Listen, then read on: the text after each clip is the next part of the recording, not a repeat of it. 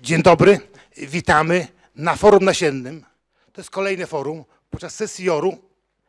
Bardzo dobrze, że to forum nasienne jest, gdyż podczas tego forum omawiamy problemy, które dotyczą nasiennictwa, ale też odmian odpornych, do- tolerancyjnych, co jest zgodne z Europejskim Zielonym Ładem, ale też, też strategiami Unii Europejskiej, bo obniżenie chemizacji w ochronie roślin jest możliwe naj, najbardziej poprzez wprowadzenie odmian tolerancyjnych i odpornych na agrofagi, ale też na czynniki y, abiotyczne, czyli i suszę klimatyczną, i też upały, temperaturę, bo taki mamy teraz klimat, czy zmiany klimatyczne są bardzo duże i odpowiedź musi być, a te zmiany klimatyczne też spowodowały, że mamy więcej zagrożeń pop- poprzez nowe y, patogeny, które, które przychodzą y, i też choroby, szkodniki i to wpływa na większe zagrożenie. I hodowla roślin musi odpowiedzieć na te y, bardzo trudne wyzwania, ale bez tych wyzwań i bez realizacji to nie będzie przyszłości dobrej hodowli, bo praktyka oczekuje na odmiany odporne, tolerancyjne i to jest zadanie hodowli. Y, Ale to forum nasienne nie byłoby, gdyby y, nie y, Polska Izba Nasienna i pan prezes Les- Leszek Chmielnicki, który y, to forum razem z Jorem organizuje, ale nie tylko PIN, ale tak samo też w tą organizację forum od początku jest zaangażowane Ministerstwo Rolnictwa Rozwoju Wsi, tak samo też jest IHAR, PIP zaangażowany, też Coboru i, tak, i wiele innych organizacji, które współdziałają i tworzą to forum. I forum nasienne y, kończy się zawsze debatą, która jest jakby podsumowaniem i też wskazaniem kierunków, w którym hodowla musi iść, a wiemy, że kierunek jest jeden, y, stworzenie odmian odpornych i tolerancyjnych na agrofagi, a tak samo na czynniki y, abiotyczne. Y, I proszę pana y, prezesa y, o y, ot- otworzenie forum i przywitanie gości. Dzień dobry, szanowni państwo. No pierwszy raz jesteśmy w takiej scenerii. Y, Lubimy jak mamy audytorium, ale tutaj no takie są czasy y, i musimy w takiej formule to forum przeprowadzić.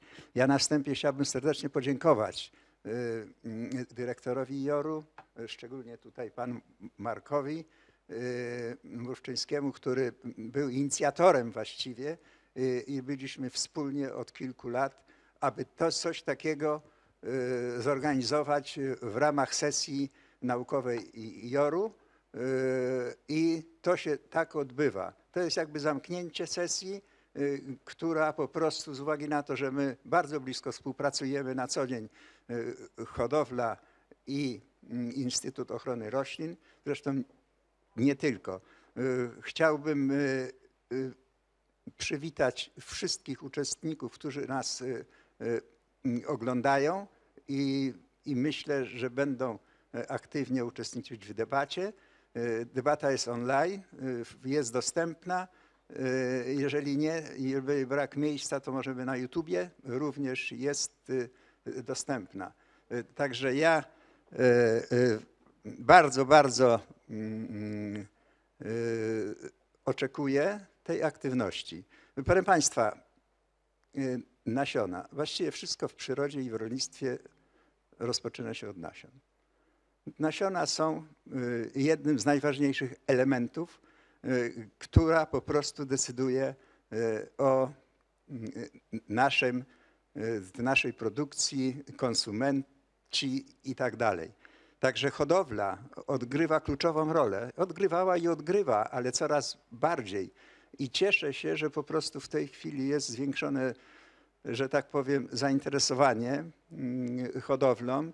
Y, Ten okres musimy wykorzystać, y, abyśmy mogli y, jak najwięcej y, wprowadzić mm, elementów y, nowoczesnej y, hodowli, przyspieszyć, dlatego że takie są czasy, y, które y, no, zmuszają nas.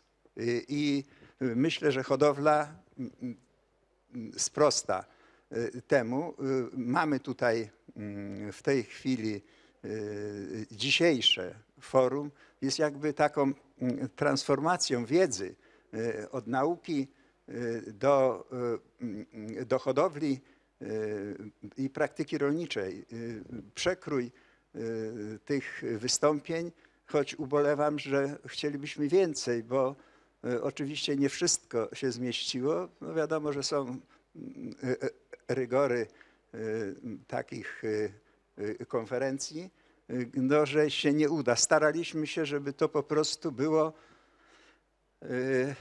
kluczowe i, jak najwięcej. Mm, Pro- Proszę Państwa, udział y, w tym forum mamy znamienitych gości, y, także udział mm, mm, bezpośredni będzie z naszym ministrem, posłem, y, przewodniczącym Rady y, do spraw y, y, rolnictwa y, przy prezydencie y, Janem Krzysztofem Ardanowskim. Y, Będzie uczestniczył departament y, w, y, w osobie pani dyrektor Nili Dobrzyńskiej i Krzysztofa Smaczyńskiego. Y, Proszę Państwa, będą, y, będziemy y, też y, wszyscy prelegenci. Znaczna część prelegentów jest stacjonarnie w naszym studio, y, także będzie można spokojnie potem w debacie y, uczestniczyć. Także jeszcze raz serdecznie witam wszystkich wykładowców i- podziękować za przygotowanie tych referatów, y, jak i po prostu y, dużo, dużo wło- włożyli, żeby dzisiejsze wystąpienie było merytoryczne i żebyśmy mogli po prostu y, dyskutować nad przyszłością naszej hodowli. Proszę Państwa, forum nasienne ma swoją dynamikę. Y, Po zakończeniu tej części oficjalnej będzie debata, y, w której również zapowiedzieli y, poseł Jan Krzysztof Ardanowski, departament z panią Niną Do- Do- Do- Dobrzyńską i myślę, że, że będziemy mieli również gościa z ramienia reprezentacji rolników. Będzie prezes Krajowej Rady Izb Rolniczych Wiktor Szmulewicz. E, e, Oczywiście, że weźmie udział też i dyrektor e, i- IHAR-u Michał Rokicki, dyrektor Coboru Henryk Bujak. Także będzie można zadawać, zadawać pytania. Także w tej chwili prosiłbym o krótkie wystąpienie posła Jana Krzysztofa Ardanowskiego. Dziękuję bardzo. Szanowni Państwo, bardzo dziękuję za zaproszenie na forum y, nasienne, y, które odbywa się w ramach sesji naukowej Instytutu Ochrony Roślin. Y, Jedynie mogę ubolewać, że nie jestem fizycznie z Wami, bo przecież te nasze spotkania w Poznaniu były bardzo owocne i bardzo ciekawe i ten bezpośredni kontakt również miał ogromne znaczenie. Rozmawiamy i w czasie tego spotkania i szerzej od wielu miesięcy na temat wdrażania Europejskiego Zielonego Ładu.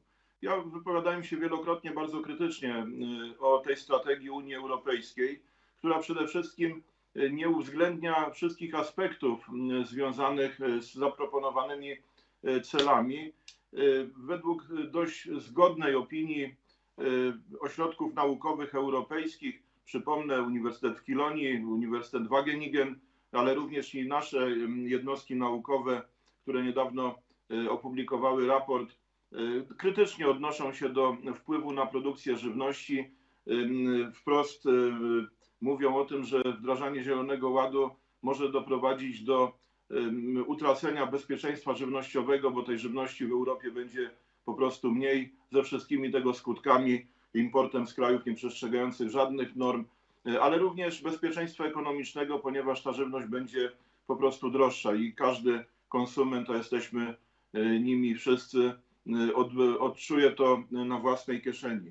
Y, Ale prawdopodobnie ten Europejski Zielony Ład będzie wdrażany od 23 roku i trudno płakać nad rozlanym mlekiem. To jest ideologiczna koncepcja lewicy europejskiej, biorąc pod uwagę to, co dzieje się w tej chwili w Brukseli.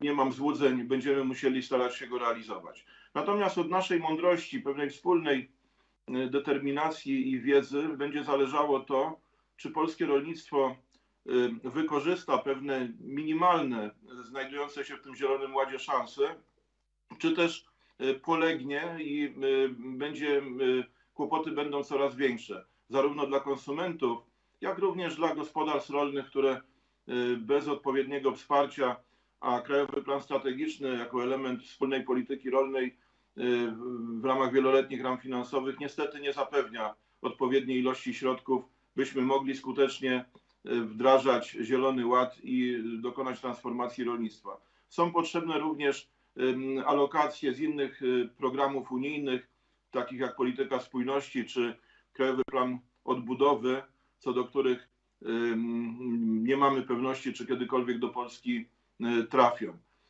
Również są potrzebne środki krajowe, skonkretyzowanie choćby Polskiego Ładu. Natomiast my tutaj rozmawiamy o sprawach, które dotyczą nas, rolników i osób wspierających rolnictwo. Co my możemy zrobić? Co może zrobić nauka? Co mogą zrobić hodowcy? Ano, jedną z najbardziej rozsądnych y, odpowiedzi na Zielony Ład, y, obok wdrażania nowych y, technologii, nowych technik innowacyjnych, umownie nazywamy to rolnictwem precyzyjnym, to może w jakiś sposób wpłynąć na zminimalizowanie spadku planowania roślin, ale też mm, widzę pewnego rodzaju niezrozumienie bądź hipokryzję, kiedy mówi się o tym, że szansą czy wdrażaniem Zielonego Ładu będzie ekstensyfikacja produkcji. No, nic głupszego, przepraszam za wyrażenie. Polska jako kraj mający w miarę przyzwoite warunki do rozwoju rolnictwa, do, do rozwoju upraw, powinna produkować żywności jak najwięcej. Dobrej jakości oczywiście, ale tej żywności jak najwięcej, bo i nasze możliwości eksportowe na to wskazują. E, przypomnę dane sprzed kilku dni.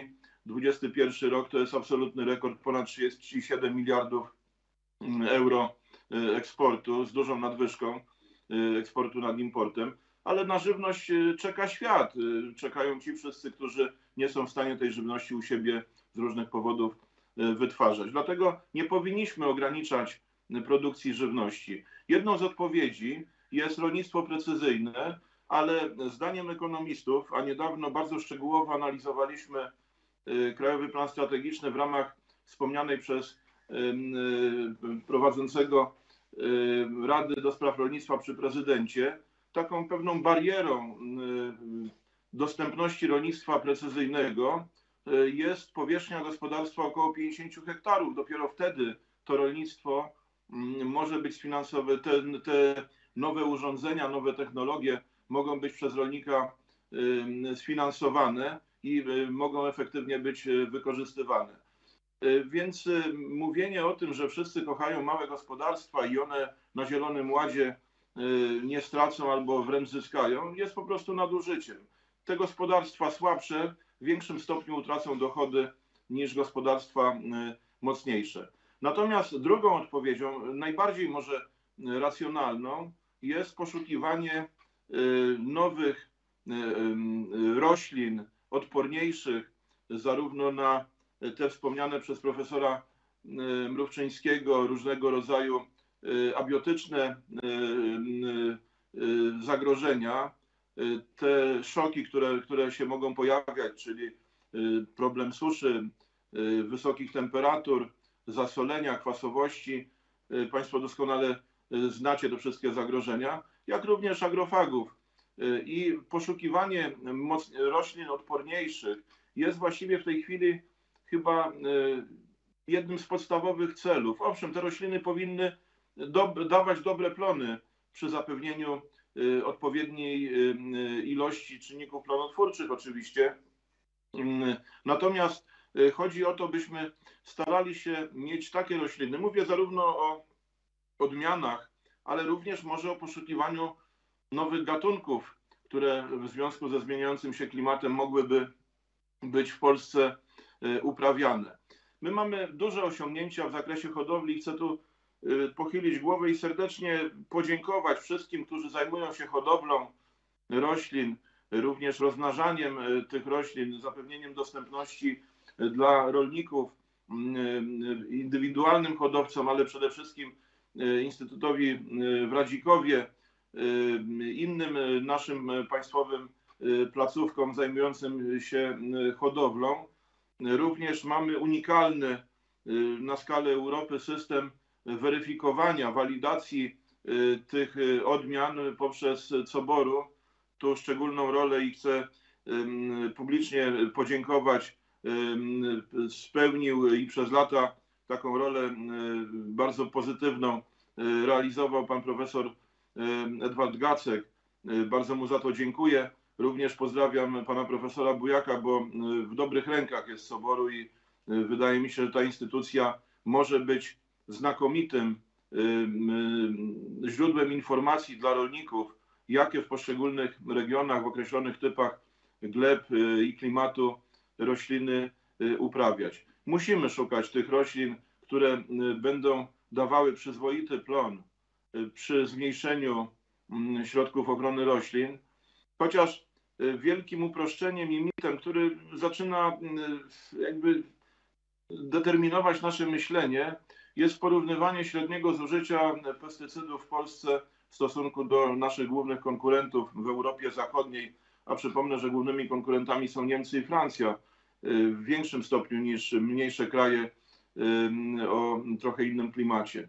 Więc jeżeli przeliczymy, y, uśrednimy to wszystko, to rzeczywiście te nasze zużycia są nie, nie za duże, tylko co my porównujemy? Uprawę roślin, y, których się właściwie nie chroni, y, na przykład ekstensywna uprawa żyta, czy też użytki zielone i uprawa roślin intensywnych, zarówno polowych, jak również w sadach, gdzie zużycie jest takie samo jak w innych krajach europejskich, przecież te same technologie ochrony są stosowane. Dość powiedzieć, że w przeliczeniu na y, jednostkę produkcji, na, na tony, na kilogramy, nasze zużycie pestycydów nie jest absolutnie mniejsze, a według danych y, jest większe niż w Niemczech. Więc y, mówienie o tym, że zmniejszanie ochrony roślin to dotyczy również nawozów, w szczególności fosforowych, które ze względu na typ gle- gleb i klimatu stosujemy w większej ilości nawet niż w Niemczech. Jeżeli ktoś mówi, że ograniczenie nawożenia i ochrony w Polsce nie, nie odbije się negatywnie, no to nie bardzo chyba wie o czym mówi.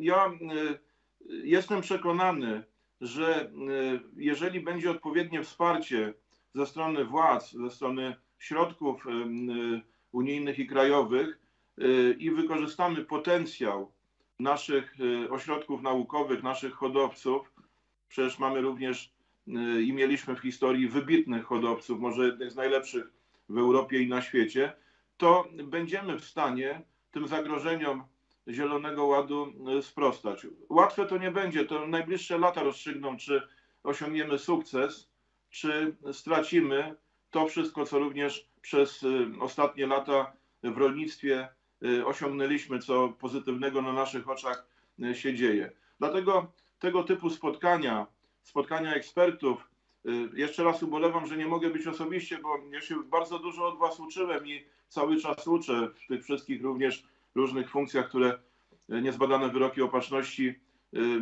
y, sprawiły, że pełniłem i pełnię. Ubolewam, że nie jesteśmy, ale proszę wierzyć, Wasza praca, wiedza, te prowadzone przez Was różnego rodzaju badania, które mają y, wymiar praktyczny, bo tu jest może najszybciej i najłatwiej wdrażać naukę do praktyki, czyli ten optymalny model wykorzystania y, ośrodków y, naukowo-badawczych y, y, przez praktykę rolniczą. Tu jest może ten związek y, najściślejszy. Dlatego bardzo dziękuję i za y, tę debatę, to forum, które tu się odbywa i za wszystko, co czynicie. Ale y, to, na co chciałem też zwrócić uwagę na koniec, wsłuchujcie się w oczekiwania rolników. przede wszystkim współpracujcie z rolnikami. Ym, Informujcie ich y, o y, swoich wynikach. Tu się dużo dzieje. Ja wiem, że czasami ważniejsze y, jest poinformowanie o wynikach niż same wyniki, bo cóż z tego, jeżeli ich nie wdrożymy, to szybko niestety się starzeją. Bieg spraw na świecie jest taki, że w ciągu kilku lat deza, dezaktualizują się nawet najlepsze rozwiązania. Dlatego informujcie rolników, a również przez pas transmisyjny, jakim są ośrodki doradztwa rolniczego i organizacje rolnicze, choćby tu wspomniane izby rolnicze. Za chwilę będzie Wiktor Szmulewicz, również głos zapewne zabierał. Wykorzystujcie wszystkie kanały informowania, również przez Coboru, przez listy odmian rekomendowanych, które udało nam się wspólnie, brałem w tym przecież istotny udział, wdrożyć w całej Polsce.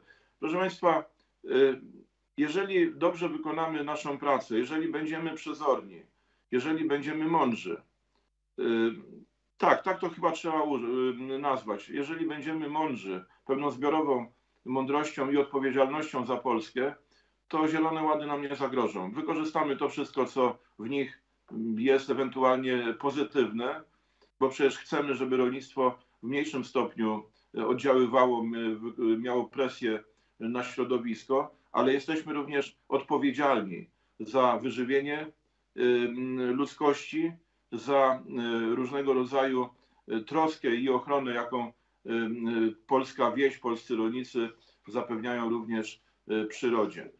Od tej naszej wspólnej mądrości zależy, jakie będą najbliższe lata w rolnictwie. Bardzo serdecznie dziękuję za umożliwienie zabrania mi głosu. Postaram się jeszcze przez jakiś czas brać udział w debacie. Niestety po południu będę już w Warszawie i nie będę mógł, będę w drodze do Warszawy, nie będę mógł zabierać głosu, dlatego Leszek jeszcze raz bardzo dziękuję za umożliwienie mi zabrania głosu teraz. Pozdrawiam wszystkich moich przyjaciół, trzymajcie się. Dziękuję serdecznie. Bardzo, bardzo jesteśmy wdzięczni, że pan poseł znalazł chwilę czasu i podzielił się y, jakże cennymi uwagami. Znamy y, pana posła y, i przewodniczącego Rady w jednej osobie. Wiemy, jak od lat uczestniczy z nami i jest wielkim propagatorem postępu biologicznego.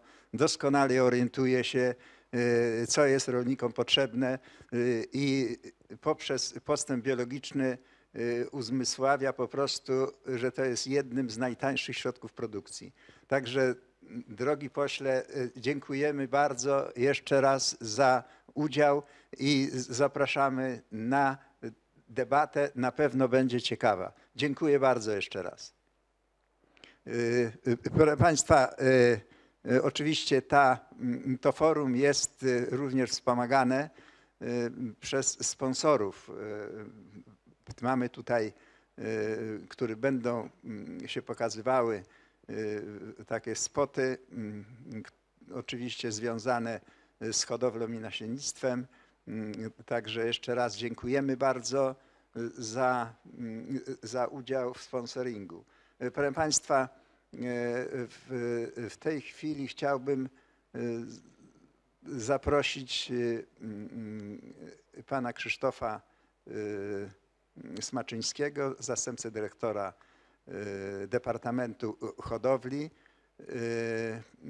Także cieszymy się niezmiernie, że ta nazwa wróciła i gratulujemy mm, popowołania i dalszego pełnienia funkcji pani dyrektor nie do, do Dobrzyńskiej. Także bardzo proszę, zapraszam pana Krzysztofa Smaczyńskiego. Dziękuję bardzo. Dzień dobry Państwu. E, szanowni Państwo, e, Szanowny Panie e, Ministrze, Szanowny Panie Profesorze, Szanowny Panie Prezesie, Szanowni zebrani, bardzo dziękuję za udzielenie mi głosu. Ja swoim głosem będę mówił w imieniu całego naszego ministerstwa, naszego Ministerstwa Rolnictwa i Rozwoju Wsi, Departamentu Hodowli i Ochrony Roślin. Jest nas zebranych tutaj więcej obserwujących, E, a ja skorzystałem z tej uprzejmości pana prezesa i będę mógł zabrać zabrać głos. Bardzo za to dziękuję. E, Szanowni Państwo, bardzo się cieszymy, że możemy wziąć udział e, w forum nasiennym jako części e, 62. sesji naukowej JOR-u. Tematem przewodnim oczywiście był Europejski Zielony Ład i podczas tych dwóch e, wcześniejszych dni na pewno już sporo powiedziano o, o celach Europejskiego Zielonego Ładu. Rzeczywiście, e, jak już wcześniej pan minister Ardanowski wspominał, rzeczywiście całe przedsięwzięcie trudno mu odmówić e, racji. No, sami wszyscy chcemy żyć e, w czystej, w czystej Europie, w, czy, w czystym świecie. Natomiast w 2019 roku, kiedy powstawała strategia, byliśmy tak naprawdę przed wydarzeniami, które nas dotknęły nieco później, przed pandemią i pewne i pewne założenia wtedy podjęte nie uwzględniały jednak tego czynnika, czynnika pandemii. Tego czynnika pandemii e, dostaw e, żywności nie uwzględniały również do końca następne strategie, które powstawały w rezultacie Europejskiego Zielonego Ładu, czyli te z 20 roku o strategii od pola do stołu, e, unijnej strategii na rzecz bioróżnorodności, czy z roku 2011 dotyczące produkcji ekologicznej, czy strategii na, strategii na, rzecz, na rzecz gleby. E, Ministerstwo Rolnictwa w, tym zakresie Europejskiego Zielonego Ładu od samego początku prezentuje e, takie dość ostrożne stanowisko. Oczywiście sto, e, stoimy na takim ogólnym stanowisku, że cele jak najbardziej tak, Natomiast jednak ich, przy ich realizacji należy brać pod uwagę jednak szerszy kontekst i rolnictwa, i środowiska, klimatu, klimatu jak również no, tego najważniejszego, czyli zaopatrzenia w żywność. Czyli na pewno powinno się brać ten różny poziom startu, jakie państwa członkowskie w Unii Europejskiej na dzień dzisiejszy mają. Musimy mocno spojrzeć, jak to wpłynie na zaopatrzenie naszych obywateli w żywność, bo w końcu to jest podstawowa funkcja rolnictwa, czyli dostarczanie, dostarczanie żywności. Jak to się będzie miało w sytuacji obecnych łańcuchów dostaw, zakłócenia niektórych, co pokazała pandemia? Co w konsekwencji oznacza, że potrzebne jest mądre pogodzenie tych wszystkich oczekiwanych tak, rzeczy, jak neutralność klimatyczna, mniejsze oddziaływanie rolnictwa, no i wszystkich innych sektorów na środowisko, a rzeczami najważniejszymi, czyli produkcyjność i konkurencyjność polskiego rolnictwa. Na pewno dzisiejsze forum będzie taką dobrą okazją, aby te sprawy, te sprawy przedyskutować. Bardzo dobre jest również miejsce, w którym się spotykamy, no bo, bo przecież nasz instytut, Instytut Ochrony Roślin, ma wieloletnie doświadczenie w promowaniu integrowanej ochrony no i a szerzej również integrowanej produkcji.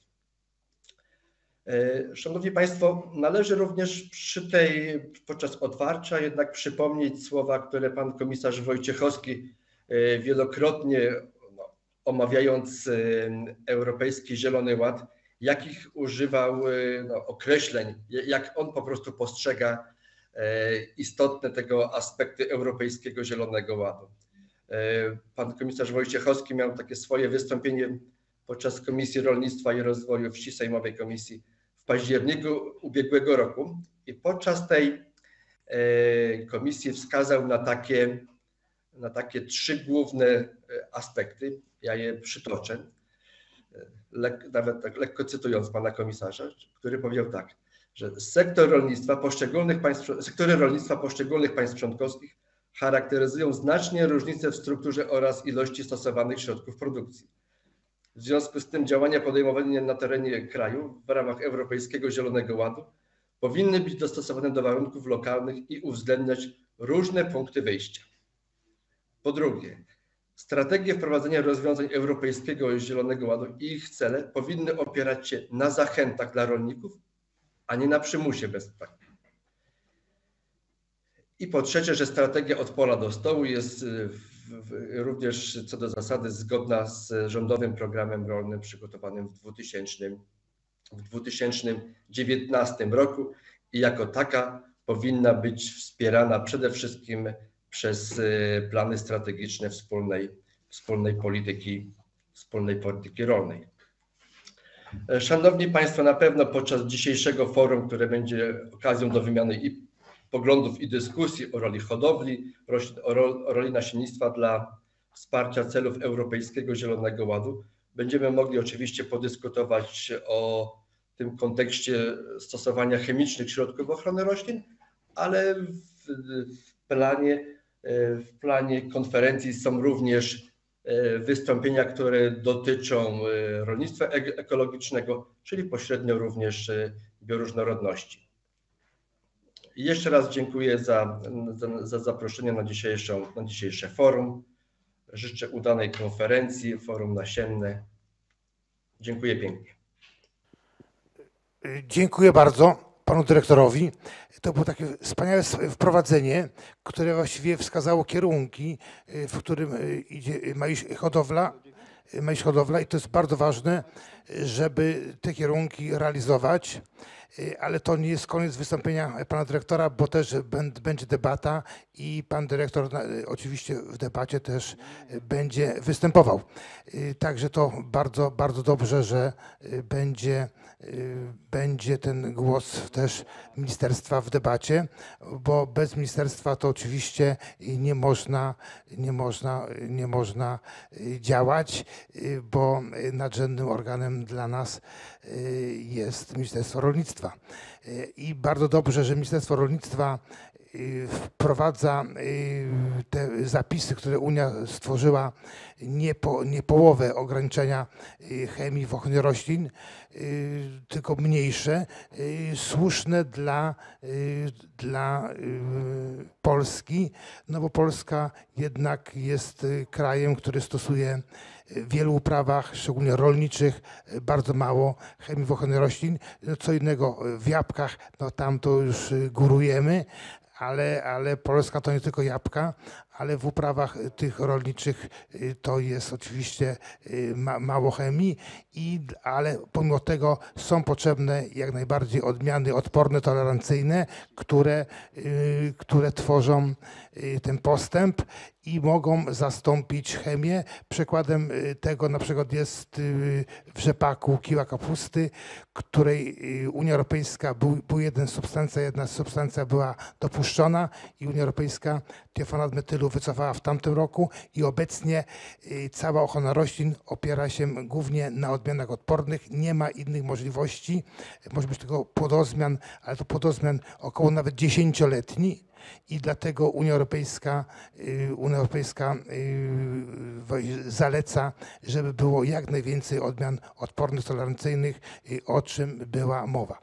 Teraz następny wykład, pan doktor Tadeusz y, Oleksiak miał wystąpić, y, ale są problemy z, z, z łączami i przesuniemy ten wykład na później. I w tej chwili proszę pana dyrektora Coboru, pana profesora Henryka Bujaka, który przedstawi e, referat o badaniach Coboru nad odpornością i tolerancją odmian roślin rolniczych na czynniki biotyczne i abiotyczne, i biotyczne, abiotyczne, bo to jest rzecz bardzo ważna, istotna, bo Coboru ocenia, czy te nowe kreacje, nowe odmiany rzeczywiście wpisują się w te y, czynniki biotyczne i abiotyczne. Dziękuję bardzo. Szanowni Państwo, Panowie Przewodniczący, Panie Ministrze, jest mi niezmiernie miło, że mogę wystąpić przed Państwem i zaprezentować na tym forum nasiennym, zaprezentować badania COBOR-u, które są prowadzone nad por- odpornością czy tolerancją odmian roślin rolniczych na różne czynniki, zarówno biotyczne, jak i abiotyczne. Bardzo serdecznie dziękuję za to zaproszenie i bardzo dziękuję również panu ministrowi Janowi Krzysztofowi Ardanowskiemu za ciepłe słowa skierowane w stosunku do naszej instytucji, do Centralnego Ośrodka, ponieważ no, bardzo nam miło słyszeć to, ale to też od razu dla nas ogromne wyzwanie, któremu będziemy musieli podołać, ażebyśmy mogli również Państwu, rolnikom, producentom rolnym przedstawiać odmiany i charakterystyki wraz również z odpornością czy tolerancją na te stresy biotyczne i abiotyczne. Proszę Państwa, badania nad odpornością roślin e, to jeden z kluczowych elementów który wpisuje się w badania wartości gospodarczej odmian. Proszę Państwa, jest to niezmiernie ważny czynnik, na, ponieważ oprócz plonu, oprócz jego jakości, to również musimy baczniejszą uwagę zwracać na odporność. I proszę Państwa, te informacje w badaniach rejestrowych są kluczowe do podejmowania decyzji o wpisaniu danej odmiany do Krajowego Rejestru. Komisje rejestrowe, zwłaszcza w tym nowym okresie, y, bardzo mocno uwzględniają te nasze wyniki badań to, y, nad odpornością roślin. Corocznie, proszę Państwa, badamy około 1850 odmian, zarówno krajowych, krajowych, jak i zagranicznych, odmian roślin samych rolniczych. W tym w badaniach rejestrowych to jest ponad 950 odmian, natomiast w badaniach porejestrowych, które są podstawą do rekomendacji odmian do praktyki rolniczej, około 700 odmian rocznie. Natomiast y, corocznie do, naszego, y, do naszych badań, do naszych badań rekomendacyjnych pukają odmiany z y, wspólnotowego katalogu roślin, odmiany z CCA i tych corocznie badamy około 200. Widzicie Państwo, tych 1850 odmian badanych corocznie to ogromny potencjał, to ogromna zmienność, to ogromna różnorodność, nie tylko genetyczna, ale również różnorodność w przystosowaniu do warunków środowiskowych, charakteryzujących się różnym potencjałem planowania, ale równą, różną również reakcją na czynniki stresogenne. Proszę Państwa, czy to dużo, czy to mało y, badamy? No jest to sporo, proszę Państwa, ponieważ y, w, y, w Krajowym Rejestrze w tej chwili, to jest stan na koniec ubiegłego roku, i mamy ok- 1008 1480 odmian roślin uprawnych, z czego polskiej, rodzimej hodowli to jest prawie 50% odmian. Czy to dużo? Proszę Państwa, to nie jest aż tak dużo, bo to jest około 6,3% odmian, które są wpisane czy zarejestrowane we wspólnotowym katalogu odmian i tam łącznie jest ich ponad 24,5 tysiąca odmian. Czyli jak Państwo widzicie na nasz potencjał, na nasz kraj, to nie jest aż znowu tak dużo. Y, Badania Coboru, y, a zwłaszcza badania rekomendacyjne, czyli te, które będą podstawą do rekomendacji odmian do poszczególnych warunków glebowo-klimatycznych, o czym wspominał pan minister Jan Krzysztof Ardanowski, prowadzimy w wielu punktach. Te punkty charakteryzują się dużą zmiennością. Rozmieszczone są na, zarówno glebową, jak i różną zmiennością y, klimatyczną, jak również różnym stopniem, w którym porażane są odmiany nowe rośliny przez patogeny czy szkodniki. Stąd też te ponad 100 punktów doświadczalnych dają nam podstawę do wyłowienia tych najbardziej, najlepiej przystosowanych do konkretnych warunków środowiskowych odmian. Tak jak Państwu mówiłem, e, badania na stresy biotyczne są jednym z elementów y, badania wartości gospodarczej, ale również jednym z elementów, które przekazujemy później rolnikom w opisie odmian.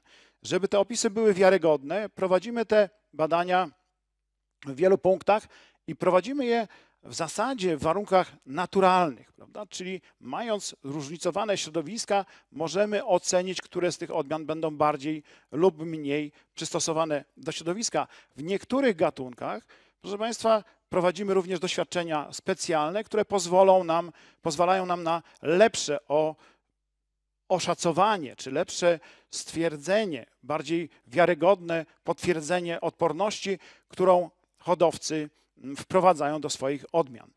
Proszę Państwa, e, hodowcy odpowiadając na zainteresowanie producentów rolnych, rolników, ale również e, w odpowiedzi na zmieniające się warunki klimatyczne i pojawiające się nowe rasy, patotypy e, patogenów, prowadzą hodowlę odpornościową i wprowadzają nowe geny odporności, które my musimy zweryfikować.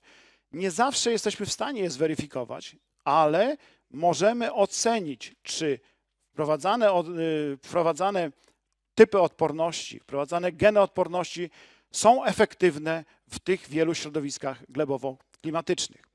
Stąd też, proszę Państwa, ważną rzeczą są odporności na wirusy, ponieważ jak do tej pory nie mamy środków ochrony przed tymi mm, chorobami, czyli choroby wnos- przenoszone, choroby mm, wirusowe, choroby powodowane przez wirusy, no tutaj nie mamy możliwości bardzo dużej reakcji. To przede wszystkim odporność genetyczna, odporność wnoszona poprzez geny odporności. W przypadku jęczmienia ozimego, proszę Państwa, no, przedłużające się okresy, czy zmiany klimatyczne, przedłużająca się ciepła jesień powoduje, że ta presja tych wirusów jest ogromna, zwłaszcza wirusa żółtej karłowatości jęczmienia, czy żółtej mozaiki jęczmienia, które się pojawiają. I proszę Państwa, hodowcy zgłaszając nam odmiany do swoich badań, już deklarują na etapie zgłoszenia, że wprowadzane, wprowadzone do ich odmian są odpowiednie typy odporności, odpowiednie geny. Jak Państwo zwrócicie uwagę, na 40 zarejestrowanych odmian 14 ma deklarowaną odporność na wszystkie typy tutaj wirusów, prawda, na wszystkie typy chorób powodowanych przez wirusy, które są tutaj wymienione, niektóre tylko na pojedyncze z nich. I proszę Państwa, jak to się odbija na plonowaniu? To przedstawiłem Państwu w tej tabeli zależność plonu ziarna odmian jęczmienia ozimego na właśnie odporność, w zależności od odporności na wirusy. Jak Państwo widzicie, czasami ta deklarowana, ta deklarowana odporność, jak chociażby w przypadku tej odmiany e, drugiej na wszystkie trzy typy wirusu, nie zawsze się potwierdza, prawda? W przypadku odmiany siódmej, w przypadku odmiany drugiej jak najbardziej. I jak mamy tutaj plony wzorca, to proszę Państwa, nie zawsze te deklarowane odporności są potwierdzane w doświadczeniach. Ale gdybyśmy my tego nie weryfikowali, to przyjęlibyśmy za, e, za marketingiem prawda, firm hodowlanych, że rzeczywiście taka odporność pełna lub prawie całkowita występuje. Stąd też dzięki naszym badaniom jesteśmy w stanie zweryfikować te deklaracje hodowców, które są do nas adresowane. Proszę Państwa, jeżeli chodzi o rzepak ozimy, prawda? w przypadku rzepaku ozimego e, pojawił się problem odporności na kiłę, prawda? na kiłę kapusty i od razu hodowla odpowiedziała na ten problem, wprowadzając geny odporności czy tolerancji na kiłę i teraz w zasadzie gro odmian wprowadzanych do uprawy taką odporność, czy część odmian ma deklarowaną odporność, i tu dzięki e, podjęciu współpracy z Instytutem Ochrony Roślin jesteśmy w stanie tą odporność zweryfikować. I proszę Państwa, nie zawsze, powiem tutaj, nie zawsze, proszę Państwa, ta deklarowana odporność na kiłę jest potwierdzana. W większości przypadków tak, natomiast nie zawsze patotypy, na które badamy, czy patotypy, które występują u nas, są, są yy, również czyli na te patotypy są odporne, tolerowane te odmiany. Proszę Państwa, problemem jest również wirus żółtaczki rzepy i proszę zwrócić uwagę w tej chwili na 148 zarejestrowanych odmian rzepaku, aż 44 taką, takie geny tolerancji posiada. Oczywiście powinniśmy to zweryfikować i mam nadzieję, że w najbliższym czasie będziemy również to mogli zweryfikować. To samo e, dzięki właśnie współpracy z, tutaj z instytutem, w którym się znajdujemy. To samo dotyczy odporności na suchą zgniliznę kapustnych. Jedna trzecia odmian już posiada genę odporności na FOMę, czyli proszę Państwa, hodowla widząc zagrożenia, dzięki swoim metodom hodowlanym wprowadza genę odporności. I to od nas e, będzie zależało, czy te geny odporności zostaną prawidłowo zidentyfikowane i prawidłowo wykorzystane. E, jeżeli chodzi o buraka cukrowego, proszę Państwa, w przypadku buraka cukrowego mamy różne typy odporności w poszczególnych zgłaszanych odmianach. I w naszych badaniach weryfikujemy chociażby tolerancję na e, montwika burakowego, w specjalnych doświadczeniach. Tu zakładamy specjalne doświadczenia w środowisku, w którym ten, tego mątwika jest bardzo dużo, larw i cyst. Odporność na rizomanię, prawda? Tu prawie wszystkie zarejestrowane odmiany już tą odporność posiadają. Również zgłaszane są do badań odmiany tolerancyjne czy odporne na chwościka burakowego, na mączniaka prawdziwego, zgniliznę korzeni. Coraz więcej tych odmian jest zgłaszanych, ale pojawiają się również odmiany tolerancyjne na tak zwany syndrom niskiej zawartości cukru, który się pojawia od czasu do czasu e, na zachodzie Europy, to znaczy to jest reakcja obniżonego poziomu cukru w odmianach pod wpływem wysokich temperatur. I takie odmiany w poprzednich latach mieliśmy zgłoszone e, do badań. Natomiast no, nie udało nam się zweryfikować rzeczywiście, czy taka tolerancja występuje. Natomiast występują odmiany i cztery już są zare- zare- zarejestrowane, czy wpisane do Krajowego Rejestru, które mogą być stosowane w tak zwanej uprawie Conviso-Smart, czyli odpornych na herbicyd, który może być stosowany wła- zwłaszcza na tych stanowiskach, gdzie występują burako-chwasty. E, Proszę Państwa, e, no. tu, proszę Państwa, są wyniki, przykładowe wyniki przedstawione z doświadczeń, doświadczenia specjalnego z oceną odporności na chwościka burakowego. I proszę Państwa, proszę zwrócić uwagę, te odmiany z gwiazdką są deklarowane jako całkowitą, mają posiadające całkowitą odporność i one rzeczywiście uzyskują oceny zbliżone do dziewiątki. Natomiast pozostałe odmiany niestety tą odporność mają na zdecydowanie niższym poziomie. Jeżeli chodzi o tolerancję na nicienie, na mątwika burakowego, tu zakładamy, tak jak powiedziałem wcześniej, specjalne doświadczenie po to, ażeby zweryfikować odporność na tego mątwika. Jest to doświadczenie zakładane w, w stacji, gdzie, jak widzicie Państwo, tu na, u dołu tej tabeli, ta liczba larw, cyst i jaj jest bardzo duża. I proszę Państwa, nie, jak można tutaj zauważyć, że rzeczywiście odmiany w tym środowisku, które posiadają te geny, zdecydowanie lepiej plonują, czyli ten plon jest powyżej 100%, ale są również odmiany, które nie mają takiej deklaracji, prawda, a, a również bardzo dobrze sobie w tych warunkach radzą. To są nieliczne odmiany, czyli widać, że postęp hodowlany, który jest wprowadzony i jest tutaj jak najbardziej skuteczny. Potrafimy to zweryfikować i możemy z całą stanowczością wtedy podać w opisie odmiany, iż odmiana taka rzeczywiście jest Montfico odporna. Yy, Proszę Państwa, we współpracy z Instytutem Hodowli Aklimatyzacji Roślin i oddziałem tego, tego Instytutu w Mochowie udało nam się określić czy podzielić odmiany, czy wyróżnić odmiany ziemniaka, jeżeli chodzi o odporność na wirusy, zwłaszcza na wirusa Y. I tu proszę zwrócić uwagę, są takie odmiany, które mają dużą, czy też nawet bardzo dużą odporność na tego, na tego wirusa. Kolejnym, proszę Państwa, y, patogenem ziemniaka to zaraza ziemniaczana, która również może powodować w niektórych latach ogromne straty, a wiele odmian zarejestrowanych w ostatnich trzech latach taką odporność posiada. I tutaj, proszę Państwa, na podstawie naszych doświadczeń specjalnych, gdzie można było określić tolerancję na zarazę ziemniaka, wybraliśmy odmiany, które mają od małej do dużej odporności. Oczywiście tych odporności bardzo dużych nie ma, niemniej jednak są odmiany zarejestrowane w ostatnich latach, które charakteryzują się poprawioną odpornością na zarazę ziemniaczaną.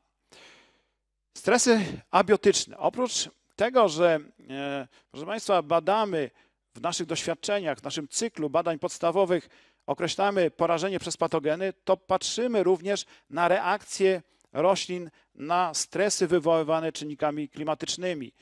Przede wszystkim, jeżeli chodzi o rośliny, o rośliny ozime, a zwłaszcza zboża, rzepaki, to podstawowym takim elementem to jest zimotrwałość, albo inaczej mrozoodporność.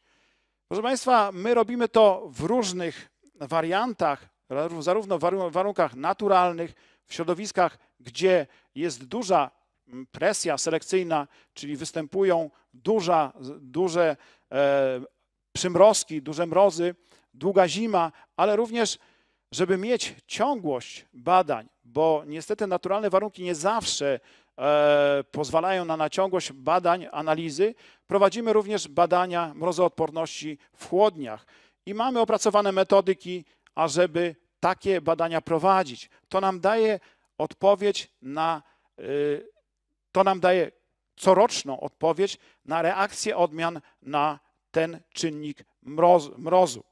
Proszę Państwa, ten czynnik nie pojawia się. Oczywiście robimy również, mamy metody e, naturalne, czyli w skrzyniach, w nasypach obetonow- obetonowanych i to mamy w- zlokalizowane te doświadczenia specjalne w takich miejscach, gdzie, gdzie mamy duże y, skoki temperatur, jak w województwie podlaskim, jak y, w województwie małopolskim, czy też y, w województwie wielkopolskim.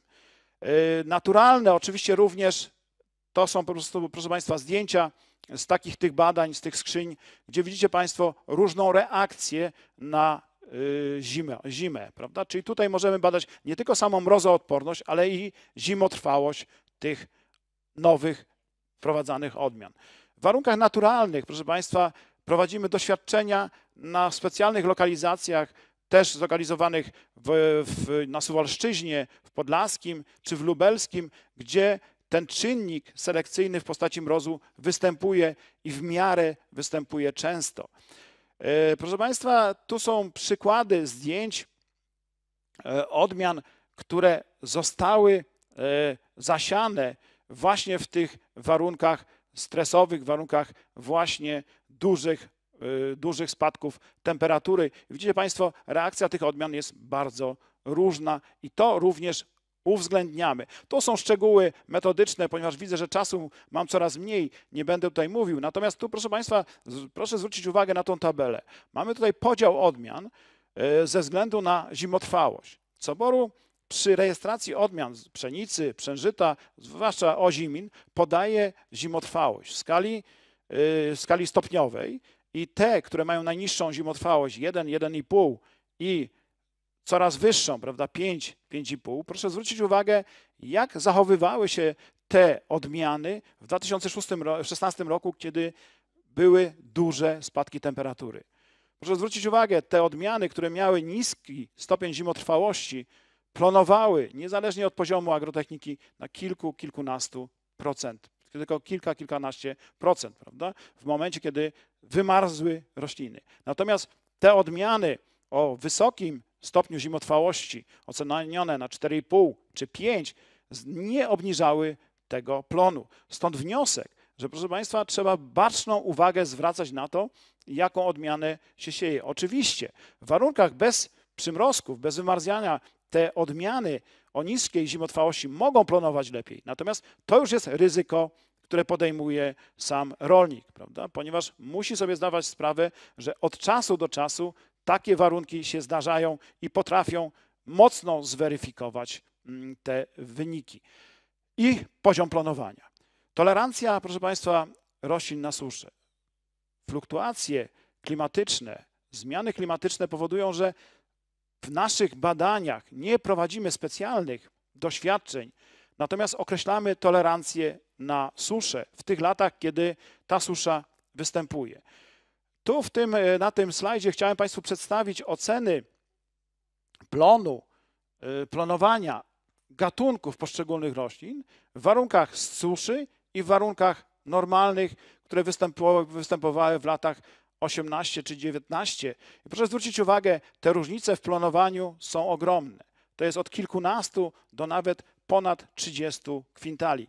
Stąd też e, w opisie roślin, które będziemy dostarczać dostarczamy mm, oficjalne, również na to, na ten czynnik tolerancji roślin na suszę uwzględniamy, proszę Państwa, i pokazujemy, że są odmiany, które reagują na tą, ten stres suszy bardzo mocno, a są odmiany, które w mniejszym stopniu na to reagują. Jak Państwo zwrócicie uwagę na ten ranking odmian w 2018 czy w 2019 roku pod względem plonu, to zwrócicie uwagę, że niektóre odmiany nie reagowały, prawda? Czyli były zawsze na pierwszym miejscu. Natomiast w przypadku innych odmian ten ranking zupełnie został zaburzony. Czyli można, proszę Państwa, na podstawie tych naszych wyników badań podstawowych wybrać odmiany, które mniej reagują spadkiem plonu na ten czynnik, którym, z którym streso, stresogenny, prawda, czynnik suszy. Proszę Państwa, bez wody oczywiście nic nie urośnie. Nie ma form całkowicie odpornych, są w mniejszym lub większym stopniu tolerancyjne. I tutaj na przykładzie jęczmienia możecie Państwo to zauważyć. E, To jest podobny przykład z odmianami owsa, ponieważ no, te susze wiosenne występują i tam najwięcej mamy takich różnic. E, Proszę Państwa, e, jeżeli chodzi o kolejne badania, które prowadzimy, to jest tolerancja odmian zbóż na toksyczne działanie jonów glinu. Większość gleb w Polsce to gleby słabe, gleby zakwaszone, a wzrost zakwaszenia gleb powoduje, o tym mówi nam tolerancja na zakwaszenie poprzez jony glinów. Wzrost jonów, y, zawartości jonów glinu to niższe, przy niższym pH. I tu proszę zwrócić uwagę, jaka jest różnica pomiędzy poszczególnymi gatunkami. Najbardziej odporne to żyta, najmniej jęczmienie. I my w warunkach prowokacyjnych takie badania prowadzimy, ażeby również mieć informacje o tym i dostarczyć te informacje o takich, y, o tej tolerancji na działania glinu. Proszę Państwa, tu już nie będę, to są, to warunki są prowokacyjne, nie będę szczegółowo już o tym mówił. Podsumowując, proszę Państwa, ym, to, co mówiłem wcześniej, taki ogrom materiału badawczego, ogrom genotypów pozwala nam na wybór spośród nich tych, które są najlepiej przystosowane do lokalnych warunków środowiskowych. Czyli możemy na podstawie tych naszych badań wybrać odmiany, które są, mają, jak my to mówimy, bardzo wąską adaptację, czyli są szczególnie przydatne do konkretnych rejonów uprawy, ale również takie odmiany, które mają szeroką adaptację, czyli one plonują względnie stabilnie przy różnych warunkach środowiskowych, czyli w zmieniających się warunkach środowiskowych. I te odmiany są polecane przede wszystkim dla gospodarstw takich mniej nakładowych, prawda? ponieważ no, wtedy przy niezmienionych ilości czy niskiej ilości y, stosowania środków produkcji, zwłaszcza nawozów i środków ochrony roślin, te odmiany plonują względnie dobrze i są tolerancyjne w miarę na patogeny szkodniki. Oczywiście, proszę Państwa, y, to, co pan minister Narodowski mówił, my to wyniki publikujemy. Nie robimy tych wyników dla robienia i dochowania do szuflady, tylko publikujemy je. Tworzymy e, listy odmian zalecanych do uprawy, jak również rekomendujemy poszczególne, poszczególne odmiany dla bezpośredniego rolnika. Te wyniki naszych badań, zarówno urzędowych, za, zwłaszcza doświadczeń, a zwłaszcza doświadczeń porejestrowych, są dostępne na stronach internetowych. Nie tylko Centralnego Ośrodka, ale również każdej stacji, centrali Centralnego Ośrodka, ale każdej stacji doświadczalnej odmian, e, e, oceny odmian. I proszę Państwa, to są publika, publikatory, które tutaj mm, wydajemy corocznie, corocznie aktualizujemy, żeby rolnicy mieli informacje o tych wszystkich o tych wszystkich badaniach, o tych wszystkich właściwościach odmian, które w trakcie naszych badań podstawowych są uwzględnione. A jak mówiłem, tolerancja na stresy biotyczne i abiotyczne jest jednym z ważniejszych elementów badania wartości gospodarczej odmian. Dziękuję bardzo za uwagę. Dziękuję panu dyrektorowi Coboru za wspaniałe przedstawienie. I to jest ważne, że Coboru nie tylko plon określa, ale to jest istotne, że odporność odmian na czynniki biotyczne, abiotyczne, y, w tym oczywiście głównie y, patogeny. I to jest bardzo ważne. I ostatnio susze, bo też nas bardzo często y, sięgają, szczególnie w Polsce centralnej, w tym Wielkopolsce oczywiście.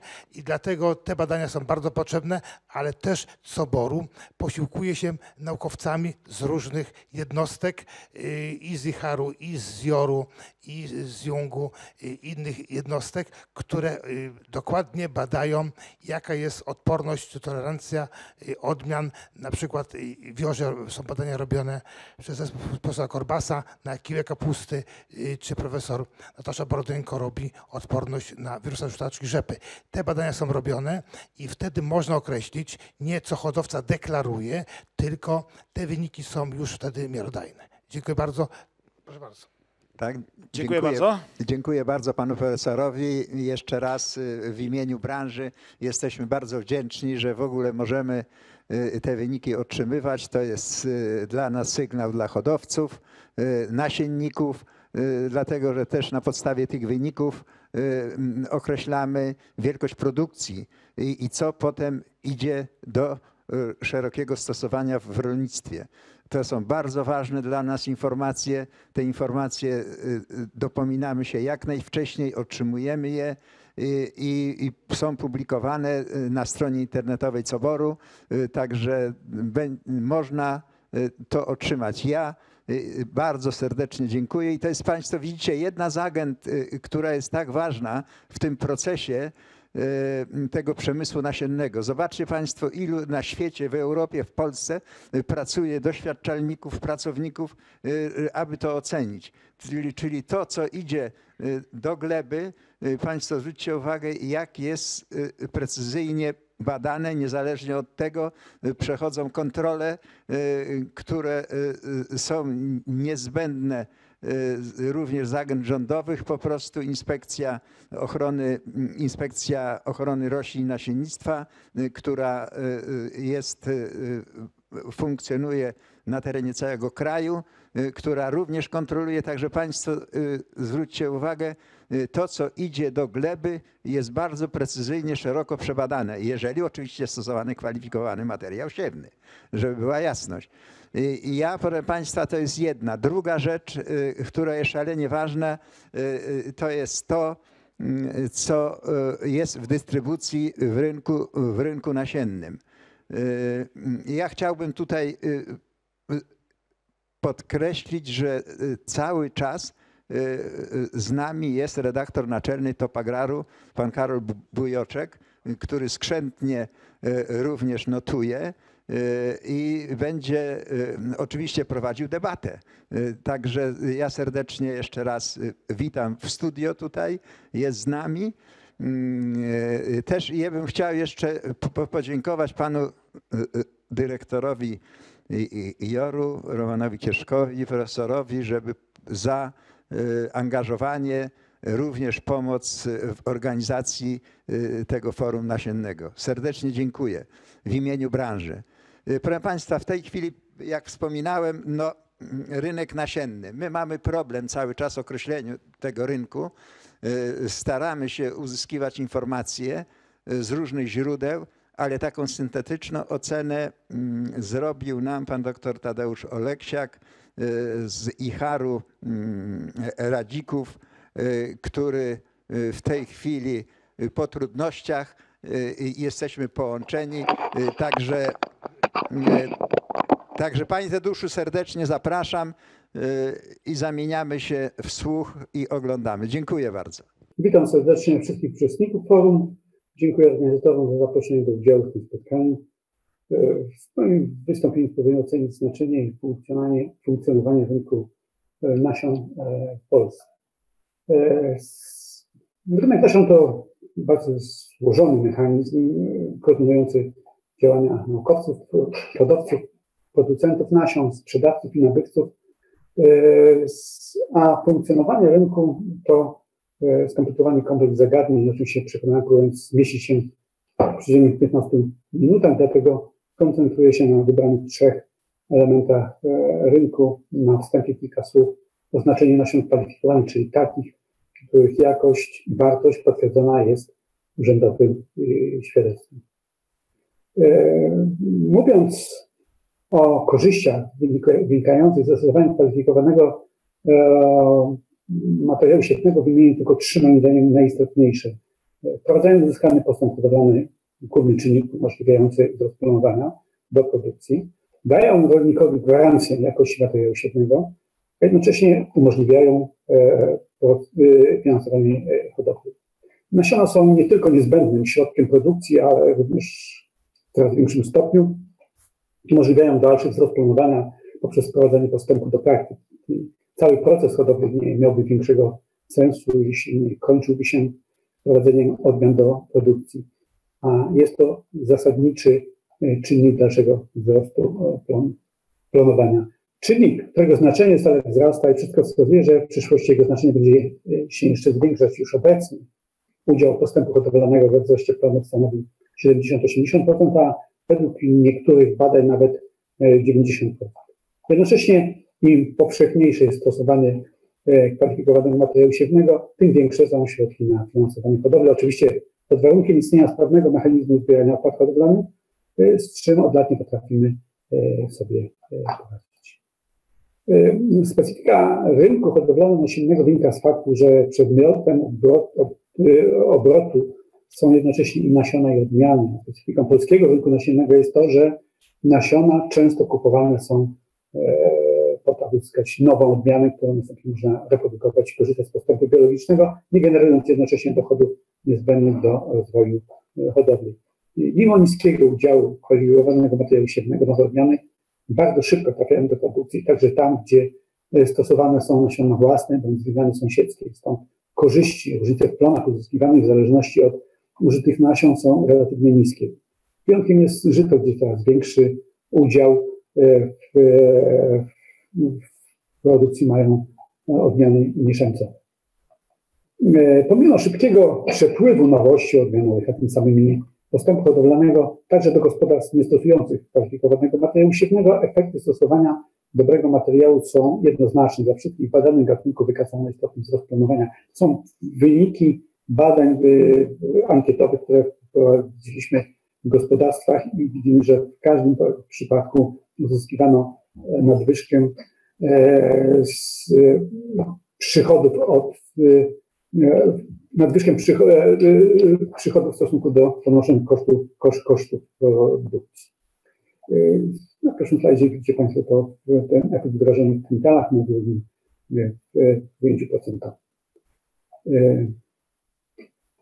Do, przechodząc do zasadniczego zagadnienia, jakim jest rynek nasienny. Rynek nasienny oparty na rynkowych zależnościach wynikających z wielkości podaży i popytu praktycznie datuje się do roku 1989, kiedy wprowadzono rynkowe rozwiązania w całej gospodarce. Wcześniej funkcjonował system administracyjny, dość sprawny system zarządzania materiału siewnych. System ten zapewniał transfer postępu biologicznego do produkcji i w sumie dwukrotnie wyższy niż obecny poziom zaopatrzenia w kwalifikowany materiał siewny. Udział materiałów kwalifikowanego zasiewa wynosił do 40-50%.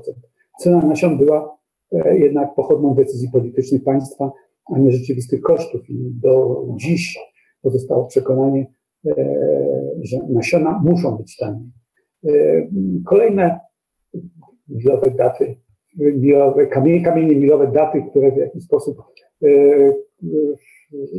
wydarzenia w jakiś sposób odegrały na, większe, mają większe znaczenie w się nowoczesnego rynku nasiennego, to 89 jest wprowadzone rynkowe, 2005 rozwiązanie 2004, kiedy weszliśmy do Unii i szerzej, szersze otwarcie rynku. I rok 2008, kiedy to wprowadzono zasadę samofinansowania hodowli w oparciu o wpływy z hodowlanych i licencji. Być może taką datą będzie też wprowadzenie Zielonego Ładu, projektu, który poprzez zapisy dotyczące warunków korzystania z niektórych ekoschematów systemów wsparcia pozwala na wprowadzenie rozwiązań wymuszających stosowanie odpowiednich odmian. Wystarczy by takim dokumentem potwierdzającym dowód zakupu kwalifikowanego materiału siewnego i w ten sposób możemy przejść od niedoskonałych, bo operujących istnienie dużej szarej strefy rozwiązań rynkowych i wrócić do pewnego systemu zaopatrzenia nasiona. Zasadniczą część polskiego rynku nasiennego, zasadnicza część to rynek wewnętrzny, jednak nie możemy wspominać o eksporcie, imporcie nasion. W handlu zagranicznym mamy inny bilans. Wartość eksportu to jest ponad 200 milionów dolarów, wartość, wartość eksportu to 200 milionów, wartość importu to nieco ponad 300 milionów, co oznacza, że udział Polski w światowym eksporcie wynosi niespełna 2%, a w imporcie 2,8%. Eksport stanowi 9%, a eksport, import 13% łącznej masy sprzedawanych nasion. Zwiększa się zarówno eksport, jak widzimy w zestawieniu zmian, jak to wygląda w czasie, e, jak i import, główna pozycja, gdzie dominuje import to braki, kukurydza i rzepak. E, mocne strony to eksport nasion traw, które były kiedyś i ponownie stają się znaczącą pozycją w eksporcie nasion, także mm, ma wspomnieć facelię, musimy mieć też gorczycę jako mocną pozycję eksportową. Zasadnicza część rynku to jednak rynek wewnętrzny, który może oceniać według różnych kryteriów, jak wielkość produkcji, wielkość sprzedaży, powierzchnia plantacji nasiennych, czy też wartość sprzedaży.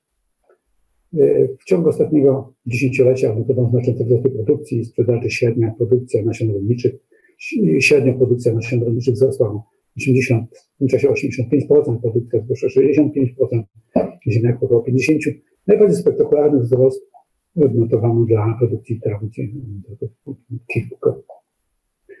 Podobnie e, wyglądają krzywe wzrostu w przypadku wartości e, sprzedaży. E, także widzimy rozwój tego rynku mimo pewnych niedociągnięć krytycznych, które padają niejednokrotnie. Zwiększała się także powierzchnia zasiewów, gdzie 50% to plantacja nasiennych zbóż, i w tym przypadku zmiany były niewielkie, wzrasta natomiast powierzchnia e, nasienna plantacji traw. E,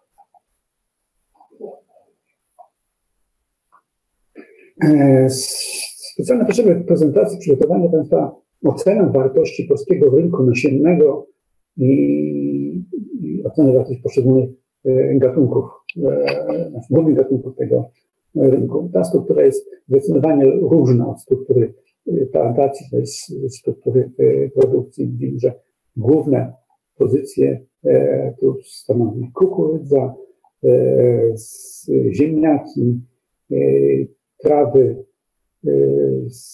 natomiast zboża, udział zbóż jest stosunkowo niewielki, będzie to widać na wykresie kołowym. Tu porównuję, ja już zmieniał się rynek w ciągu pięciu lat. Widzimy, że maleje udział zbóż na rynku, e, zwiększa się natomiast udział kukurydzy i ziemniaków, ziemniaków i buraków krowy. E, roczny przyrost, znaczy na, na kolejnym slajdzie widzicie Państwo wartość rynku wyrażona w, w, złotych, i, w złotych i w, w dolarach. Mam sobie efektu inflacji na wzrost. Widzimy, że w tej chwili wartość, wartość polskiego rynku no, w roku 2020 no, wynosiła ponad 2,5 miliarda e, złotych, wyrażono w dolarach ponad 670 milionów dolarów, że rynek rozwija się, porównałem tempo wzrostu polskiej, wartości polskiego rynku e, z, z tempem rozwoju globalnego rynku nasion. Dla globalnego rynku tempo wzrostu 9,4, dla rynku polskiego 10 0,3%. Hmm. Y, na tym slajdzie widzimy, y, y, jak zmienia się produkcja plantacji nasiennych zbóż. Troszkę więcej miejsca poświęcę zbożom, no, to, że stanowi blisko 70% zasiewów i teoretycznie to powinien być ten główny element składowy polskiego rynku nasiennego, a jak widzieliśmy przed chwilą stanowi nie, nie stanowi 20%, rzeczywiście nie stanowi 20% rynku. Po okresie załamania produkcji nasiennej w latach na początku lat 90. przeważały tendencje spadkowe, które udało się e, zahamować w połowie e, pierwszej dekady tego stulecia. Nastąpił okres wzrostu trwał do 2015 roku. Niestety w tej chwili następuje stagnacja, spadek e, produkcji nasiennej. E, udział polskiego, e, polskich, polskiej hodowli jest praktycznie stabilny stabilny większym zmianą, chociaż w ostatnim okresie, gdzie ostatnie trzy lata to też okres spadkowy.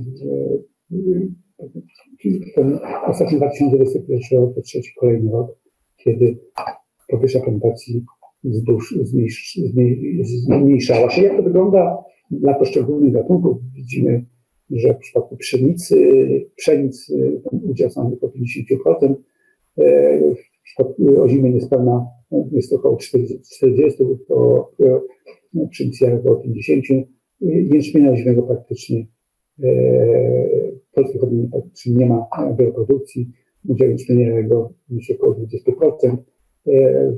Znaczące pozycje polska jakby utrzymuje w produkcji przężyka ozimego, owsa, około 50% to udział nasion żyta, a w przypadku przężyta jajko jest około 30%. Podobne tendencje możemy zaobserwować analizując wielkość produkcji. Sprzedaży kwalifikowanego materiału siewnego zbóż do roku 2015 przeważały tendencje wzrostowe.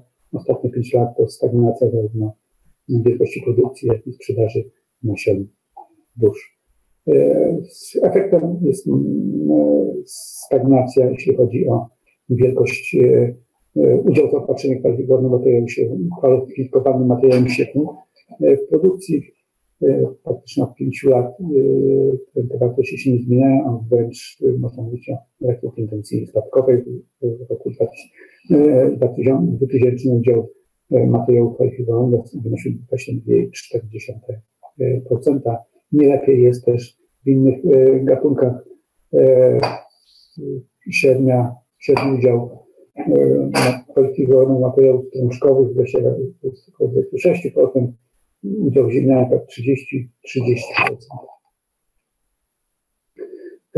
No, widzimy dwie mapy, które ilustrują zróżnicowanie regionalne w stosowaniu kwalifikowanego materiału prawej stronie jest sprzed 10 lat. Widzimy, że pewien wzrost udziału w stosunku do roku 2011, to są dane, pewien wzrost udziału kwalifikowanych, kwalifikowanego materiału produkcji, jednakże ten rozkład pozostaje bez zmian.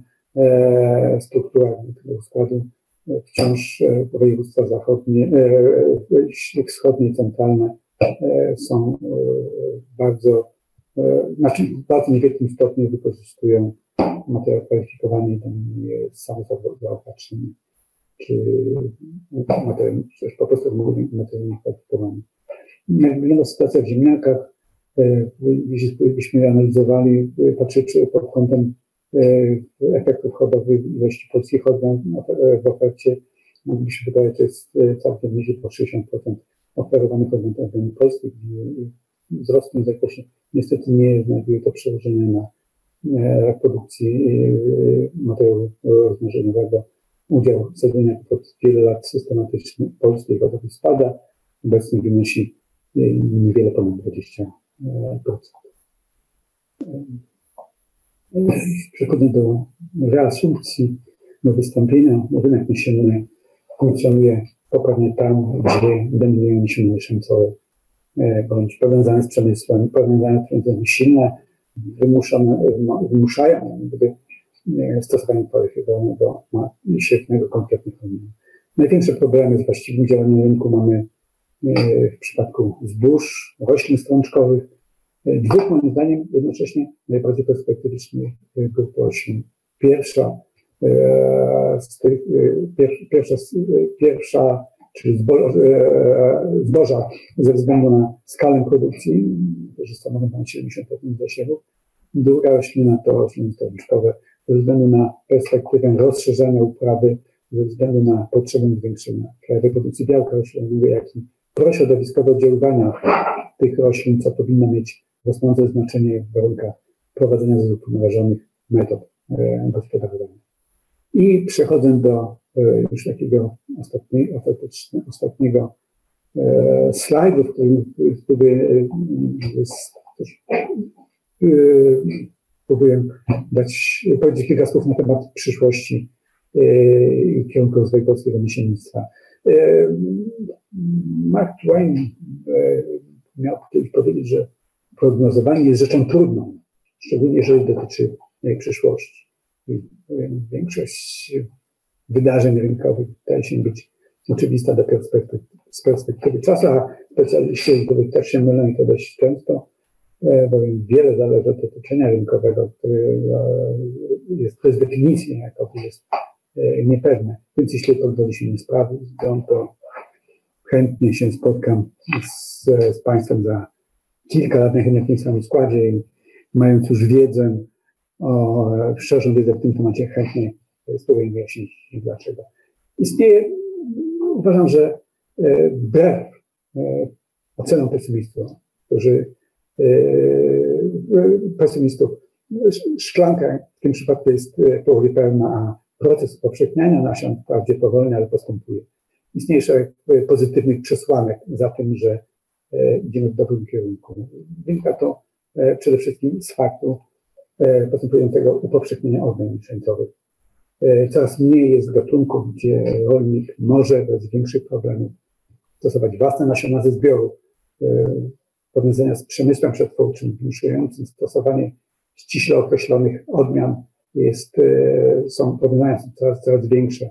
Także wymogi prośrodowiskowe będące konieczne stosowania odpowiednich konkretnych odmian będą tym czynnikiem zmuszującym stosowanie dobrego, tutaj kwalifikowanego materiału siewnego. Zmiany strukturalne polskiego rolnictwa także sprzyjają poprawie sytuacji w tym zakresie. Następuje stała koncentracja produkcji, większa, większa niż wynika to z danych o wielkości średniego gospodarstwa, jak wskazują badania z, także te, które prowadziły badania ankietowe, w dużych gospodarstwach, w dużych specjalistycznych gospodarstwach udział kwalifikowanych materiałów siewnego jest zdecydowanie większy. Że istnieje duży potencjał wzrostu. Konkuren... Czynnikiem korzystnym jest też duża konkurencja na rynku nasiennym firm zajmujących się sprzedażą. Coraz wymusza to coraz wyższą jakość usług. No, także merytoryczne i logistyczne wsparcie dla wsparcie posprzedażowe dla rolników, to jest też niezbędne, żeby stosow- używaniu nowej odmiany towarzyszyła też właściwa, dostosowana do jej potrzeb technologia. Coraz większa jest też świadomość korzyści związanych z zastosowaniem kwalifikowanego materiału siewnego. Służyć temu powinna promocja postępu biologicznego jako relatywnie taniego środka, e, stałego czynnika wzrostu planowania. Słabość polskiego rynku nasiennego zbóż to paradoksalnie, a jednocześnie, paradoksalnie jednocześnie duże możliwości wzrostu, bowiem osiągnięcie średniego poziomu europejskiego to oznacza co najmniej podwojenie wartości rynku nasion zbóż. Widoczny jest stały rozwój rynku nasiennego, szczególnie dotyczy to najbardziej cennych gatunków dzina problemów z szarą strefą.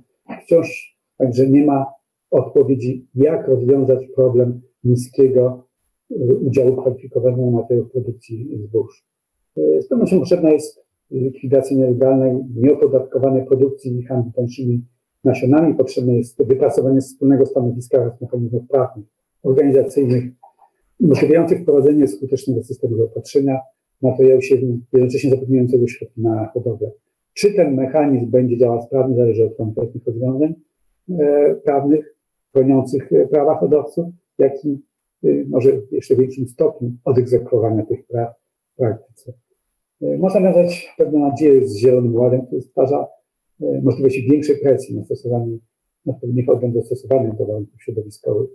Konkretne i skuteczne rozwiązania, jakie mogą powstać z zabiórka w wyniku działań stron zainteresowanych, a w wyniku za, działań stron zainteresowanych rozwiązaniem tego problemu, czyli jednostek działających na rynku. Sądzę, że najlepsze rozwiązania może wypracować Polska Izba Nasienna, która jest reprezentantem całego środowiska. Dziękuję za uwagę. Także ja serdecznie dziękuję i przechodzimy bardzo szybko mm, dalej. Y, Program leci, y, czas leci. Y, Także proszę Państwa, cieszymy się, że możemy powitać tutaj y, dyrektora mm, Instytutu Hodowli i Aklimatyzacji, który wspólnie mm, z naszym mm, hodowcą, doktorem Przemysławem Matysikiem, obaj panowie, pragnę zaznaczyć, że to jest y, szefostwo Komitetu Hodowców Polskiej Izby Nasiennej y, i to są praktykujący hodowcy, y, którzy mm, przekażą Państwu, mm, jaka jest odpowiedź hodowli odpornościowej e, roślin mm, rolniczych na wyzwania zmieniającego się klimatu i założeń Zielonego Ładu polityki Unii Europejskiej. Bardzo ciekawa rzecz, także dziękuję za mm, podjęcie tego wyzwania. E, Panie doktorze, proszę bardzo. Dziękuję. Dzień dobry Państwu. Y, Panie Przewodniczący, Panie Profesorze, Panie Prezesie. Bardzo dziękuję za zaproszenie na forum nasienne. Y, Mam przyjemność w tym doborowym towarzystwie y, być po raz drugi. Dokładnie rok temu w lutym mieliśmy prezentację y, również y, z poziomu y, Polskiej Izby Nasiennej. Ja dzisiaj mam zaszczyt reprezentować Instytut Hodowli i Aklimatyzacji Roślin, Państwowy Instytut Badawczy, ale jednocześnie, tak jak Pan Prezes powiedział, Instytut jest członkiem PIN-u, a ja mam zaszczyt w tej organizacji być przewodniczącym Komitetu Hodowców. I dzisiaj chciałbym na tej sesji przedstawić temat właśnie odpowiedzi hodowli na, na to, co, co w dzisiejszym świecie się dzieje, jeśli chodzi o środowisko, jeśli chodzi o, o politykę europejską. Myślę, że przysłuchując się tej bardzo ciekawej sesji naukowej przez dwa poprzednie dni, wiele zostało już powiedziane. E, Bardzo ciekawe wystąpienie w środę miała pani dyrektor Departamentu Hodowli i Ochrony Roślin, pani Nina Dobrzyńska, również e, pani minister Gębicka wspominała o tych ważnych aspektach. E, Dzisiaj e, pan minister Ardanowski. E, Myślę, że to naprawdę, e, co usłyszeliśmy w tych wystąpieniach, pokazuje, jak bardzo ważna jest e, hodowla roślin e, i jaką ona ma dzisiaj e, znaczącą rolę do odegrania e, w kontekście tych dwóch aspektów, o których na całej sesji i w dzisiejszym dniu mówimy, a mianowicie o zmianach klimatycznych, ale też e, polityce Europejskiego e, Zielonego Ładu. Dzisiaj chciałbym nawiązać głównie do, do tych aspektów hodowlanych, natomiast krótko też te, te dwa zagadnienia, mianowicie zmieniającego się klimatu, chciałbym wspomnieć i tego, co na hodowcach y, wymusza y, Europejski Zielony Ład. Y, Jak Państwo spojrzycie na tych zdjęciach, przykładowe, najważniejsze, myślę, albo jedne z ważniejszych e, środowiskowych zmian, jakie, jakie wpływają na rolnictwo, na, na hodowlę i na uprawę roślin. To wymarzanie, e, które e, w naszym kraju pojawia się e, nie w każdym roku, natomiast wtedy, kiedy się pojawi, e, potrafi e, zniszczyć uprawy wielu, wielu odmian. Również silne, intensywne wiatry. Ostatnie dni chociażby tutaj pokazują to, jak ten, jak ten klimat w tym kontekście się zmienia. Również susze okresowe, które pojawiają się, intensywne deszcze, też nie- nieregularność tych opadów i ich intensywność, która powoduje powstawanie zastoisk wodnych na polach, z którymi też w ostatnich czasach i rolnicy, hodowcy muszą się mierzyć.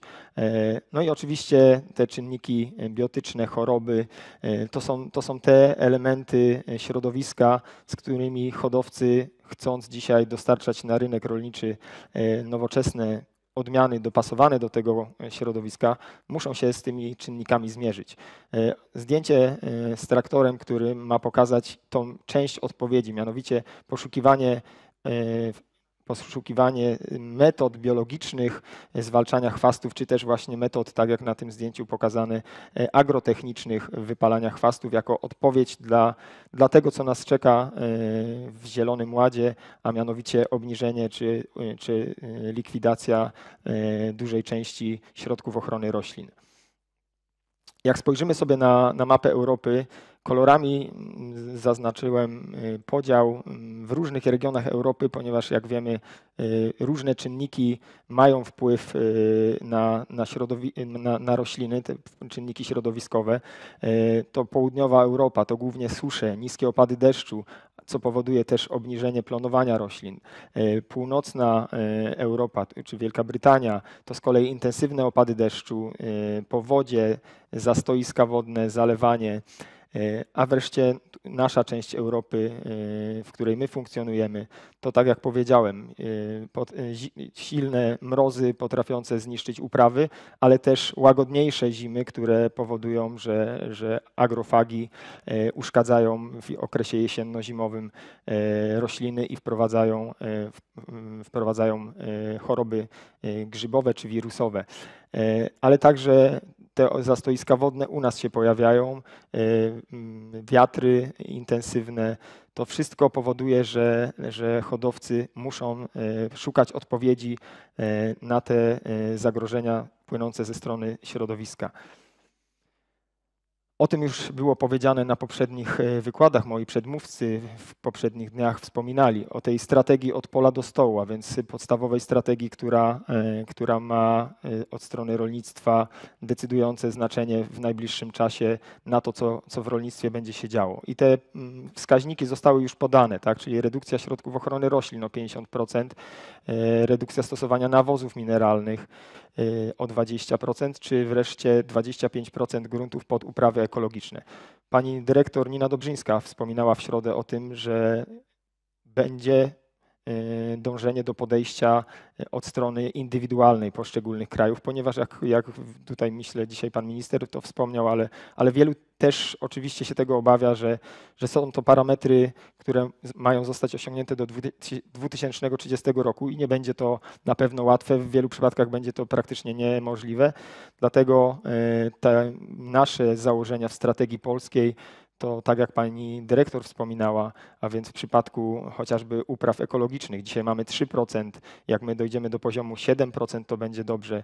E, Jeśli chodzi o nawozy mineralne, obniżenie stosowania, to też w naszym przypadku 10% to będzie już bardzo duży, e, duży wyczyn, E, czy też właśnie redukcja środków ochrony roślin, o której też było już dzisiaj wspomniane, mianowicie, że jednak w różnych krajach to aktualne zastosowanie jest różne i też jest różne w stosunku do, do poszczególnych gatunków. Dlatego uśrednienie e, do 50% to jest, to jest na dzień dzisiejszy w oczu wielu osób e, coś, co nie jest możliwe do uzyskania w tak krótkim czasie.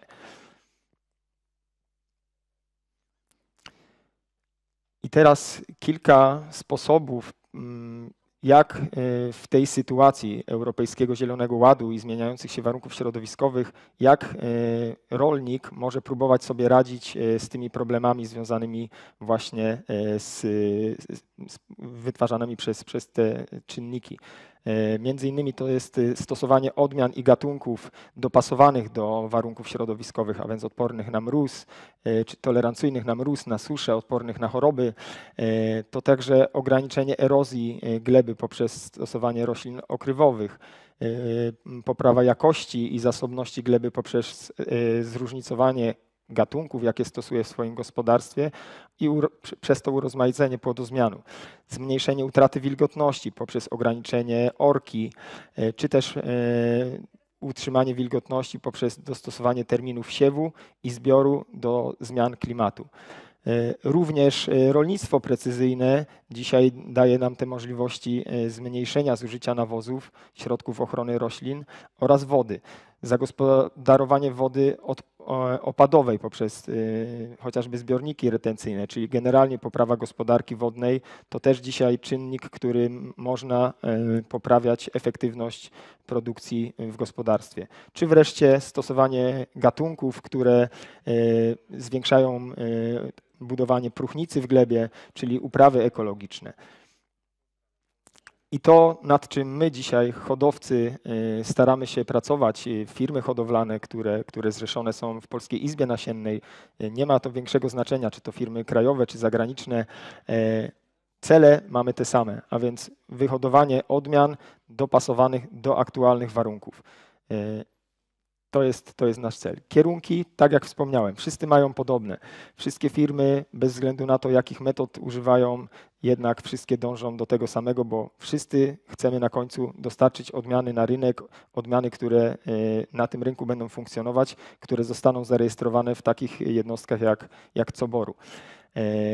E, Muszą to być odmiany tolerancyjne oraz zdolne do regeneracji w zakresie stresów abiotycznych i biotycznych, a więc i zarówno tolerancyjne na okresowe niedobory wody lub właśnie nadmiar wody, tolerancje na niskie czy wysokie temperatury, na zasolenie gleby, jak również odmiany odporne na choroby grzybowe, wirusowe, bakteryjne, a wreszcie też odporne na działanie owadów.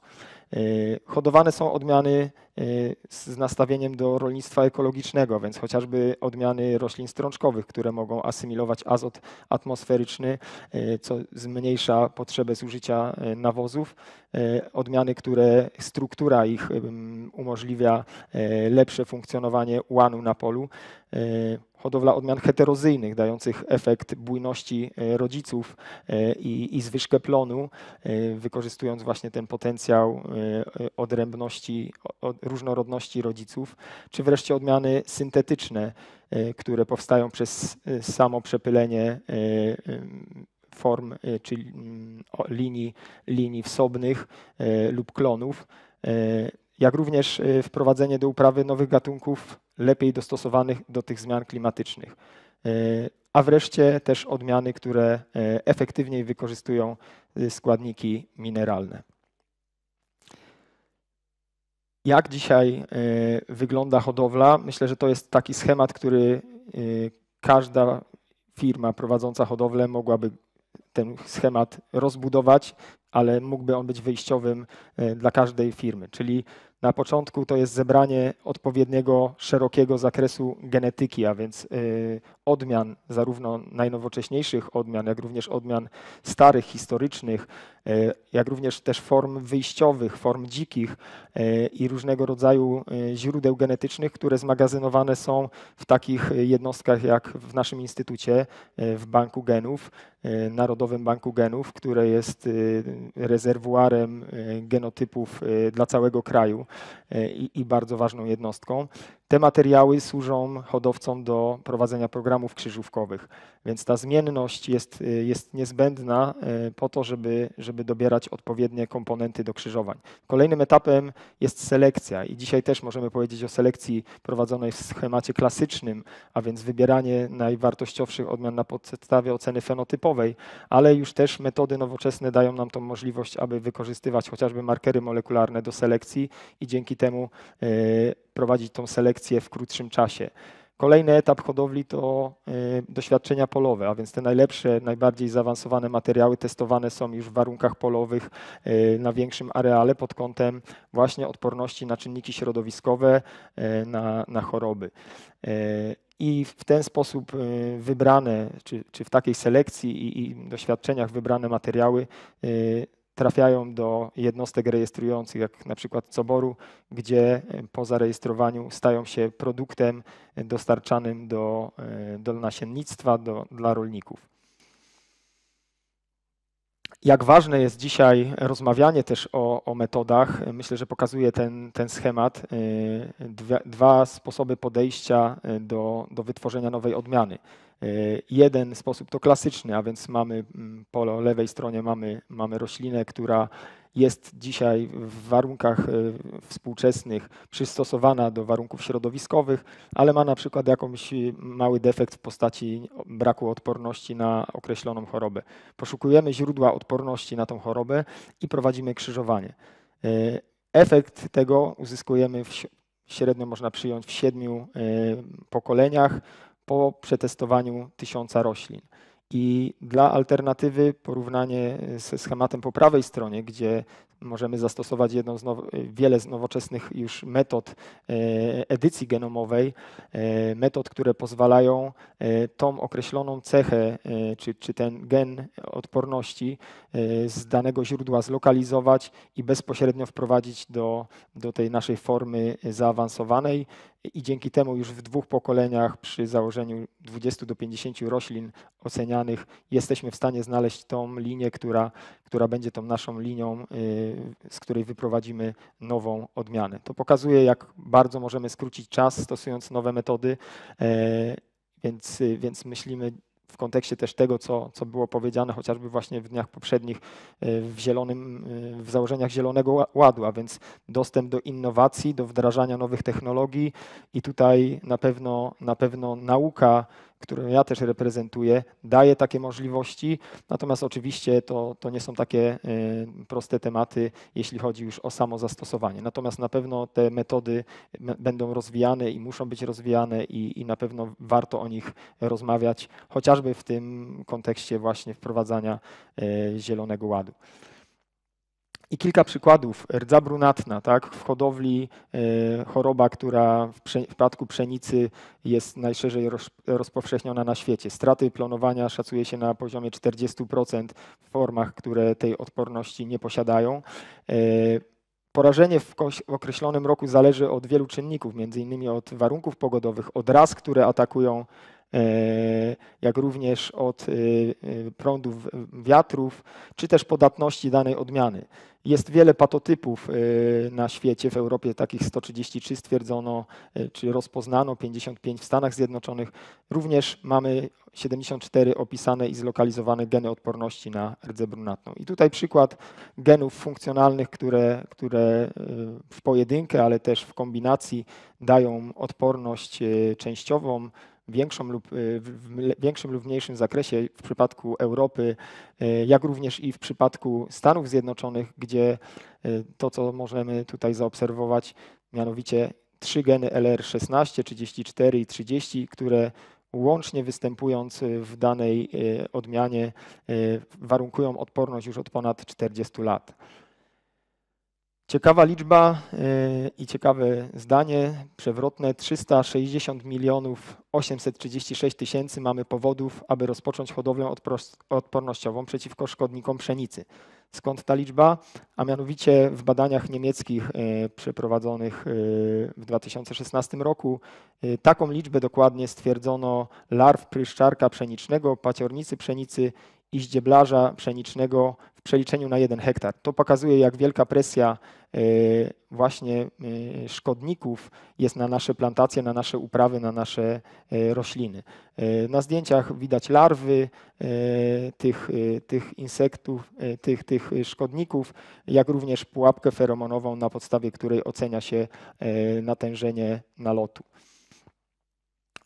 Pryszczarek pszeniczny jest, powoduje straty plonu, e, około 30% potrafi zniszczyć plon. E, wpływa on na rozwój ziarniaków, mniejsza masa tysiąca, hektolitra, jak również wpływ na jakość przez obniżenie liczby opadania, tak, to jest efekt enzymatyczny. I zarówno y, w Europie, w Niemczech mamy odmiany odporne, 15% y, odmian zarejestrowanych w Bundesortenamcie to odmiany odporne, w Anglii to 42%. Również w Polsce mamy y, dobre efekty z polskiej hodowli, a mianowicie takie odmiany jak mewa, bogatka, batuta czy hondia z hodowli roślin Danko, czy, czy też odmiana kobra z małopolskiej hodowli roślin. Natomiast w krajach zachodnich wzrasta znaczenie doradztwa rolniczego właśnie w tym zakresie.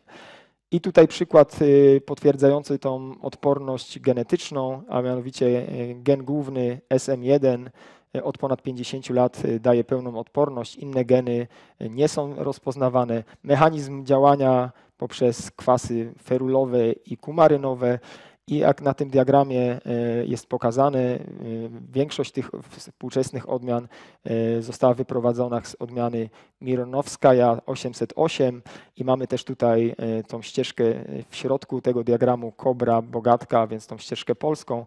Prawa strona to, to ścieżka odmian angielskich i lewa strona diagramu to ścieżka odmian wyprowadzonych w Niemczech. Podsumowując, Myślę, że dzisiaj dużo by można powiedzieć e, na temat tego, jak ważna hodowla jest. Myślę, że ona zawsze była bardzo ważna e, dla rolnictwa dzisiaj nabiera nowego znaczenia, bo ktoś by powiedział, że dzisiaj chcemy wystartować z hodowlą, ponieważ zmienia się e, Europejski Zielony Ład, e, zostaje wprowadzony, czy zmieniają się warunki środowiskowe. Otóż nie. Od wielu, wielu lat, od, od dawien, tak jak myślę, bardzo ciekawą prezentację pokazywał w środę profesor Kotecki, hodowla miała zawsze znaczenie i hodowla zawsze podążała za tym, czego oczekiwało rolnictwo. Natomiast w porównaniu do lat ubiegłych, myślę, że dzisiaj te zmiany e, środowiskowe, ale też właśnie tego zielonego ładu powodują, że te właśnie zmiany, na które musi odpowiedzieć hodowla, są bardzo intensywne i, i, i w bardzo krótkim czasie się dzieją. I to powoduje, że hodowla musi jeszcze bardziej intensywnie reagować na, na potrzeby i w związku z tym musi szukać nowych rozwiązań, nowych metod, które pozwolą ten czas cyklu hodowlanego skrócić, który jak wiemy y, klasyczną hodowlą to było 10-12 lat. Tak? Stosując kultury in vitro, speed breeding, y, można skrócić o 3-4 lata y, wyprowadzania odmian. Natomiast to cały czas jest mało w kontekście tego, czego dzisiaj oczekuje od nas rolnictwo, od czego oczekuje od nas Europa i świat. Także myślę, że wiele wyzwań przed nami, e, ale, ale myślę, że firmy bardzo mocno i intensywnie będą pracować, bo, bo tak jak w wielu wykładach się przejawiało, podstawa dzisiaj to jest inwestycja w hodowlę, inwestycja w naukę związaną z hodowlą, e, bo tylko w ten sposób jesteśmy w stanie e, zminimalizować środki ochrony roślin, a dać odporność genetyczną, która zastąpi metody chemiczne, czyli tą naturalną odporność. E, w tym miejscu chciałem tylko serdecznie podziękować e, panu Przemkowi Matysikowi, e, który, który pomógł mi przygotować tę prezentację, dyrektorowi pionu hodowli w hodowli roślin Strzelce. Bardzo dziękuję. Dziękuję też wszystkim hodowcom, którzy udostępnili mi dane do prezentacji. Dziękuję Państwu za uwagę i wszystkich pozdrawiam serdecznie. Dziękuję bardzo panu dyrektorowi Haru Pibu za wspaniałe wystąpienie i tu właśnie są kierunki wskazane, w gdzie, gdzie idzie IHAR też w kierunku odmian odpornych i tolerancyjnych, y, głównie na agrofagi, ale też na czynniki abiotyczne i to jest kierunek bardzo dobry i dziękuję za to y, całej grupie też oczywiście y, IHAR-u, bo nie tylko IHAR, ale też spółki hodowlane. Teraz wystąpi pani profesor Natasza Borodynko-Filas, która przedstawi klinikę chorób roślin. To jest rzecz bardzo ważna, czy wykorzystanie zasobów kliniki chorób roślin i banku patogenów w hodowli odpornościowej to jest rzecz bardzo istotna i pani profesor już od wielu lat pracuje i współpracuje z hodowcami i te materiały, które są w klinice i banku patogenów są przez hodowców wykorzystane. Proszę bardzo, panie profesor. Panowie przewodniczący, panie prezesie, panie profesorze, szanowni państwo, y, Będę chciała Państwu tak pokrótce przekazać, y, tak jak Pan Profesor Grówczyński tutaj już powiedział, y, kilka informacji o klinice, o naszej współpracy z hodowlą roślin. Y, ta prezentacja będzie tak jakby podzielona na dwie części. Pierwsza będzie pokazywała to, co robimy i to będzie głównie część wirusologiczna, jako że ja jestem wirusologiem i też tę część mamy bardzo dobrze w Instytucie y, rozpracowaną. Druga będzie pokazywała mm, zasoby banku patogenów i ewentualne możliwości do dalszej y, współpracy.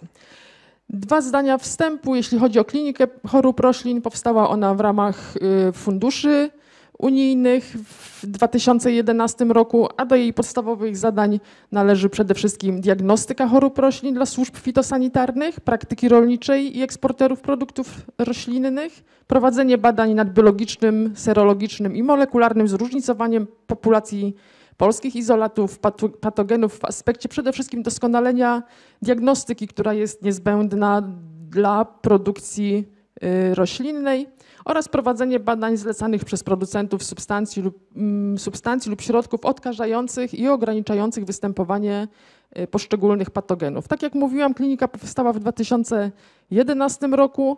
W 2018 została ona połączona razem z Bankiem Patogenów jako taka jednostka y, dla rolników, dla ogrodników, y, również jako jednostka, powiedzmy tak w skrócie, zarabiająca Y, pieniądze na takich pracach zleconych. Połączenie z bankiem patogenów spowodowało, że przede wszystkim właśnie poszliśmy również w kierunku rozszerzenia badań nad y, chorobami pochodzenia grzybowego. Co robiliśmy dotychczas, jeśli chodzi o naszą współpracę z hodowcami? Y, Tak naprawdę pierwsze nasze doświadczenie to prace z wirusami odglebowymi mm, buraka cukrowego i to już są badania z 2000, początek ich, tych badań to, to 2004 rok. Przede wszystkim y, wirus sprawca rizomanii, o którym mówił pan dyrektor Coboru. Takie zdjęcie, zawsze mówię historyczne, na którym pięknie widać, jak hodowla poszła w kierunku y, wyprodukowania lepszych roślin, czyli to, co było kiedyś, to, co mamy dzisiaj. Y, Jak mówią hodowcy, tak naprawdę nie ma sensu poprawiać y, tego wyglądu korzenia. On już jest taki, jakiego producenci oczekują. Natomiast dalsze wszystkie prace szły w kierunku tworzenia odmian, które będą odporne na choroby i na y, szkodniki. My zajmowaliśmy się wirusami odglebowymi, przede wszystkim, tak jak mówiłam, wirusem sprawcą rizomanii. Objawy, które było widać na, w uprawach polowych, to przebarwienia całych roślin, y, przebarwienia nekrotyczne y, wiązek przewodzących, pofałdowanie blaszki liściowej i co najgorsze, od razu te efekty z objawów chorobowych występujących na liściach przenosiły się również i były bardzo widoczne na y, korzeniach, a w przypadku buraka cukrowego zaburzenia rozwoju korzenia mają ogromne znaczenie dla pozyskania cukru. Na przekroju poprzecznym widać nekrotyczne y, wiązki przewodzące spowodowane y, właśnie przez wirusa, a obok na zdjęciu Państwo widzą cysty mątwika buraczanego. I tak naprawdę nasze badania zostały w pewnym momencie połączone z tymi ba- badaniami nematologicznymi, ponieważ stwierdziliśmy, że y, wszelkie problemy w produkcji mm, roślinnej buraka cukrowego, jeśli chodzi o stronę właśnie chorób wirusowych, były również wzmocnione przez występowanie w tych y, naszych doświadczeniach mątwika. I tu Państwo widzą jedno z doświadczeń. Po lewej stronie widać w okresie wegetacji y, rośliny sobie bardzo ładnie rosną, ale widać takie żółte, jasne pasy, gdzie były wsiane y, odmiany tolerancyjne, y, które chorowały. Mm, Te rośliny chorowały właśnie z powodu występowania zarówno mm, chorób wirusowych, ale również i mątwika. I takie doświadczenia były powtarzane w tym samym miejscu w uprawie w monokulturze przez 4 lata. To drugie zdjęcie, które Państwo widzicie po prawej stronie, czwarty rok y, doświadczenia, tak naprawdę odmiany tolerancyjne, y, odmiany wrażliwe, standardowe nie dały rady, plonu nie było wcale, a po lewej stronie, obok tej odmiany tak mocno zniszczonej, widzą Państwo odmianę buraka z podwójną tolerancją, zarówno na wirusy, jak i na nicienie. Jeśli chodzi o te porażenia przez wirusy odglebowe buraka cukrowego, to to, co Państwo widzieliście, właśnie przyjaśnienia, pofałdowanie blaszki, nekrotyczne żółknięcie nerwów buraka, od, tego, od tych objawów pochodzi nazwa buraka, zahamowanie wzrostu, co charakterystyczne, można było obserwować w czasie sezonu wegetacji, że rośliny y, więdną mimo dostępu y, do wody. Szczególnie było to widoczne w dni słoneczne y, i po nocy, kiedy słońca nie było, kiedy ta transpiracja była mniejsza, rośliny od, y, miały z powrotem y, rano wygląd takiego, jak się, jakiego się spodziewamy, odzyskiwały turgor. I tak jak Państwo widzą, w takich doświadczeniach na tak zwanych polach śmierci te straty w plonie mogą sięgać nawet 100%. Kolejny temat, którym się zajęliśmy w 2014 roku, to wirus żółtaczki rzepy. Tak naprawdę pokutowało przez wiele lat stwierdzenie, że y, na rzepaku nie ma żadnych wirusów. Y, I nie ukrywamy, mamy wrażenie, że nam się też udało w pewnym momencie przeoczyć takie wyniki. Dostaliśmy tutaj takie, jak Państwo widzą na zdjęciu, y, do oceny rośliny rzepaku i generalnie stwierdziliśmy, że jest to raczej problem złego prowadzenia plantacji, problem suszy, a nie problem y, wirusów. To są zdjęcia z 11 bądź 12 roku. I tak naprawdę trzy lata później dzwoniłam do pana, który nam te rośliny przysłał, że być może wtedy faktycznie miał rację, bo on nam sugerował, że to może jakaś choroba wirusowa, że tak naprawdę pojawił się y, w uprawie rzepaku wirus żółtaczki rzepy. Było to spowodowane przede wszystkim wycofaniem zapraw y, nasiennych, co spowodowało, brak tych zapraw spowodował, że pojawiły się masowo mszyce, które przenosiły wirusa y, na plantacji. Y, Do tego też y, rozprzestrzeniania się chorób roślin y, i masowego występowania chorób wirusowych na rzepaku bardzo mocno przyczyniają się to, o czym mówił przed chwilą pan dyrektor Icharu, y, ciepłe jesienie, długie, które powodują, że te owady mogą na roślinach y, długo żerować, a im dłużej żerują, wiadomo, tym dłużej przenoszą y, wirusy. Tutaj Państwo widzą y, jesienny y, zbiór, powiedzmy, próbek do badań i chciałam pokazać takie objawy, które są często mm, budzą może kontrowersje, ponieważ część ludzi uważa, że to jednak nie wirusy, chociaż myślę, że już coraz mniej ludzi uważa, że to nie wirus na rzepaku, a zawsze kładziono bardziej tutaj nacisk, że to może braki mm, pokarmowe jakieś, e, przymrozki czy zabiegi fungicydowe powodują takie antocjanowe przebarwienie liści.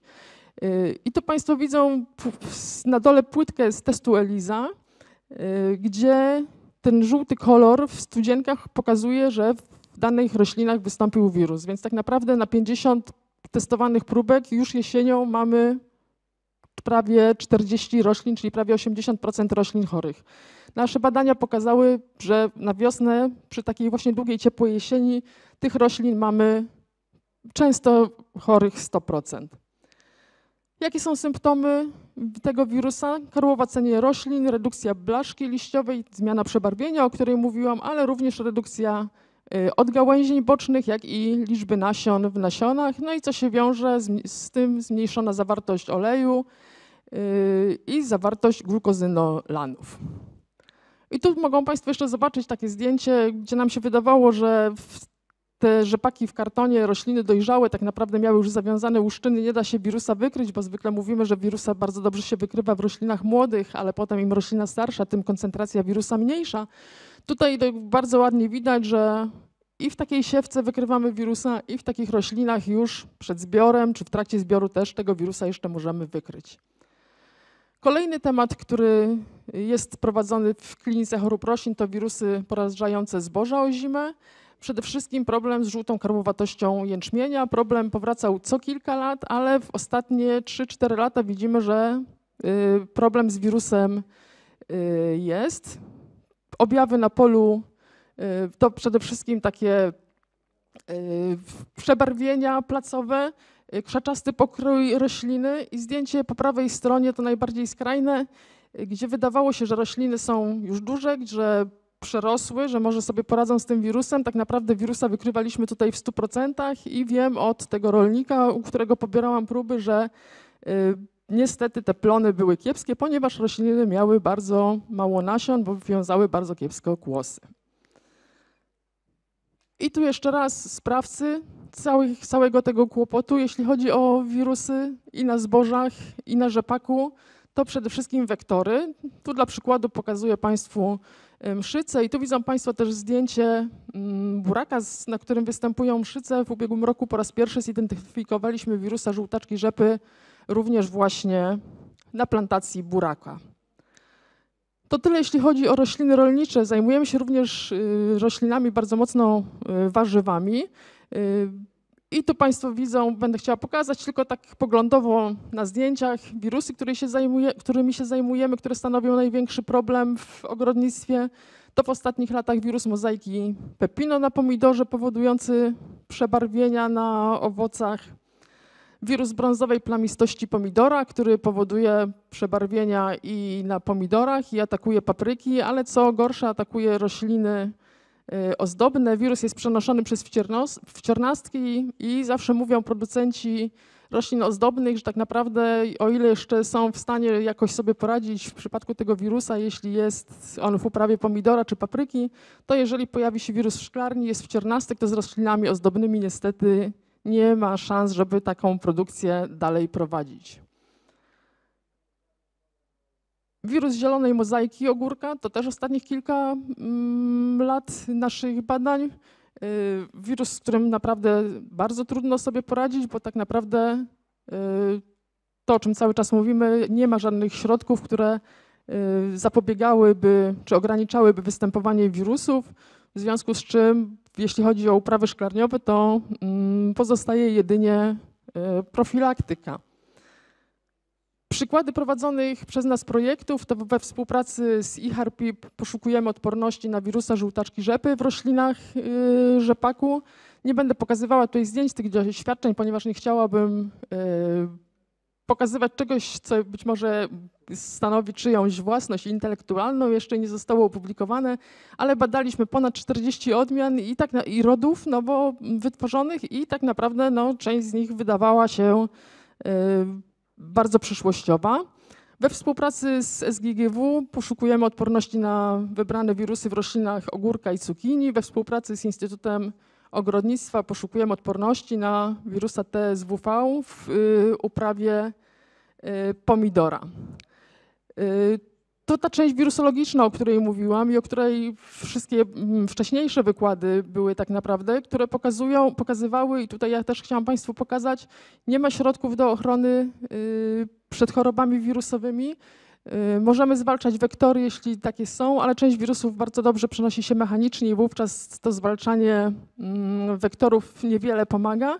W związku z czym ukłon w kierunku mm, hodowli, zawsze mówię, hodowcy mają naprawdę y, co robić, żeby mieć takie odmiany, które będą nawet jeśli nie odporne, to chociaż tolerancyjne na wirusa, co będzie oznaczało, że ten wirus w roślinie może być, ale nie będzie on powodował takich dużych strat. Kolekcja banku patogenów to coś, co zbieramy w naszym instytucie od ponad 25 lat. Staramy się na bieżąco z prób, które do nas są dostarczane, y, gromadzić taki materiał, który według nas mógłby być wykorzystany w hodowli y, do testowania nowych y, odmian, aczkolwiek ja ciągle apeluję i z tego miejsca też apeluję do dyrektora. Potrzebny jest nam naprawdę dobry mykolog, żeby takie badania mógł Instytut we współpracy z hodowcami prowadzić.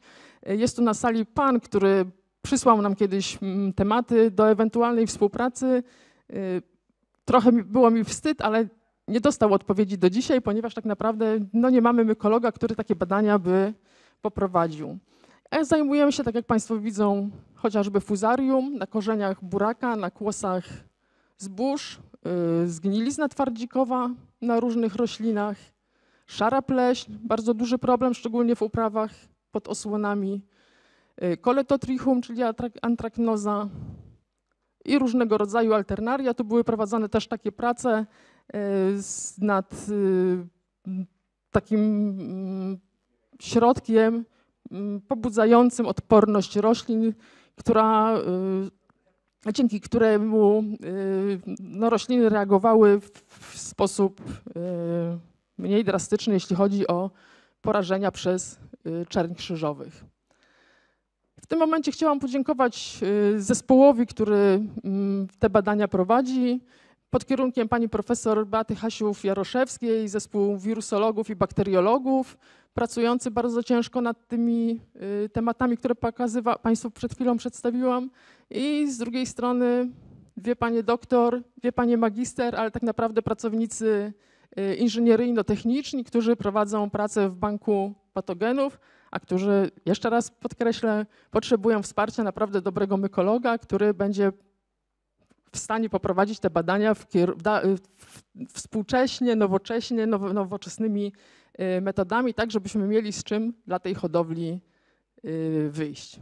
Dziękuję Państwu za uwagę.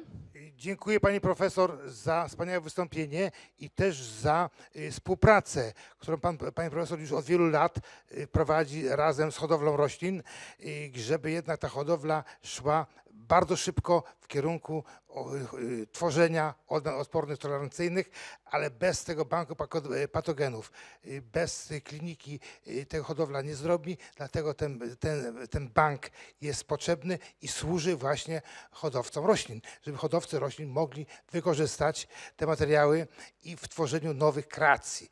Dziękuję pani profesor. Teraz No. Kolejne wystąpienie będzie zdalne.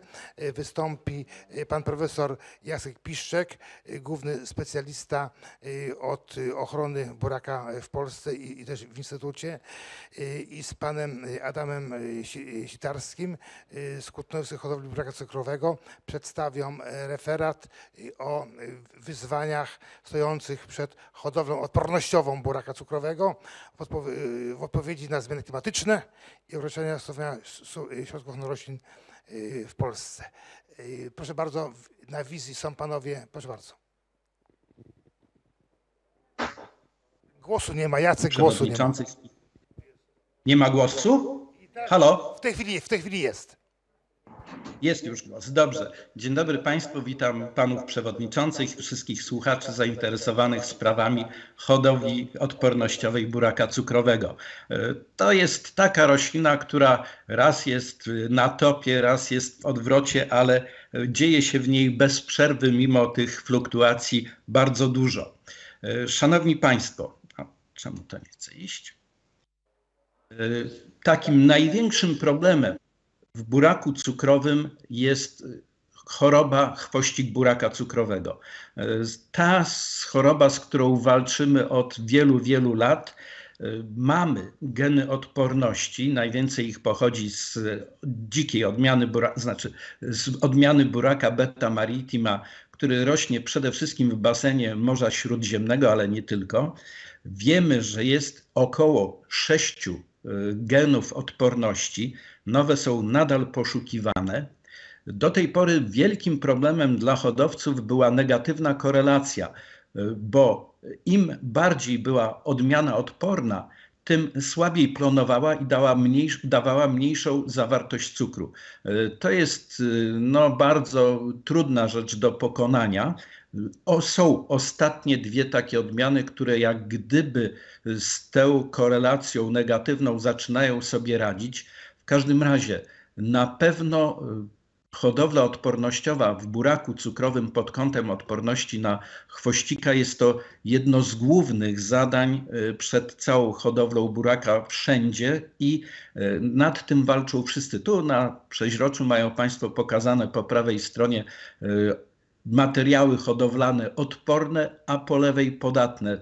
Widać, jak niesamowitą różnicę możemy uzyskać i tak jak się udało w ubiegłym roku podczas y, badań w Coboru, tak jak i w tym roku pojawiły się dwie pierwsze odmiany, które pod tym względem zdecydowanie jak na razie odbijają, ale myślę, że reszta hodowli też już niedługo sobie y, z tym problemem zacznie radzić. W każdym razie dzieje się tu bardzo dużo, aczkolwiek nadal y, nawet te bardzo odporne odmiany dobrze jest chronić chemicznie, bo też w tym momencie plony wzrastają.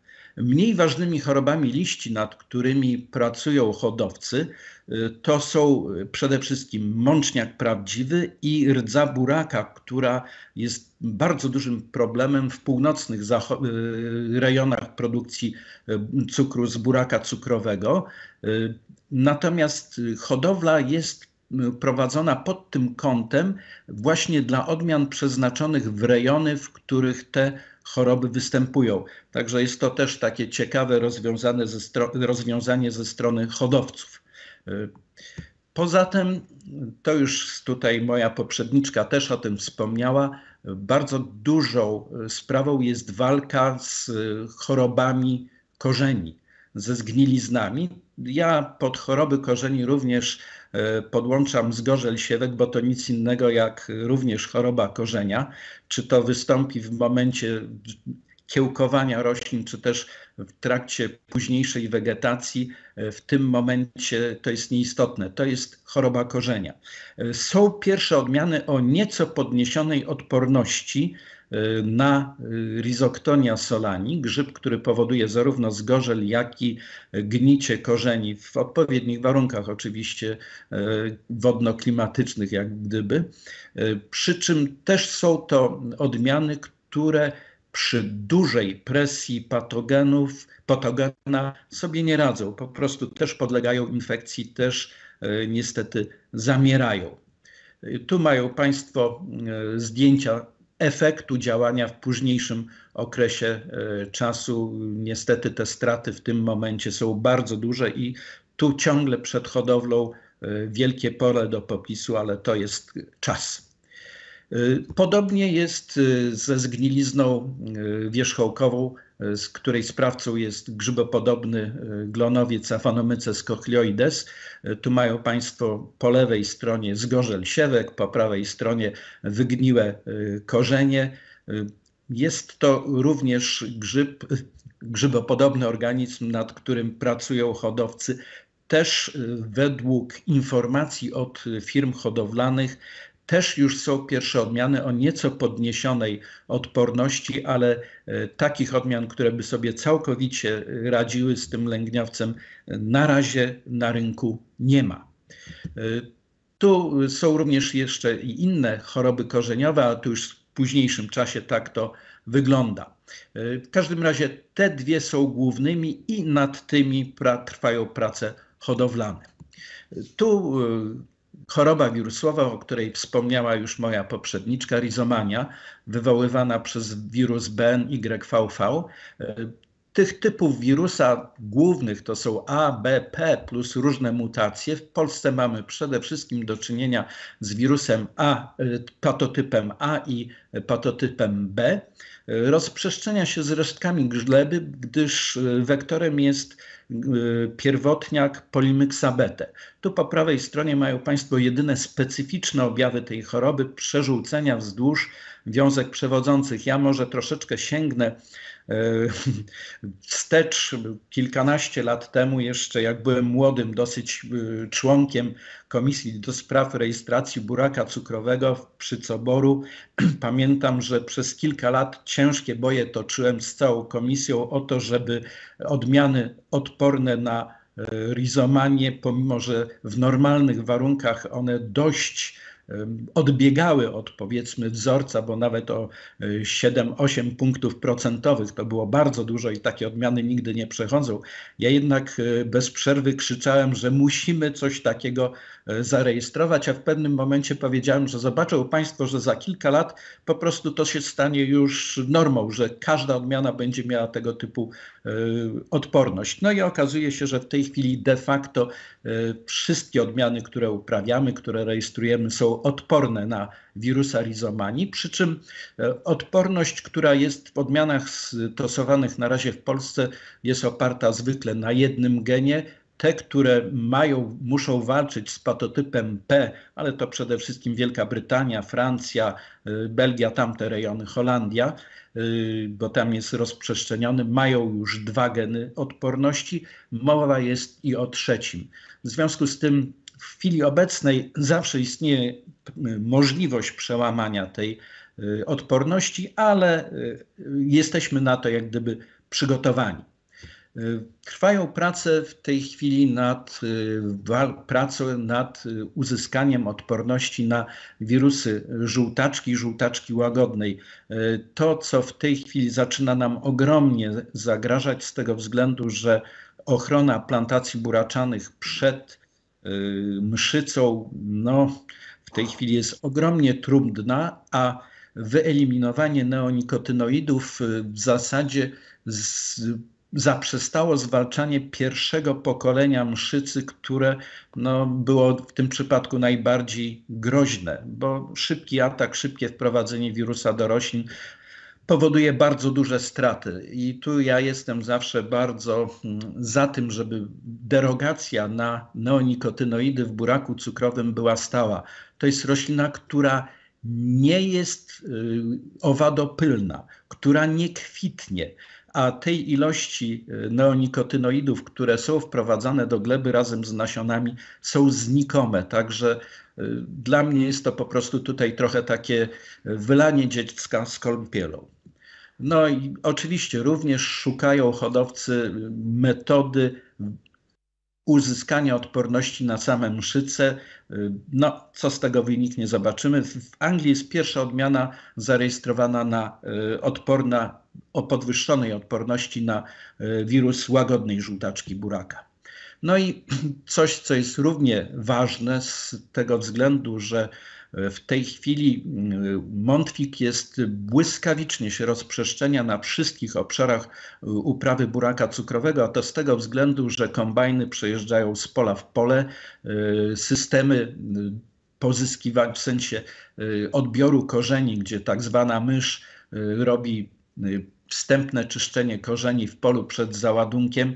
Y, te narzędzia nie są czyszczone nigdzie, przejeżdżając z pola na pole, w związku z tym y, siłą rzeczy ten szkodnik się y, przemieszcza wszędzie. No i Na szczęście mamy już odmiany tolerancyjne, które w, nawet w warunkach bardzo silnej presji szkodnika sobie radzą. Tu na tym zdjęciu po lewej stronie pierwsza odmiana przysychająca, podatna na Montwika, a tam w głębi taka, która sobie świetnie radzi, odmiana tolerancyjna tamtego szkodnika. No i syndrom niskiej zawartości cukru. W Polsce na szczęście na razie jeszcze tego e, syndromu nie stwierdziliśmy nigdzie. E, myślę, że to jest tylko kwestia czasu. Tu zdjęcia pochodzą jeszcze z początku lat naszego wieku, zrobione przeze mnie na polach we Francji, gdzie ten syndrom jako pierwszy w takiej mm, dużej ilości się pojawił. Też prace nad odpornością się pojawiają. Są również już pierwsze odmiany, o których hodowcy mówią, że mają podwyższoną odporność e, na e, tę chorobę. No i e, coś, o czym może często zapominamy, nie myślimy, ale y, odporność na herbicydy, co jest y, dużą pomocą w walce z chwastami. Tutaj system Conviso Smart, gdzie mamy odporność na sulfonomoczniki, ale niesie to pewne zagrożenia, bo y, później ich nie powinno się stosować w pszenicy, na przykład uprawiane przeważnie po buraku. W związku z tym e, wprowadza to pewne problemy e, dla samego e, rolnika. Szanowni Państwo, sama hodowla jest wyjątkowo długotrwałym procesem, a wprowadzenie nowych odmian zabiera dużo czasu. Nowe odmiany zwykle są troszeczkę mniej wydajne przy braku agrofaga, no i często odporności są poligeniczne. Ja bym na tym zakończył, a teraz bym bardzo poprosił o kilka słów komentarza ze strony y, czynnego hodowcy, y, pana y, doktora Adama Sitarskiego, który no, robi to na co dzień i myślę, że jeszcze e, z chęcią podzieli się z nami jakimiś uwagami. Dziękuję bardzo. Dzień dobry Państwu. E, dosłownie kilka słów, żeby nie przedłużać. E, no, słyszę z całej konferencji, że duże nadzieje pokładane są w hodowli odpornościowej i hodowcy mają świadomość tego. Przy czym no, trzeba parę rzeczy zaznaczyć od razu. E, hodowla jest procesem długim, e, może dać odporności na pewne choroby, może nawet na pewne szkodniki, ale na pewno nie na wszystko. E, wyeliminowanie całkowite pestycydów z ochrony buraka cukrowego jest dla mnie bardzo trudne do przymierzenia na produkcję taką powiedzmy dużą dla cukrowni. Oczywiście y, małe poletka y, w jakości ekologicznej, jak najbardziej tak, to już się robi, zwłaszcza w Austrii, dużo takich produkcji jest. Natomiast produkcja przemysłowa, no niestety nie. Owszem, możemy zmniejszyć ilość stosowanych pestycydów, ale nie, nie zawsze i nie wszędzie. Druga rzecz, no sprawa czasu. To nie jest tak, że jeżeli dziś hodowca usłyszy o problemie, to jutro ma gotowy materiał i gotową odmianę do użycia. E, najlepszym e, przykładem do tego jest e, problem żółtaczki buraka, która dwa lata temu, w 2020 roku, dotknęła całą Europę Zachodnią. Tak się złożyło, że dwa lata po wycofaniu stosowania neonikotynoidów w zaprawach buraczanych, przyszła bardzo łagodna zima, która, e, która e, w pewien sposób e, doprowadziła do dużej przeżywalności mszycy. No i na wiosnę okazało się, że w Anglii na przykład 40% uprawy buraka cukrowego jest całkowicie porażone. Z czym się to wiązało na jesień? No z tym, że te plony na tych porażonych plona, e, polach były o 50 lub 80% niższe w stosunku do pól nieporażanych. E, oczywiście bardzo szybko na listę rekomendowaną wrzucono odmianę e, świeżą, która posiada pewną odporność na łagodną żółtaczkę buraka, nie posiada odporności na żółtaczkę buraka czy też inne wirusy powodujące żółtaczki No ale, jest od razu ale. E, Ale ta odmiana w warunkach braku presji patogena wykazuje się e, plonotwórstwem na poziomie 92,5%. No to jest 7,5% poniżej e, średniej. E, Ja oczywiście wiem i wierzę, że za 4, 5, 6 lat ta odmiana, bądź też nowa, bo to już będzie nowa, ale po cyklu e, iluś e, selekcji, będzie w okolicach e, średniej. Od, hodowla musi mieć czas. Musi, mieć czas na to, żeby do danego problemu odnieść się. Czas jest jedną rzeczą, której nie można kupić. Natomiast jest druga rzecz, którą także hodowla potrzebuje. Jest to wsparcie ze strony nauki. Firmy hodowlane nie będą w stanie same sobie poradzić z tymi wyzwaniami. E, Nowe techniki hodowlane oczywiście będą i są potrzebne, natomiast to jest cały czas wsparcie nauki dla hodowli. I z tym apelem chcę podziękować i liczyć na to wsparcie w przyszłości. Dziękuję bardzo. Doktorowi. No było bardzo to ciekawe. Myślę, że mm, było zainteresowanie y, wśród odbierających. Ja serdecznie jeszcze raz y, w imieniu branży bardzo, bardzo dziękuję y, i mm, do miłego zobaczenia.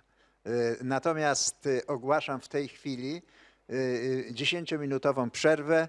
Niech odpocznie obsługa, niech odpocznie, niech odpoczną urządzenia. Dziękuję bardzo i spotykamy się za mm, 10 minut, czyli y, kilka minut po w pół do 12. Mm, Dziękuję bardzo i do zobaczenia.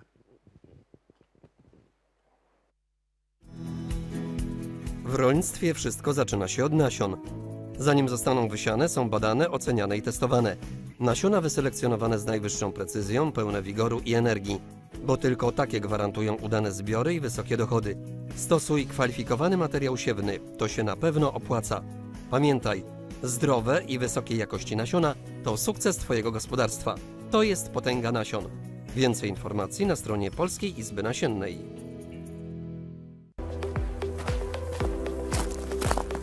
Poznańska Hodowla Roślin. To spółka o szczególnym znaczeniu, to tu powstają nowe, ulepszone odmiany zbóż i roślin bobowatych.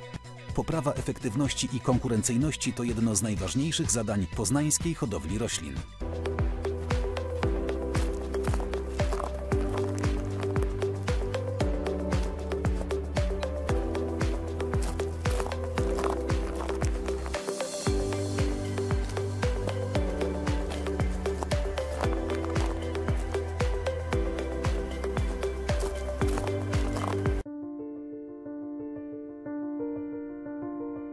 Hodowla roślin Smolice to prawie 70 lat tradycji hodowli i doświadczeń prowadzonych przez znakomitą kadrę hodowców.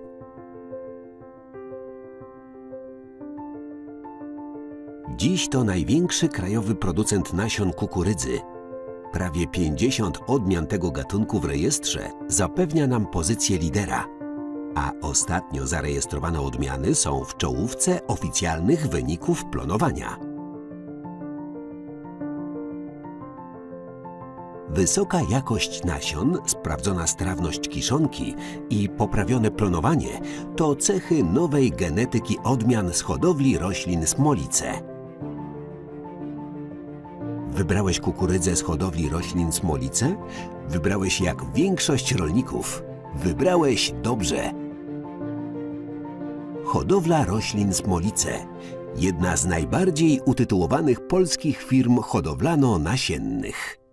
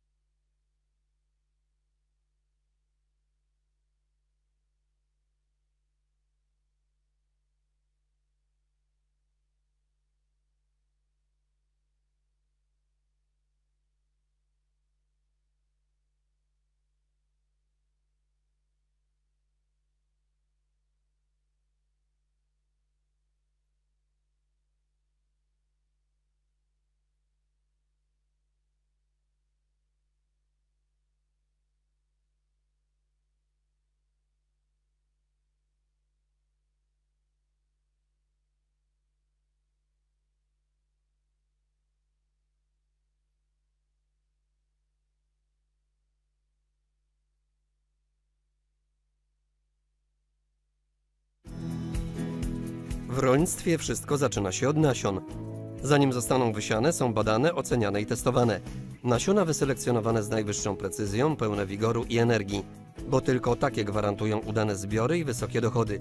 Stosuj kwalifikowany materiał siewny, to się na pewno opłaca. Pamiętaj, zdrowe i wysokiej jakości nasiona to sukces Twojego gospodarstwa.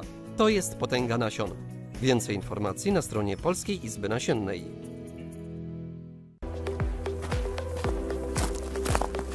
Poznańska Hodowla Roślin. To spółka o szczególnym znaczeniu, to tu powstają nowe, ulepszone odmiany zbóż i roślin bobowatych. Poprawa efektywności i konkurencyjności to jedno z najważniejszych zadań poznańskiej hodowli roślin.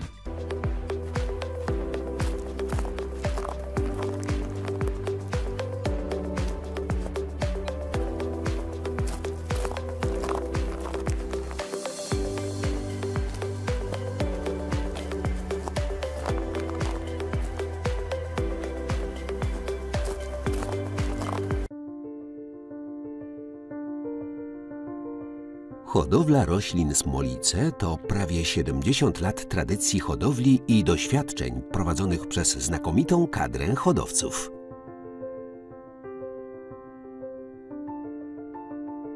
Dziś to największy krajowy producent nasion kukurydzy.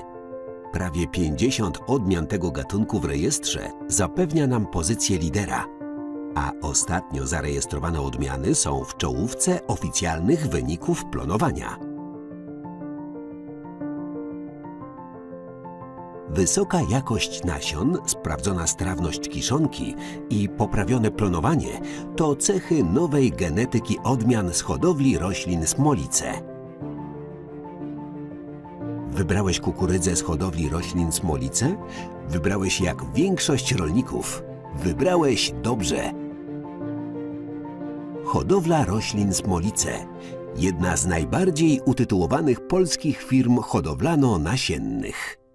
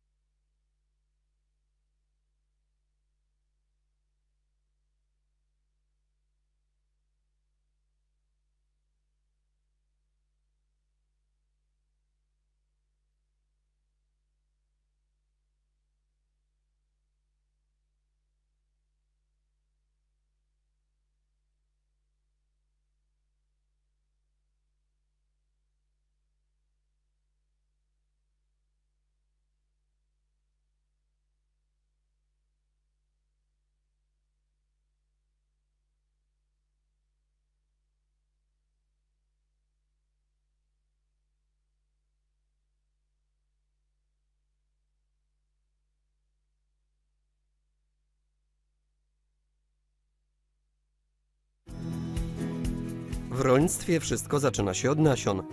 Zanim zostaną wysiane, są badane, oceniane i testowane. Nasiona wyselekcjonowane z najwyższą precyzją, pełne wigoru i energii, bo tylko takie gwarantują udane zbiory i wysokie dochody. Stosuj kwalifikowany materiał siewny, to się na pewno opłaca. Pamiętaj, zdrowe i wysokiej jakości nasiona to sukces Twojego gospodarstwa. To jest potęga nasion. Więcej informacji na stronie Polskiej Izby Nasiennej.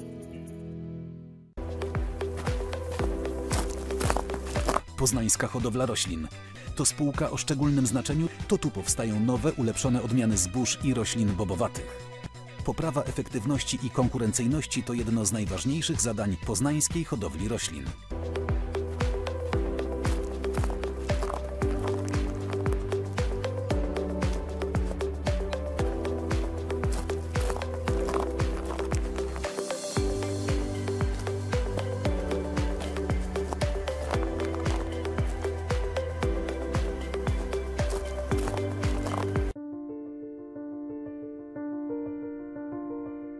Hodowla roślin smolice to prawie 70 lat tradycji hodowli i doświadczeń prowadzonych przez znakomitą kadrę hodowców.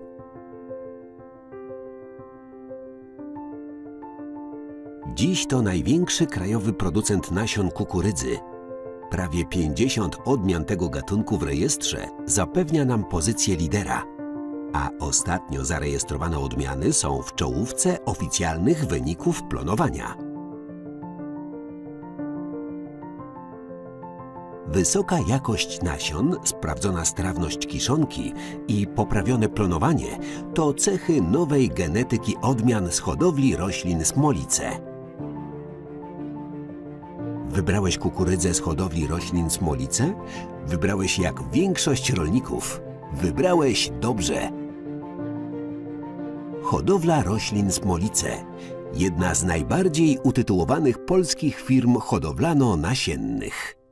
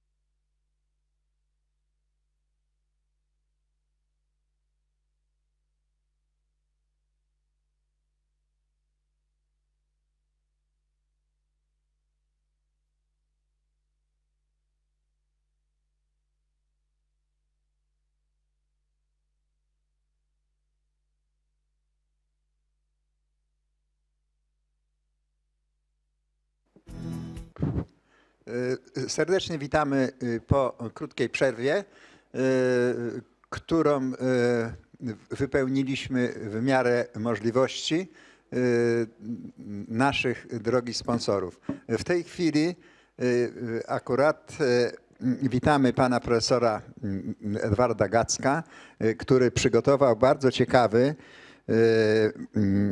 referat na temat problematyki y, nasiennictwa w, w systemie produkcji ekologicznej i zwiększenie, y, zwiększenie bioodporności roślin uprawnych. Jest to szalenie ciekawy na czasie y, problem i z, z utęsknieniem czekamy na wystąpienie. Dziękuję i zapraszam, panie profesorze.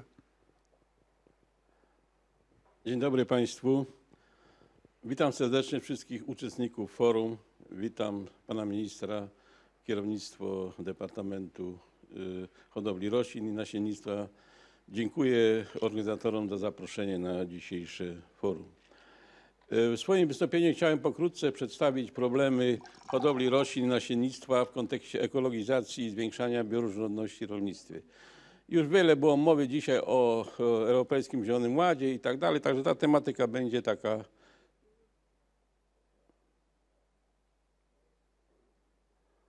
Nie działa ten sprzęt. Nie mogę przesunąć. O jest. Dziękuję. Yy, więc y, kilka słów, kilka słów wprowadzenia. Wprowadzenie Zielonego Ładu niewątpliwie będzie bardzo trudnym wyzwaniem, zarówno pod względem organizacyjnym, merytorycznym i ekonomicznym. Była dzisiaj mowa już o tym i wcześniej również. I pan minister również wspominał. W Polsce, podobnie jak w większości innych państw y, członkowskich Unii Europejskiej, nie ma rynku żywności ekologicznej dobrze rozwiniętego. Wynika to głównie z faktu, że jest ona od 4 do 5 razy droższa niż żywność tradycyjna. Polacy wydają średnio 4 euro rocznie na produkty rolnictwa ekologicznego, podczas gdy średnia światowa wynosi 11 euro, a średnia unijna 44 euro, czyli 10 razy mniej, y, wydaje, mniej wydajemy na produkty ekologiczne.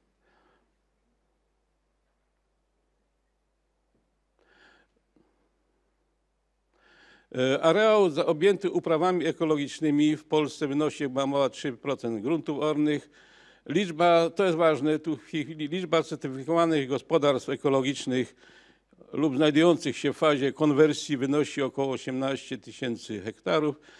Jest to mniej niż jeszcze 4-5 lat temu. Wtedy było ponad 20 tysięcy hektarów, czyli jest to takie też duże wyzwanie swojego rodzaju. Ogólnej liczby istniejących w Polsce gospodarstw e, 1 300 tysięcy, tylko 400 produkuje na rynek. E, Celem ekologizacji rolnictwa i zwiększania bior- bioróżnorodności w uprawie roślin jest tworzenie holistycznych, zrównoważonych systemów produkcyjnych. W takich systemach, to jest ważne, przewiduje się zatrzymanie i odwrócenie procesu utraty różnorodności biologicznej, wzmacnianie usług ekosystemowych oraz ochronę siedlisk roślinnych i krajobrazu. Trudnym wyzwaniem jest również, będzie również łagodzenie skutków zmian e, klimatu. E, Jeśli chodzi o kondycję e, sektora nasiennego w Europie pod kątem ekologizacji rolnictwa. Sektor ekologiczny hodowli roślin nasiennictwa w Europie jest w powijakach i boryka się z chronicznym niedoborem środków finansowych. Kondycja tego sektora jest związana z niskim udziałem produkcji ekologicznej właśnie w poszczególnych krajach i w związku z tym niestabilnym i małym rynkiem, fragmentarycznym rynkiem na ekologiczny materiał siewny. W uprawie ekologicznej stosowany jest obecnie o ponad osi- 80% niezaprawiany materiał siewny odmian konwencjonalnych na podstawie derogacji y, tego rozporządzenia ekologicznego. E, Hodowla roślin i nasiennictwo ekologiczne będą mieć kluczowe znaczenie w zmniejszaniu różnic w plonach pomiędzy rolnictwem ekologicznym a konwencjonalnym. Różnice te średnio wynoszą 20%, ale wahają się od 5 do 40% w zależności od gatunku rośliny uprawnej. Znaczenie hodowli roślin będzie duże w przywracaniu i lub zachowaniu bioróżnorodności, równowagi biologicznej oraz uruchomieniu różnych usług ekologicznych oraz, co jest bardzo ważne, zwiększanie adaptacyjności upraw do niekorzystnych czynników środowiskowych, jak stresy biotyczne, abiotyczne, zmiana klimatu. Była dzisiaj mowa o tym. Proszę Państwa, teraz jeśli chodzi o stan doświadczenictwa odmianowego e, w kontekście ekologi- ekologicznego doświadczenictwa odmianowego w Europie, według opracowania tu podanych autorów z 2019 roku, typowe doświadczenictwo ekologiczne, czyli to EDO słynne, występuje tylko w pięciu krajach. To jest Niemczech, Danii, Austrii, Szwajcarii i w, w Anglii, w Wielkiej Brytanii. W innych krajach, tak we Francji y, i tych wymienionych wcześniej, jest, są zmodyfikowane już urzędowe y, systemy doświadczalne dla potrzeb y, ekologicznych. W pozostałych krajach, w tym w Polsce, nie ma jeszcze regularnych ekologicznych systemów ek- doświadczalnictwa odmianowego. W Polsce jesteśmy na etapie tworzenia ogólnopolskiego krajowego systemu ekologicznego w oparciu o bazę doświadczalną COBOR-u. Tu chciałem zwrócić uwagę, że z tym problemem ekologicznego doświadczalnictwa wiąże się przygotowywany tymczasowy eksperyment unijny z odmianami ekologicznymi. Planowany unijny eksperyment ma docelowo służyć modyfikacji przepisów, badań i rejestracji odmian ekologicznych zawartych w dyrektywach katalogowych oraz podstaw i zasad ekologicznego doświadczalnictwa odmianowego e- Unii Europejskiej. E, Czas okres ma być od 22, on się w lipcu ma zacząć do 2029. E, Uczestnicy to są wybrane jednostki rejestrowe z państw, państw członkowskich UE. Coboru będzie uczestniczyć w tym projekcie m.in. w ramach projektu Life Seeding 2022, który został przyznany w ostatnim czasie. Jeżeli chodzi o ten eksperyment, jest bardzo ważny z punktu widzenia ekologizacji rolnictwa, z punktu widzenia doświadczalnictwa, z punktu widzenia hodowli i roślin. Będzie zaspokajanie potrzeb producentów rolnych ogólnie poprzez dostosowanie urzędowych metodyk OWT i wytycznych badań WGO w kontekście potrzeb rejestracji odmian ekologicznych oraz zasad ich wprowadzania na rynek nasienny. Nie ma tego. To y, po prostu tymi, jeśli chodzi o te grupy odmian, Potrzebne są od- odrębne, zmodyfikowane systemy badań OWT i badań WGO.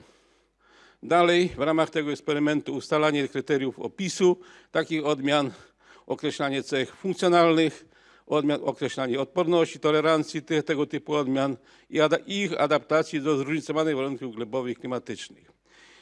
I ostatni punkt, szósty jest ważny, że wyniki tego eksperymentu ułatwią organizację czy zorganizowanie jednorodnych i efektywnych systemów ekologicznych, y, doświadczalnych, zarówno doświadczalnictwa rejestrowego, jak i porejestrowego w państwach członkowskich UE, w tym Polsce. No liczymy na to, jak będziemy brać udział w tym projekcie, że zdobędziemy doświadczenie w ramach tej współpracy i łatwiej nam będzie tworzyć, łatwiej będzie Ceboru tworzyć taki system e, EDO, nazwijmy, e, z prawdziwego zdarzenia, którym będzie można testować odmiany e, ekologiczne czy inne materiały nadające się do niskonakładowej i, i ekologicznej produkcji. Proszę Państwa, jeśli chodzi cho- króciutko, hodowla i rejestracja odmian roślin uprawnych, nie ma e, czasu zbyt wiele. Ja bym tylko chciał powiedzieć tak, że mamy konwencjonalną hodowlę roślin na dole, to w czerwonej ramce, i ekologiczną hodowlę roślin, która w zasadzie nie istnieje, u nas nie istnieje, w większości krajów, krajów również nie istnieje. Produktami y, konwencjonalnej hodowli roślin, wiadomo, są odmiany konwencjonalne oraz odmiany konwencjonalne przydatne do uprawy ekologicznej. I następnie produktami odmiany hodowli ekologicznej są, jest ekologiczny materiał heterogeniczny, o którym powiem. Jest to nowa kategoria, która została wprowadzona prawnie w tym roku, w zeszłym roku i odmiana ekologiczna. Tu po prawej stronie są, napi- są napisane, y, czy są badania OWT, czy nie ma badań OWT prowadzonych. Y, Hodowla roślin, dobór odmian do odmiany. Zarówno hodowla konwencjonalna, jak i proekologiczne jej modyfikacje są, opierają się na tych samych metodach i technikach hodowlanych. To nie jest nic innego. To jest tylko taki podział, no powiedzmy, żeby ułatwić komunikację, natomiast y, zarówno hodowla y, ta tradycyjna, konwencjonalna, jak i ekologiczna opiera się na tych samych metodach, ogólnych oczywiście. I różnice polegają między innymi, jeśli chodzi o cele hodowlane, cechy roślin, mające znaczenie w docelowych systemach uprawy oraz warunków środowiskowych, w których prowadzone są prace selekcyjne i testowanie odmian. To jest bardzo ważne. To znaczy, że nie trzeba tworzyć specjalnie ekstra nowych, y, kosztownych programów, tylko można modyfikować obecne programy hodowlane, żeby osiągnąć te cele. Oczywiście to będą tak zwane byprodukty. To nie, nie chodzi o to, że e, mamy wszyscy się przedstawiać na hodowlę ekologiczną, tylko że w ramach hodowli konwencjonalnej można znaleźć środki i, i, i zorganizować ją tak, żeby była przydatna dla wszystkich systemów uprawy. Elementy, które należy uwzględniać w proekologicznych kierunkach hodowlanych dotyczą materiałów wyjściowych do hodowli, muszą być bardzo zróżnicowane, technik hodowlanych, ale zgodnie już tutaj z, z tymi wytycznymi EKOPB 2012, dotyczą doświadczeń i środowisk do testowania materiałów hodowlanych. To chyba najważniejszy moment tutaj jest, gdzie można sobie pozwolić na selekcję odmian zarówno do konwencjonalnych, jak i ekologicznych systemów gospodarowania oraz uwzględnienie specjalnych potrzeb czy cech potrzebnych dla ekologicznej uprawy. Dalej, zgodnie z stanem prawnym na dzień dzisiejszy odmiany stosowane w niskonakładowych i ekologicznych systemach uprawy mogą pochodzić ze wszystkich istniejących programów hodowlanych. Bardzo ważne stwierdzenie. To musimy mieć na uwadze i to, i to praktycznie trzeba będzie dyskontować. Daje to możliwość pełnego wykorzystania tworzonej rokrocznie zmienności genetycznej i poprawy efektywności ekonomicznej prac hodowlanych. Czyli jeśli odpowiednio przemodelujemy obecne programy hodowlane, można dwa cele uzyskiwać jednocześnie. Jeśli chodzi o etapy wdrażania postępu odmianowego do produkcji ekologicznej, czy do niskonakładowych, czy ekologicznej, wyróżniamy hodowlę roślin, rejestrację i rekomendację odmian, wytwarzanie materiału siewnego i uprawa ekologiczna. Jeśli chodzi o nasiennictwo, proszę Państwa, problem nasiennictwa, zagadnienie nasiennictwa. Odmiany do ekologicznej, e, przepraszam, ekologizacji rolnictwa niekoniecznie muszą pochodzić ze specjalnych programów hodowli roślin, co powiedziałem. Ważnym jest, aby odmiany takie oznaczały się specyficznymi właściwościami i cechami funkcjonalnymi, takimi jak uzdolnienia konkurencyjne wobec chwastów odporność, tolerancja na choroby, tolerancja na stresy abiotyczne, zmiany klimatu i stabilność planowania i odpowiednie parametry jakościowe. Proszę Państwa, dość skomplikowane to jest tutaj ten rysunek, schemat, ale chciałem powiedzieć to, co już wcześniej powiedziałem, to jest takie podsumowanie ładne. Ja myślę, że te materiały będą publikowane i to będzie dostępne Państwu, także to będzie, będę, nie, nie będę tu się skupiał nad tym, ale to jest wszystko to, co powiedziałem, że mamy y, cztery główne, trzy główne programy hodowlane, hodowle konwencjonalne, konwencjonalne na rzecz ekologizacji, ekologiczne programy OPB i to OHM, to ten ekologiczny materiał rozmnożeniowy, a potem już odmiany konserwujące są. I mamy rolnictwo takie, mamy rolnictwo takie i tam jest podane, jakie, jaki materiał siewny jest zabezpieczany dla poszczególnych y, typów gospodarowania. Jeżeli chodzi o y, proekologiczne nasiennictwo, to ciąg dalszy. Aktualne prawodawstwo nasienne unijne i nasze pozwala na stosowanie uprawy ekologicznej niezaprawionego, jak wspomniałem wcześniej, materiału siewnego dobranych odmian, czyli przydatnych odmian konwencjonalnych. Obecnie jest to taki materiał jest stosowany w ponad 80% przypadków. Pomimo to, że mamy rolnictwo ekologiczne, to i tak 80, ponad 8, 8 mówię różnie, 80-85% e, materiału siewnego stosowanego w ekologii pochodzi z odmian konwencjonalnych. Materiał siewny odmian konwencjonalnych rozmnażany w warunkach ekologicznych w ostatnim roku to jest, bo ten, ta pierwsza kategoria to tylko jest nie, niezaprawiany, konwencjonalny, niezaprawiany. Druga kategoria B to jest konwencjonalny, ale jeszcze rok przed y, sprzedażą jest rozmnażany w warunkach ekologicznych. I C to następna kategoria to odmiany konserwujące, bioróżnorodność. U nas się to mówi dla zachowania bioróżnorodności, mi się daje to konserwujące lepsze określenie. Zgodnie z dyrektywami tu wymienionymi i dotyczy ono populacji mieszańcowych, odmian miejscowych, odmian amatorskich, mieszanek odmian roślin pastewnych. Ja za chwileczkę się na tym troszkę skupię, bo w każdym razie to są cztery kategorie.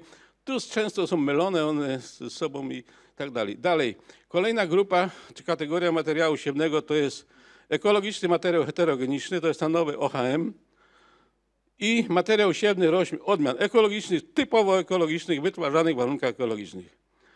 I chciałbym dodać, da, da, podać do informacji, że odmiany konserwujące stanowią obecnie 1,5% odmian e, w CCA, czyli w wspólnym katalogu odmian rolniczych, czyli około 500 odmian i 0,8% e, odmian e, w katalogu warzywnym. Czyli jest to margines, można powiedzieć. Jeżeli chodzi o wykaz odmian stosowanych, możliwych do zastosowania w rolnictwie ekologicznym, to jak powiedziałem, odmiany konwencjonalne, odmiany konwencjonalne nadające się do uprawy ekologicznej, yy, dalej od, odmiany ekologiczne, odmiany konserwujące, o których przed chwilą powiedziałem, tam są odmiany amatorskie i tu chciałbym się yy, zatrzymać nad tymi odmianami amatorskimi, że materiały rozmnożeniowe roślin rolniczych przyczyniające się do zachowania bioróżnorodności czy konserwacji bioróżnorodności nazywane są odmianami konserwującymi. I tu się wyróżnia odmiany miejscowe, land races i to, co jest zmylone Polsce. Odmiany miejscowe czy populacje miejscowe to nie są odmiany. Te rasy, my to w naszej ustawie jest troszkę to błędnie napisane, y, to są populacje nie spełniające kryteriów definicji odmiany UPOW, które pochodzą z naturalnej selekcji masowej bez jakiejkolwiek ingerencji człowieka w ramach rolnictwa tradycyjnego w określonych warunkach, rejonach. Jest to odmiana miejscowa, czyli od, odmiana, czy populacja miejscowa. Później są stare odmiany i tu jak sama nazwa mówi, są to odmiany, które spełniały, bo sama nazwa, nazwa od odmiany jest definicja specjalna dla, dla odmiany. Y, Są, były wcześniej gdzieś tam zarejestrowane y, w urzędowych rejestrach, co najmniej dwa lata wcześniej, no ale i starsze oraz są ekotypy roślin pastewnych i tak dalej. Ja nie będę, nie mam czasu, żebym tu szczegółowo jeszcze. Chciałem zwrócić uwagę teraz na ekologiczny materiał heterogeniczny. Jest to nowa kategoria. Zgodnie z tym rozporządzeniem 2018, a zwłaszcza rozporządzeniem delegowanym 2021 z tamtego roku, z 7 marca, do ek- ekologicznego materiału heterogenicznego zaliczane są następujące kategorie materiałów roślinnych. I to jest złożone populacje krzyżówkowe, czy złożone populacje ZPK, e, dalej dynamiczne populacje ekologiczne, pochodzące z mieszanych odmian, odmian miejscowych i tak dalej. Ja to później trzeba by, zajdzie potrzeba, czy w dyskusji bliżej wyjaśnię. I ekologiczne materiały selekcyjne rolników. To są trzy takie dość skomplikowane na pierwszy rzut oka e, kategorie. Jeżeli chodzi o zasady wytwarzania i wprowadzania tego OHM-u, czyli tych materiałów do obrotu, ekologiczny materiał heterogeniczny nie jest stabilny i jednorodny, jak sama nazwa mówi. Obecne metodyki badań OWT nie są odpowiednie do badań OHM i tak samo metody badań WGO konwencjonalne też nie są odpowiednie. Identyfikacja i identyfikowalność, tak zwana traceability OHM-ów musi być zagwarantowana, czy ma być zagwarantowana przez opis metod jego cech fenotypowych i agronomicznych, co rolnicy mogą, czy producenci nasion mogą. Tu jest przykład. Proszę Państwa, to bo niektórzy mówią, to są śmieci i tak dalej. Proszę bardzo, to jest ekologiczny materiał heterogeniczny pszenicy, wyrównane, ładnie, piękne. Generacja to już jest chyba e, F, F8, y, y, no, czy najpierw wcześniej, w każdym razie to jest przykład taki. Dalej, podmioty, prowadzą, przedsiębiorcy nasienni mają możliwość prowadzenia OHM-ów do obrotu bez konieczności spełniania wymogów, które dotyczą odmian konwencjonalnych, materiału siewnego odmian konwencjonalnych, tak przedbazowego, bazowego i kwalifikowanego. Przykład znów populacje OHM-ów, czyli są to OHM-y jęczmienia jarego. Też proszę, to jest tu na takim poletku znajduje się kilkanaście tysięcy różnych genotypów. To ja zaraz powiem, jakie to są korzyści. To nie jest jednorodność genetyczna, to jest ogromna zmienność. To prawie co druga roślina to jest inny, inny genotyp. Powiem, jak to się tworzy, jak to jest za chwileczkę. Zasady wytwarzania i wprowadzania do obrotu e, OHM-ów. Szczegółowe przepisy znajdują się właśnie w tym rozporządzeniu wykonawczym 2021-1189 i obejmują charakterystykę ekologicznego materiału heterogenicznego, techniki hodowli i wytwarzania tego OHM-u, identyfikację i wykaz rodzajów kategorii. Tak jak widać, jest to wszystko zorganizowane i jest możliwe do re realizowania. E, prace nad populacjami pszenicy ozimej w Polsce. Coboru rozpoczęło te działania już w 2014 roku. Wykonaliśmy, czy we współpracy z placówkami oczywiście hodowlanymi, wykonane zostały krzyżowania półdialelu. Prowadzi się to tak zwaną, e, te prace w ramach tak zwanej ekologicznej, e, e, ewolucyjnej hodowli roślin. Ale to nie mam czasu, żeby to wszystko wyjaśniać. Wykonano krzyżowania pół dialelu dziewięciu komercyjnych odmian pszenicy ozimej, placów w Kończewicach, Nagrodowicach, Smolicach i Strzelcach i wytworzono dziewięć złożonych populacji krzyżówkowej pszenicy ozimej. W sezonach wegetacji 20, 15, 20, 20 prowadzono rozmnożenia tych y, populacji i ocenę wartości gospodarczej na tle odmian wyjściowych, y, które były podstawą do tworzenia tych populacji. Dalej, rozmnożenia i doświadczenia prowadzono w różnych warunkach glebowo-klimatycznych kraju.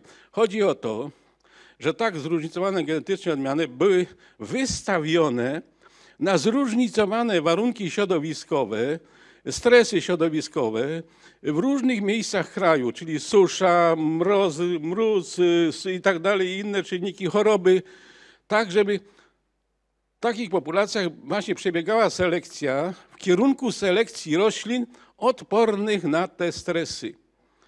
W nadchodzącym sezonie, i to jest bardzo ważne w tej chwili, w nadchodzącym sezonie wegetacji prowadzone będą dalsze prace doświadczalne i rozpoczęto rozmnażanie materiału siewnego tych populacji na skalę komercyjną.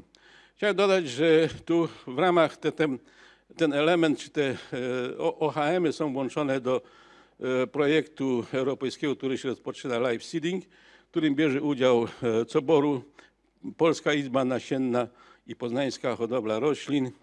I tu będzie do, dalej dopracowane, dopracowane zasady wprowadzania. Proszę bardzo, OHM-y, jak to wygląda? Tu jest zdjęcie z 2016 roku czy 2017 yy, pszenicy.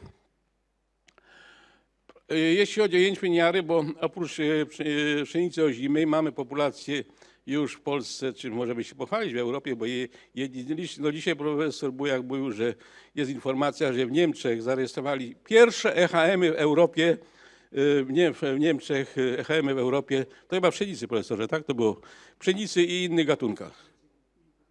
i kukurydzy, pszenicy i kukurydzy. Także my też mamy, my też to możemy zarejestrować, my to mamy też od, od 2014 roku prowadzone. Mało tego, spółkę, spółka PHR i inne te materiały rozmnażają, rozmnażane są również w, w stacji w Słupi i, i prowadzone są specjalne doświadczenia e, w wielu punktach w Europie, takich docelowych punktach uprawy.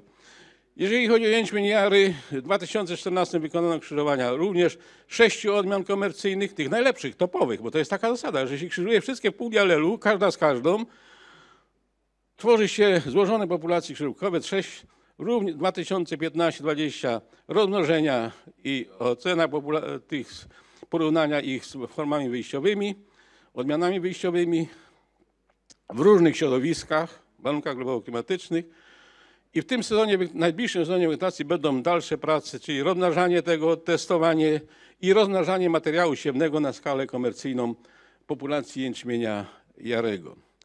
Y, prace te też będą również przedmiotem e, współpracy w ramach programu Life City. E, też widać populację jęczmienia aby ktoś nie, z boku nie, nie wiedział, nie, nie, nie, nie wiedział, że to są populacje, myślę, że to są czyste odmiany, że to nie są te, niektórzy mówią śmieci, niektórzy, tak, są określenia na te OHM-y, to niektórzy mówią, że to są śmieci w nasiennictwie. Już będę kończył. E, dalej, tu, tu nie mam zjawiska ekologiczne w zróżnicowanych genetycznie uprawach, to nie będę wymieniał. Są 4K, kompleksowość, komplementacja, kompensacja, koewolucja i negatywna konkurencja. Szkoda, e, mieszana. Aha. I teraz jeśli chodzi o bioróżnorodność, to oprócz tych populacji bioróżnorodność możemy zwiększać poprzez mieszanki międzygatunkowe.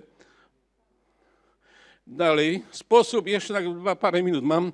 Różnorodność genetyczna upraw jest pod silną presją w związku z rozwojem nowoczesnej uprawy roślin. To trwa od kilkunastu czy kilkudziesięciu lat. Współczesne systemy uprawy charakteryzują się uprawą niewielkiej liczby gatunków, i jednorocznych, i na dodatek jednorodnych genetycznie odmian e, roślin na dużych areałach. Jest to doskonałe, są to doskonałe warunki do rozwoju chorób, szkodników i innych i y, braku odporności na stresy. W tym kontekście jest ten program Strategia Bioróżnorodności. E, tu tylko przykład, może nie, bo szkoda, bo nie ma, pan, pan mnie już tutaj mówi, przewodniczący, że mam przyspieszać. Bioróżnorodność jest kamieniem węgielnym zrównoważonych, a zwłaszcza ekologicznych systemów gospodarowania w rolnictwie. Wyróżnia się trzy podstawowe poziomy różnorodności genetycznej, a macie poziom gatunkowy, międzygatunkowy i poziom głównych elementów. Gatunkowe to różne odmiany, mieszanki odmian populacje, międzygatunkowe zmianowanie, mieszanki międzygatunkowe, populacje, e, uprawa współrzędna i tak dalej. To są takie różne systemy. To wymagane jest Dalej, tu jest na przykład takiej złożonej e, uprawy współrzędnej, rzepak o zimie z życicą wielokwiatową, takie doświadczenie zrobione.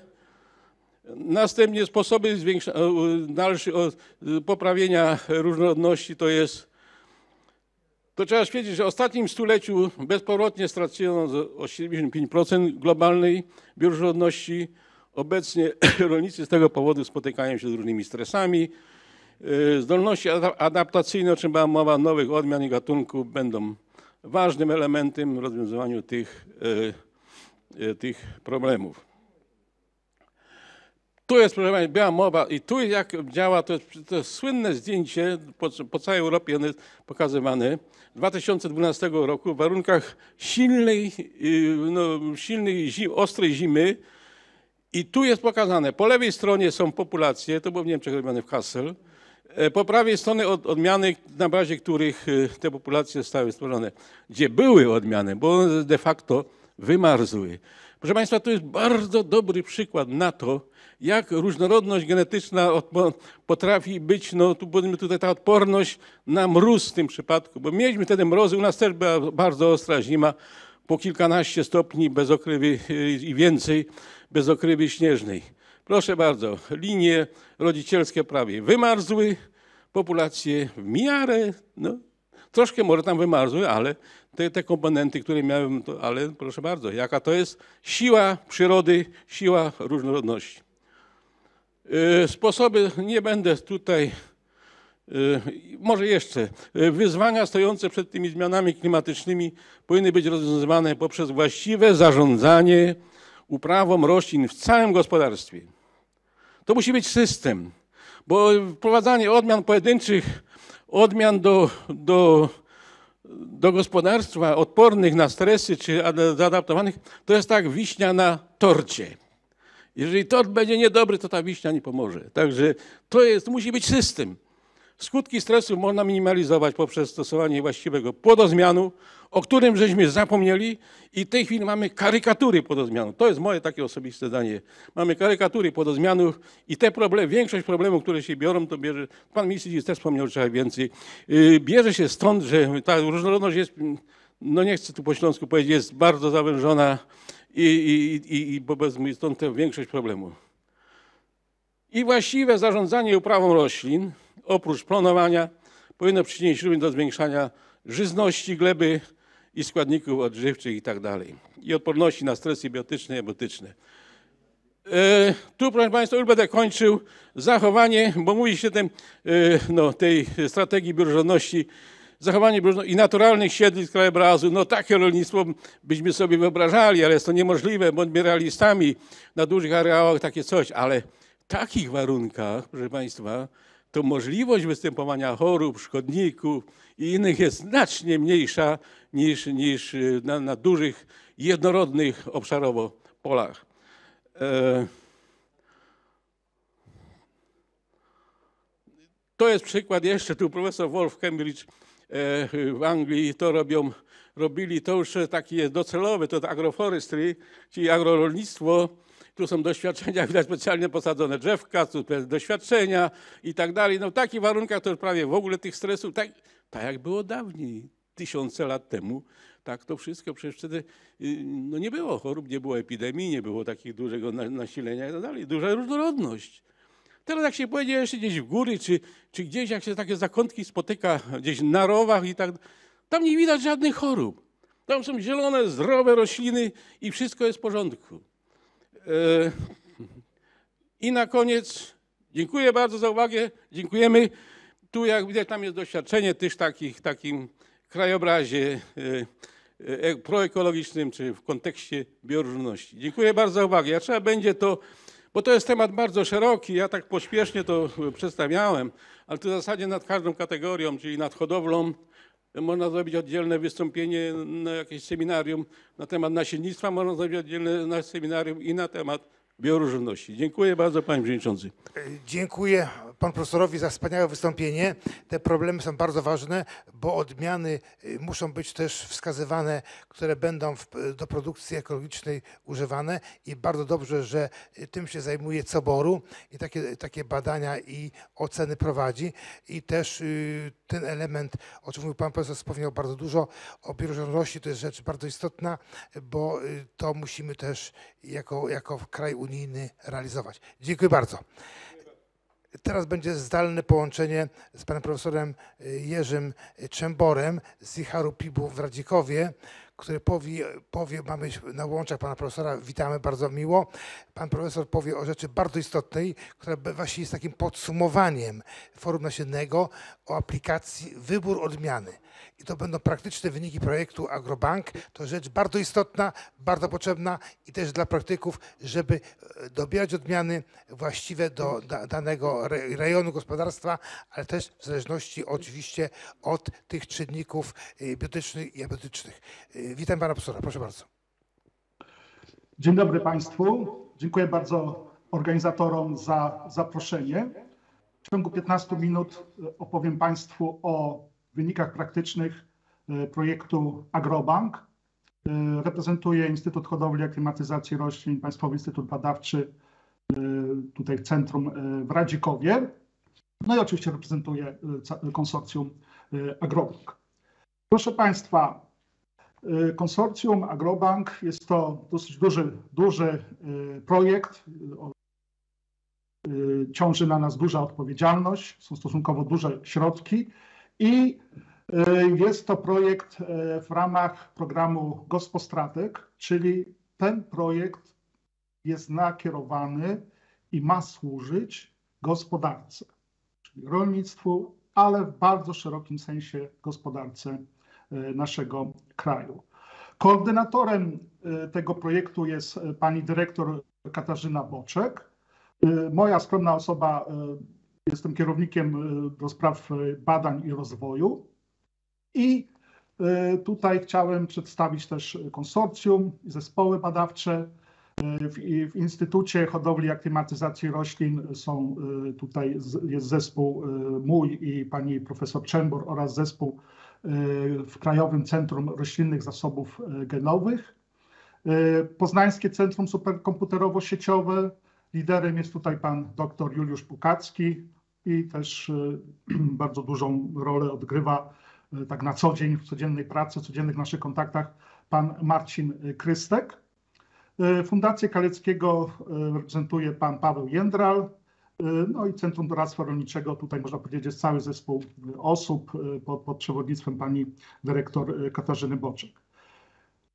Bardzo chcę w tym miejscu i będę chyba jeszcze raz, czy drugi, czy trzeci dziękować za współpracę Instytuto, Instytutowi Uprawy i Nawożenia Gleboznawstwa Państwowemu Instytutowi Badawczemu, panu profesorowi Rafałowi Pudełko, który bardzo tutaj no, dużą rolę odgrywa w, w rozwoju platformy bioinformatycznej i, i właśnie aplikacji, o której Państwu powiem oraz też bardzo dużą rolę kluczową odgrywa Centralny Ośrodek Badania Odmian Roślin Prawnych.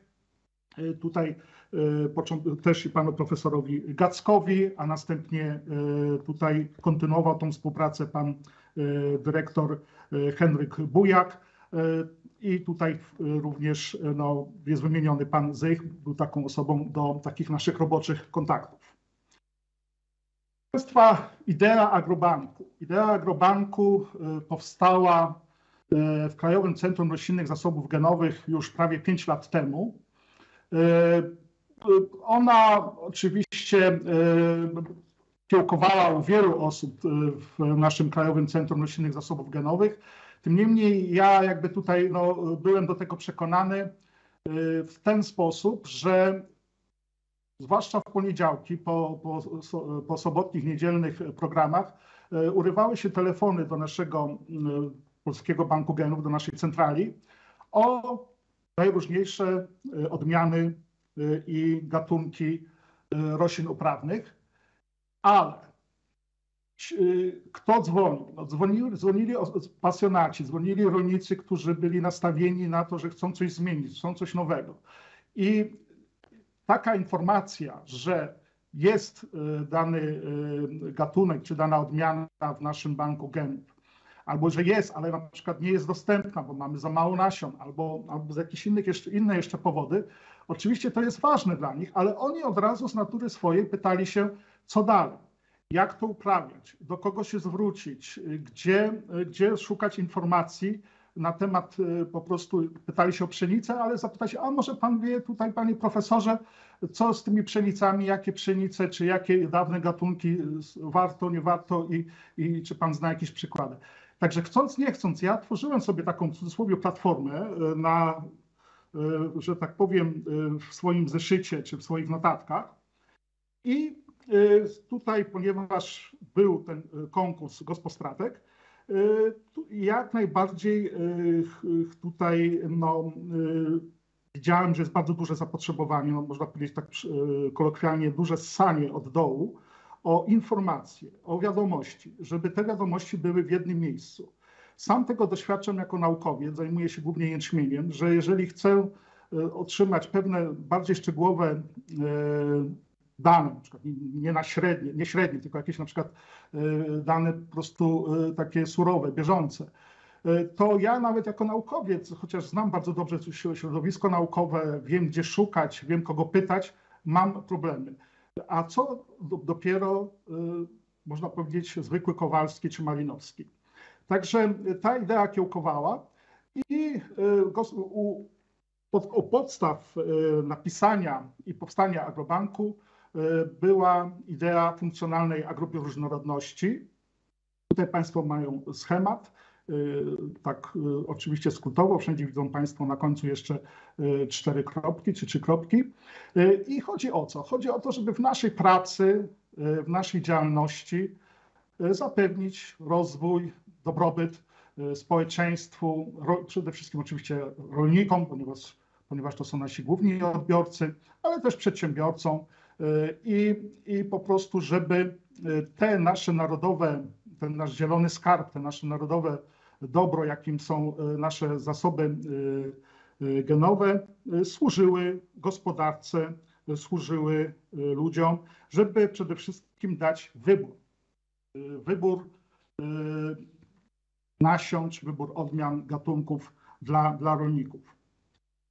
Proszę Państwa, to się oczywiście wpisuje w ogólne trendy y, rozwoju rolnictwa. Tu było mówione o tym dużo i przez pana mm, ministra Ardanowskiego, i przez pana, y, i tutaj przez, pan, przez poprzednich przez pana profesora Gacka. Jak po prostu w tej chwili no, te trendy wy, wyglądają. Nie będę tu może się rozwodzić. Y, W każdym razie miejsce Agrobanku y, mamy swoje miejsce w tym procesie y, i generalnie trendem jest, żeby właśnie uprawy były bardziej zróżnicowane, żeby była rozbudowa ekosystemu, że już nie chodzi tylko o zachowanie bioróżnorodności, ale zwiększenie bioróżnorodności. A jak wiemy, też są przecież raporty, że na przykład polityka unijna, na którą poszły bardzo, bardzo duże środki, miliardy, y, nie spowodowała tego, że y, y, bioróżnorodność powiedzmy, została zachowana, tylko odwrotnie. Ciągle, ciągle mamy do czynienia z procesem zmniejszania tej bioróżnorodności. Zresztą to wiemy, w tym gronie nie muszę tutaj się rozwodzić. Tutaj było mówione o podozmianach, o zbożach, o pszenicy. Sam pracuję w jęczmieniu, wiem jak koledzy, ilu kolegów z jęczmienia przeszło do pszenicy czy, czy, czy do kukurydzy.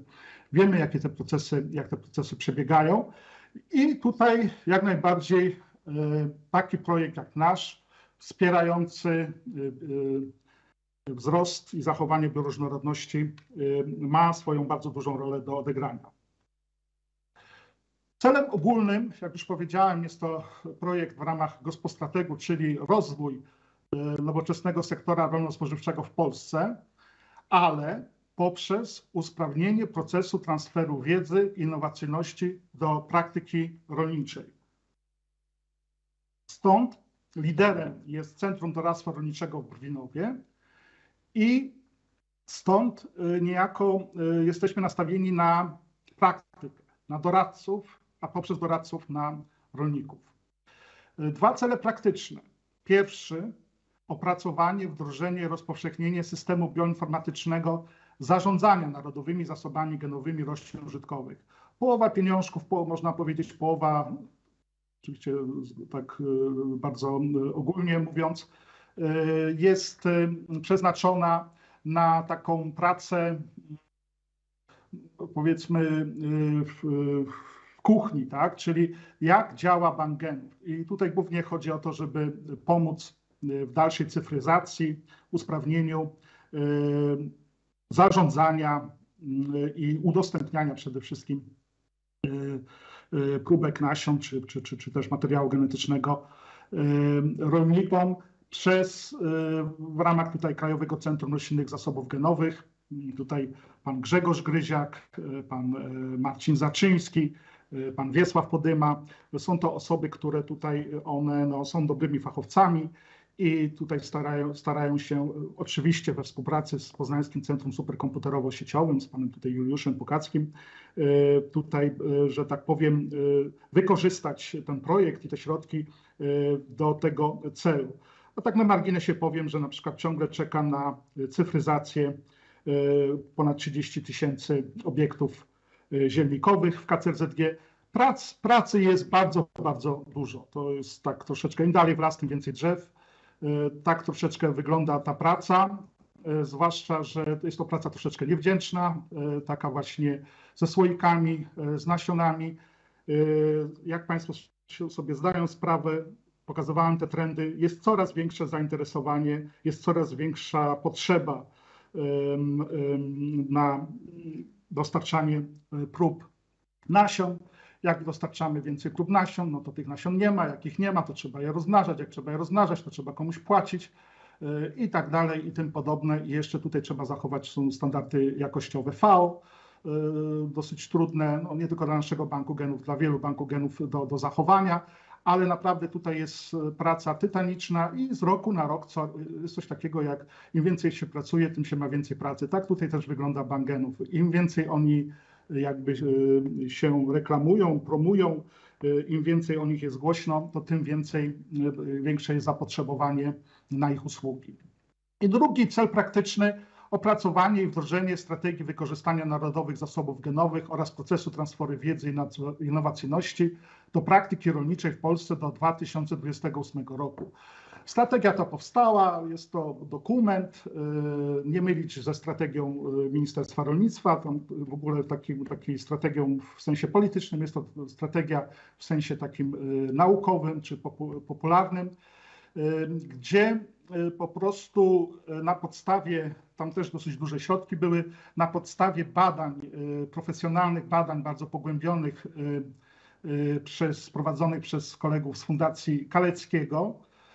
Oczywiście jak te badania przeprowadzać i jak je interpretować, to oczywiście tutaj inni konsorcjanci, czyli IHAR i zwłaszcza CDR, bardzo tutaj im pomagaliśmy, ale samo zbieranie, sama metodyka socjologiczna tutaj była prowadzona przez Fundację Kaleckiego. No i wiele rzeczy naprawdę było nowych, było ciekawych. Wiele, wiele rzeczy, jak to się mówi, wystarczy niby pójść do ministerstwa, popatrzeć sufit i już człowiek wie, jak ma polskie rolnictwo wyglądać, ale to tak nie jest.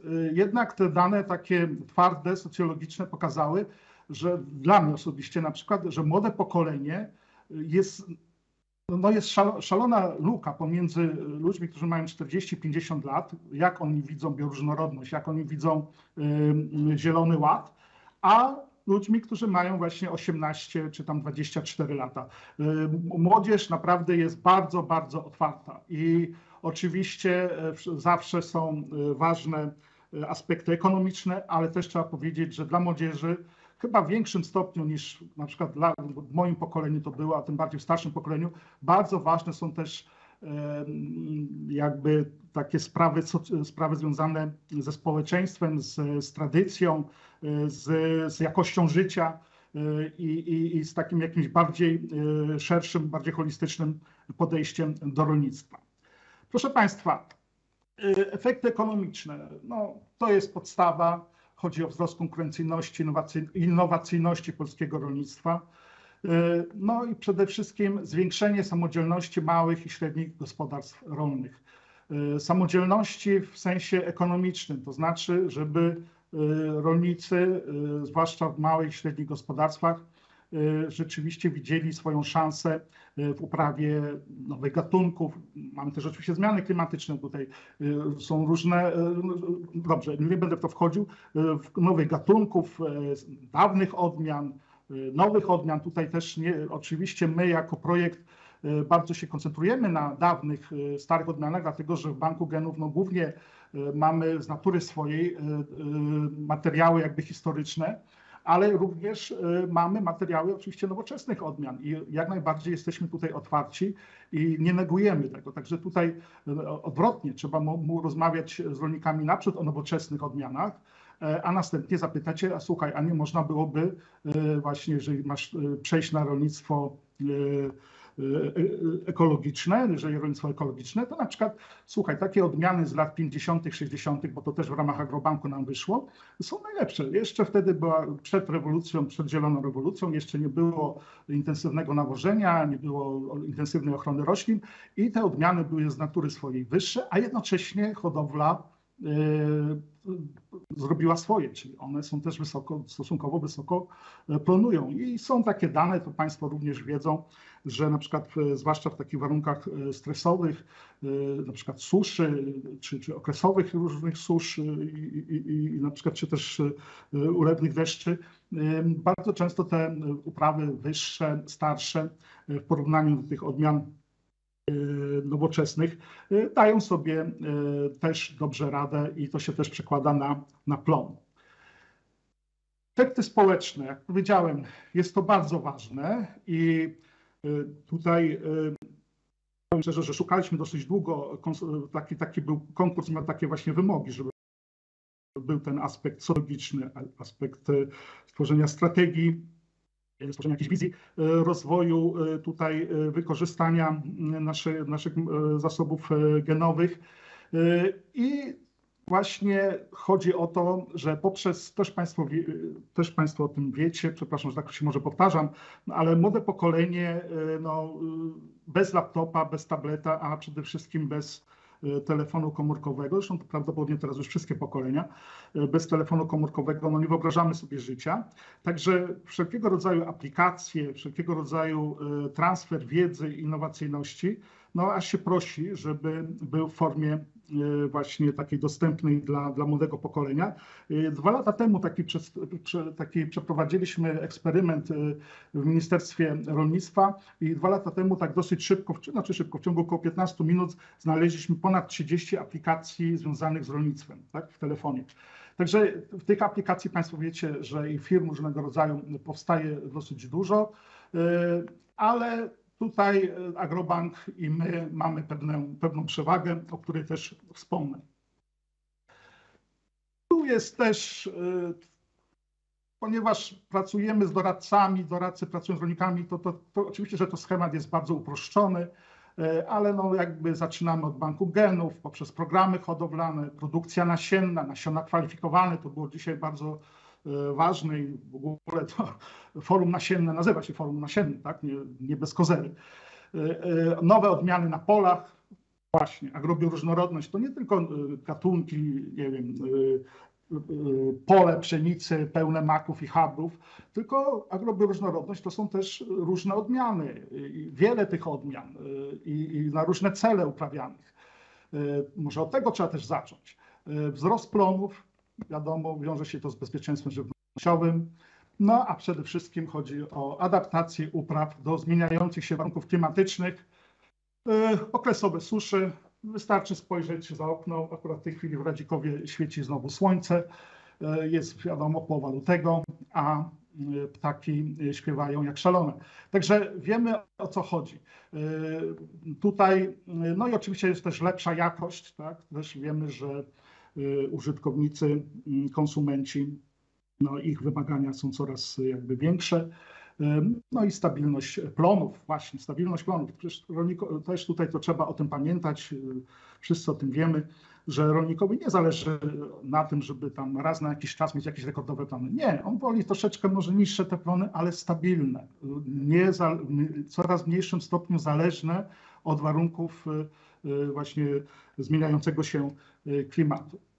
Y, tutaj też jest na tym mm, schemacie czy rysunku platforma bioinformatyczna, integracja dostępnych danych. No, idea taka jest troszeczkę też, można powiedzieć, idea fix albo taka idealistyczna, idea idealistyczna. Idealistyczne może podejście do sprawy, że yy, wydaje, wydaje się, że wszystkie dane dostępne publicznie za publiczne pieniądze powinny być do wykorzystania w ramach na przykład takiego projektu jak ten.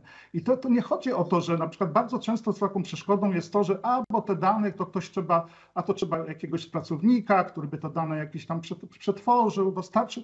My w ramach projektu mamy te pieniądze, mieliśmy te pieniądze, znaczy właśnie mieliśmy i mamy ciągle, bo jesteśmy w trakcie tego projektu, e, ale, ale, ale chodzi o to, że, że po prostu e, to, to jest taka idea, żeby e, platformę, wyobraź, wyobraźmy sobie, że to jest powiedzmy coś ale jak biblioteka, czy nie wiem, regał na książki.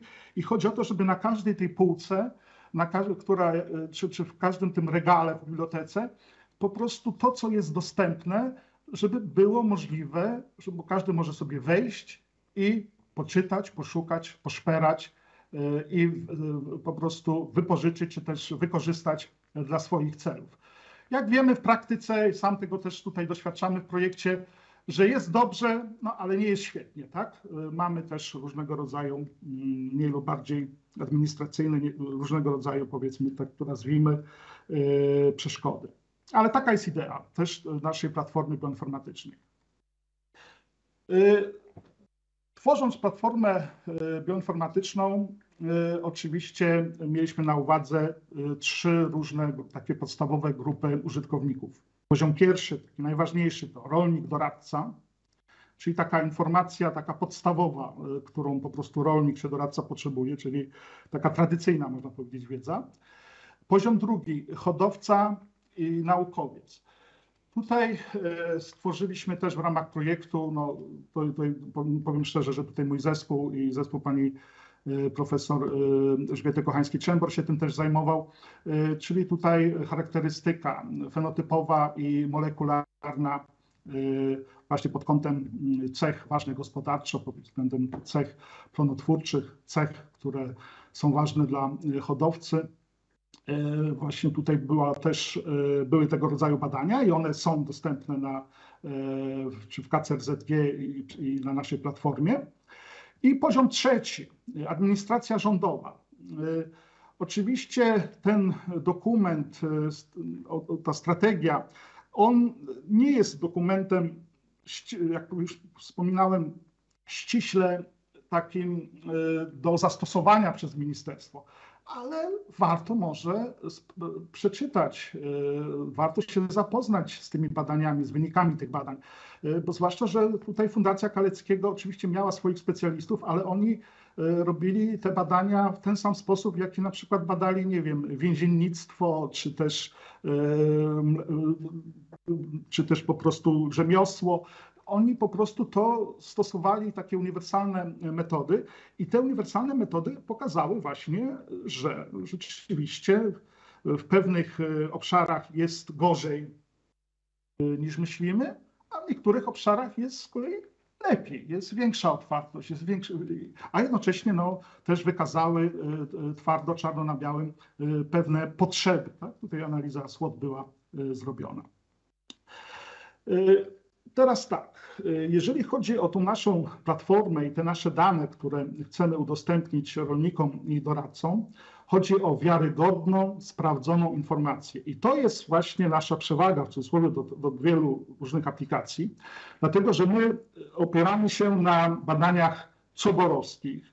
Przecież, proszę Państwa, no nie muszę tutaj mówić, Państwo doskonale wiecie, jak dużym potencjałem, jak wieloma danymi y, Y, i to na bieżąco, jak dobrze jest to robione w Coboru, jeżeli chodzi o odmiany, o informacje o odmianach.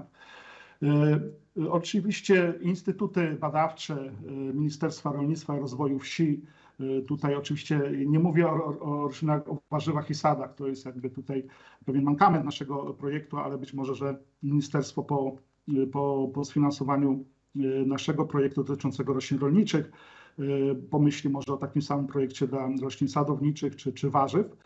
Y, ale w razie ten potencjał y, badawczy i, i te wszystkie informacje, które są gromadzone, które są często właśnie rozproszone przez Jung i przez IHAR, to wszystko powinno być w jednym miejscu i to wszystko chcemy przełożyć przekuć na to, jak osiągnąć największy plon, to myślę zysk, no i na dobrobyt wsi dobrobyt wsi, dobrobyt miasta, dobrobyt społeczeństwa.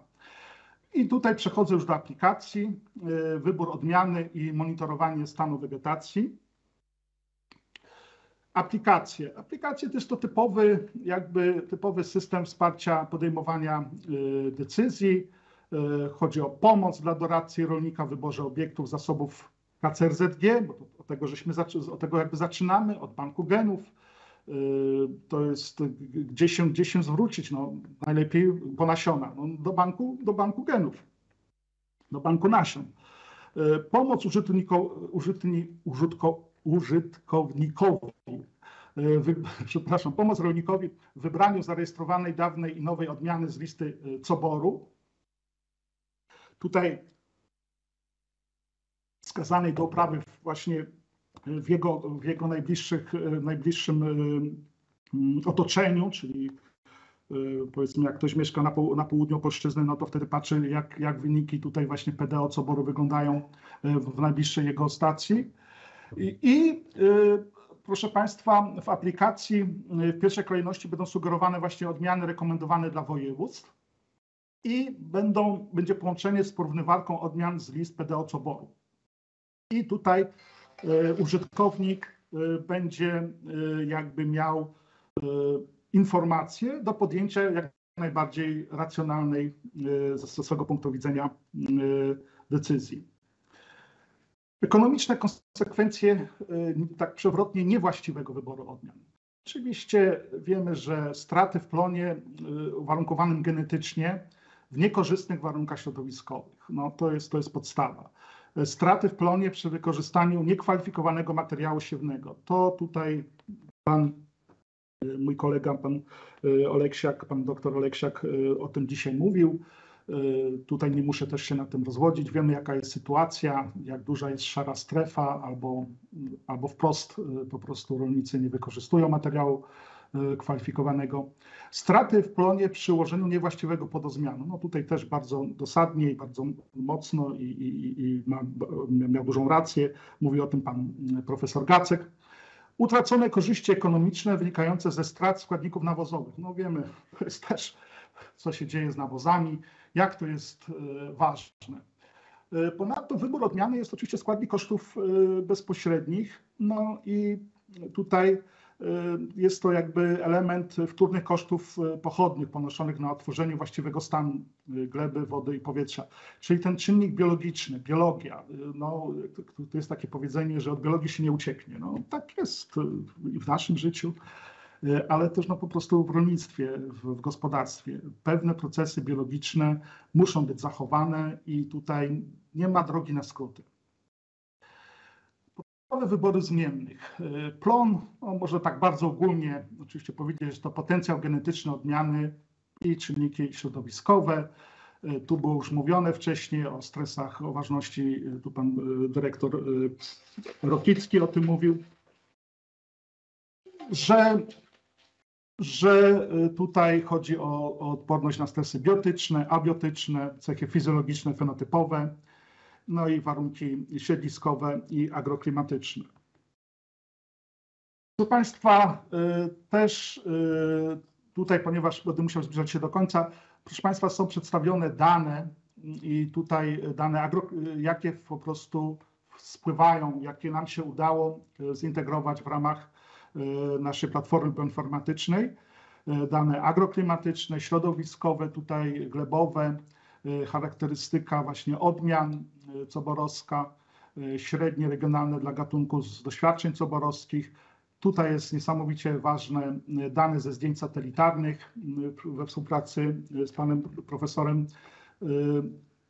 z, właśnie z Jungu, mapa przestrzennej zmienności pola i właśnie jakie mamy wyniki. Monitorowanie plantacji, strata, czyli różnica plonu oczekiwanego od plonu szacowanego, plon przewidywany i plon w trakcie wegetacji i plon potencjalny. Proszę Państwa, w tej chwili nasza sytuacja jest tego rodzaju, że aplikacja wybór odmiany jest testowana. Od zeszłego tygodnia mamy codziennie, nawet dzisiaj o 10 mieliśmy szkolenie dla województwa łódzkiego, a teraz o pierwsze będziemy mieli dla województwa, właśnie po tym, po tym naszym spotkaniu, dla województwa mazowieckiego gdzie po prostu to szkolenie składa się z trzech części. Pierwszą część prowadzą koledzy z KCRZG, ogólnie o, o Banku Genów i o bioróżnorodności. Drugą część prowadzę ja, mówię o agrobanku, o, o założeniach takich ogólnych. A potem ta główna część, 45 minut, to tutaj ma wykład szczegółowy informatyk. Ja nie jestem bioinformatykiem. Nasza rola jako ekspertów jest rozmowa z informatykami i stwierdzanie, co my chcemy, jaki jest stan idealny, jak ta aplikacja powinna działać w sposób idealny. Proszę Państwa, tutaj w tej chwili dlatego i ta jeszcze jest taka, to jest ważne, że ta aplikacja jest rozwijana i w ramach projektu my ją rozwijamy jakby do ostatniego momentu trwania naszego projektu. Nasz projekt w tej chwili został przedłużony do maja, ale mamy bardzo mocne argumenty, i będziemy i staramy się, że został złożony wniosek, żeby, ją, żeby jeszcze przedłużyć tą, ten proces. I tutaj informatycy bardzo intensywnie ciągle pracują i tej chwili właśnie konsultują z, z doradcami i z nami, dopracowujemy tą, tą, tą aplikację. Jest osiem kroków. Ja może nie będę wchodził w szczegółów, w szczegółach, ale musimy podać pole, informacje o uprawie. Oczywiście ta, to, pole musi być jednorodne, in- informacje historyczne, trzy lata do tyłu czy, czy lub więcej, informacja o klasie gleby, informacja właśnie krok trzeci, czwarty o dotychczasowym nawożeniu, o, o, o płodozmianie, o, o sprawach takich agrotechnicznych. I tutaj ja wcześniej wspomniałem, jest, używamy pięciu modeli. Model pierwszy to są mapy przestrzennej zmienności pola, czyli tutaj, y, ponieważ już trochę czas mi się kończy, będę mówił y, szybciej. Chodzi o warunki agroma- agroklimatyczne bieżące, warunki agroklimatyczne historyczne, y, właśnie prognozowane.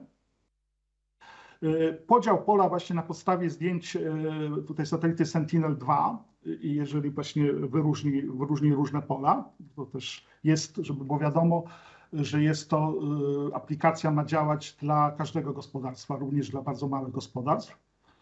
Y, Są rozróżnione właśnie strefy i potem y, przypis, można przypisać gatunek do danej, do danej strefy.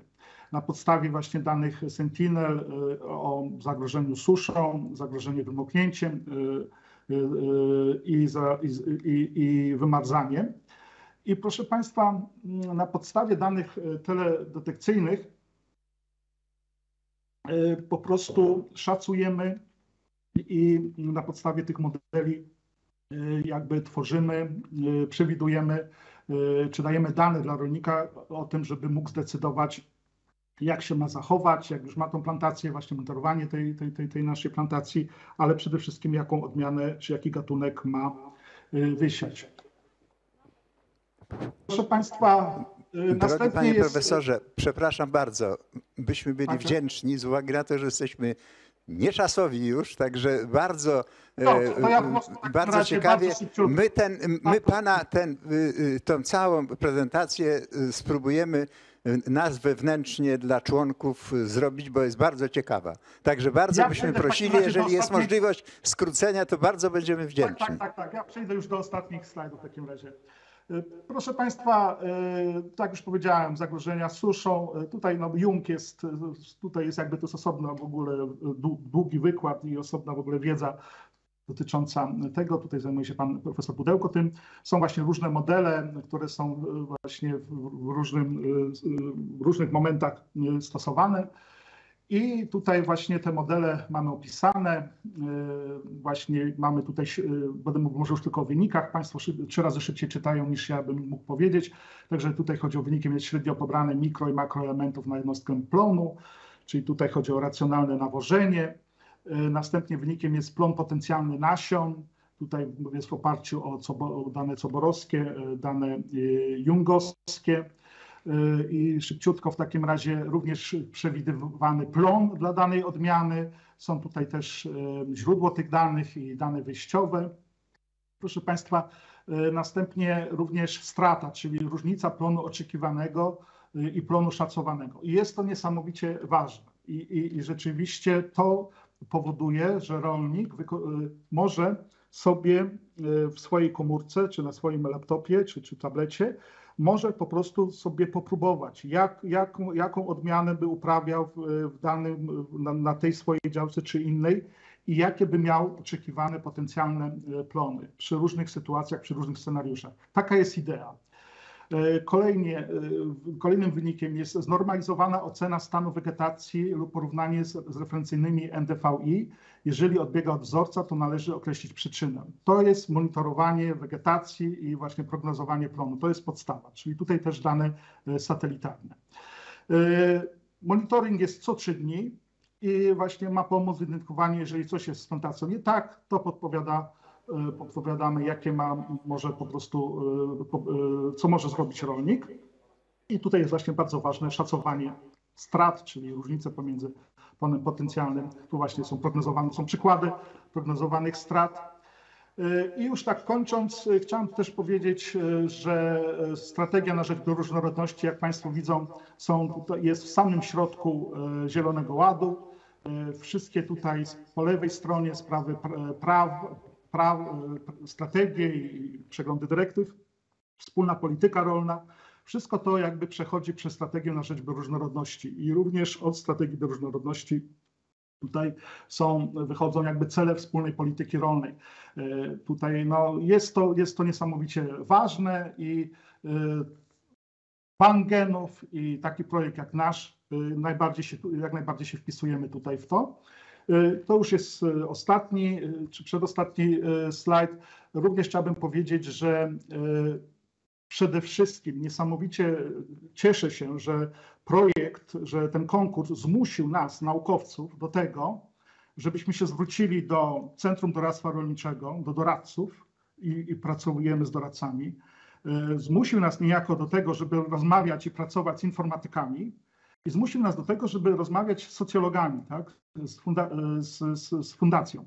E, każda z tych, każda grupa tych naszych konsorcjantów. E, mamy, każda z nas ma swoją bardzo ważną, e, ważne zadanie i to wszystko się wpisuje w to, żeby właśnie poprzez Agrobank realizować główne cele właśnie Centrum Doradztwa Rolniczego, również służyć hodowli roślin i nasiennictwu, Y, hodowli generalnie, tutaj chodzi o odporność na stresy, na, na, na zmianę klimatu.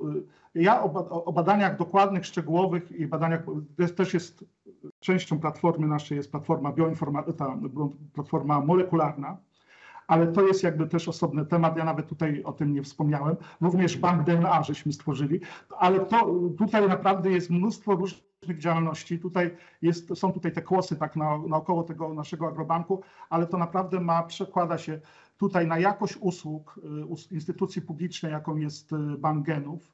Chodzi o to, żeby rolnicy byli zadowoleni z tego, z informacji, jaką otrzymują w KCRZG, z, z nasion, jakie otrzymują. Y, I również to wszystko się oczywiście wpisuje w Zielony Ład. Proszę Państwa, dziękuję bardzo za uwagę i przepraszam, że, że, że, że przedłużyłem y, swoją, swoją, swoją prezentację, ale 15 minut to jest, no, chciałem y, przynajmniej dotknąć najważniejszych interesujących tematów Państwa. Dziękuję ślicznie. Dziękujemy bardzo, panie profesorze. Bardzo ciekawe wystąpienie, bardzo ciekawe, przepraszam. I myślę, że my spróbujemy jeszcze ten temat pociągnąć już, już wewnętrznie, a niezależnie od tego byśmy byli wdzięczni za publikację. Oczywiście. Byśmy zrobili dystrybucję w ramach, bo to jest naprawdę ciekawe prezentacja i to będzie pomocne. Dziękuję bardzo jeszcze raz panie profesorze i do usłyszenia. Dziękuję bardzo. Przede wszystkim chciałbym, żeby ta aplikacja była jak najszybciej w Państwa komórkach i jak Państwo dopiero będziecie... Dokładnie mieli, tak. Bo, tak. Bo to jest taka trochę rozmowa, powiem tak kolokwialnie, ze ślepym o kolorach. Tak. Dopiero jak się ma aplikację, dopiero jak człowiek się w cudzysłowie pobawi tym, popróbuje, to dopiero wtedy docenia. Dziękuję. Dziękujemy bardzo. Proszę Państwa, w tej chwili ogłaszam pięciominutową przerwę informacyjną, którą państwo, Państwu wypełnimy i po pięciu minutach dosłownie za 10-13 spotykamy się na debacie. W rolnictwie wszystko zaczyna się od nasion. Zanim zostaną wysiane, są badane, oceniane i testowane. Nasiona wyselekcjonowane z najwyższą precyzją, pełne wigoru i energii, bo tylko takie gwarantują udane zbiory i wysokie dochody. Stosuj kwalifikowany materiał siewny, to się na pewno opłaca. Pamiętaj, zdrowe i wysokiej jakości nasiona to sukces Twojego gospodarstwa. To jest potęga nasion. Więcej informacji na stronie Polskiej Izby Nasiennej.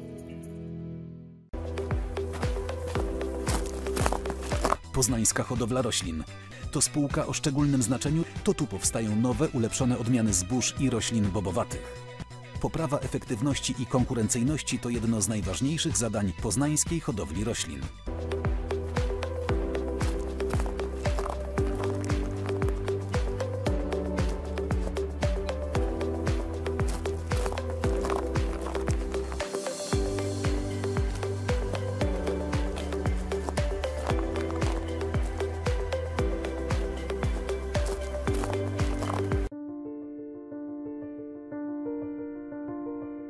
Hodowla roślin Smolice to prawie 70 lat tradycji hodowli i doświadczeń prowadzonych przez znakomitą kadrę hodowców.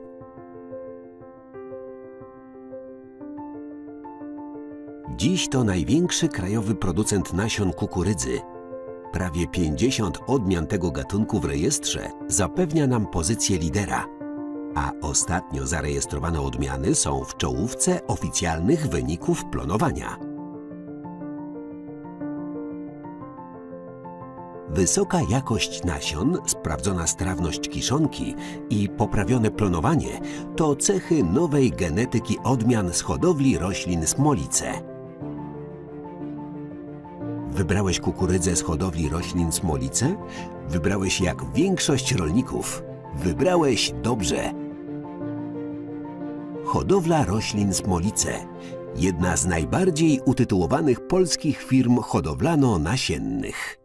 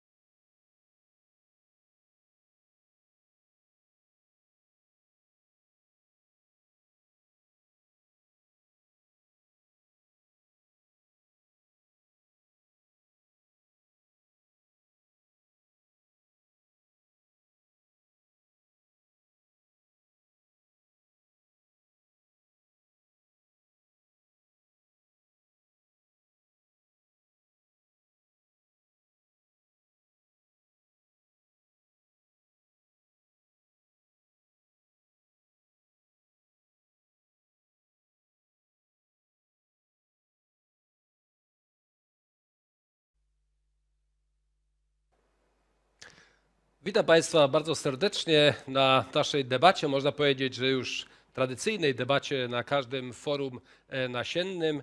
A dzisiaj chcemy dyskutować o tym, jaka będzie przyszła rola hodowli i nasiennictwa w aspekcie europejskiego Zielonego Ładu i obu strategii, które e, proponuje Komisja Europejska. Przez cały dzień słyszeliśmy wiele ciekawych wystąpień, które e, przybliżały nam zarówno dzisiejszy stan hodowli, a także nasiennictwa. E, słyszeliśmy także o tym, e, co nas czeka w przyszłości. Dzisiaj w gronie ekspertów, jako, niejako na finał tego forum, chcemy podyskutować o tej przyszłości, która obecnie jest pod dużym znakiem zapytania, bo zarówno rolnicy i producenci oczekują na konkrety, a także e, cały sektor wspierający rolnictwo, w tym hodowla i nasiennictwo. Nie wszyscy sobie zdajemy sprawę z tego, proszę Państwa, że tak naprawdę ten sezon, a jesteśmy u progu wiosny, jest ostatnim przed wprowadzeniem nowej wspólnej polityki rolnej i e, już siewy jesienne to będą siewy na płatności roku 2023 ze wszystkimi konsekwencjami, które wprowadzi nam Krajowy Plan Strategiczny i y, trzeba będzie się bardzo mocno przygotować już za kilka miesięcy do tego, aby te decyzje były możliwie jak najbardziej optymalne dla gospodarstw. Ja chciałbym bardzo serdecznie przywitać uczestników dzisiejszej debaty, a jest z nami pan e, prezes Leszek Chmielnicki z Polskiej Izby Nasiennej. Witam serdecznie panie prezesie prowadzący całą sesję wszyscy już znają, ale ja panów przywitam, bo akurat mamy dzisiaj tą e, okoliczność, że dyskutujemy w męskim gronie. Pan profesor e, Henryk Bujak, e, szef Centralnego Ośrodka Badania Roślin Uprawnych.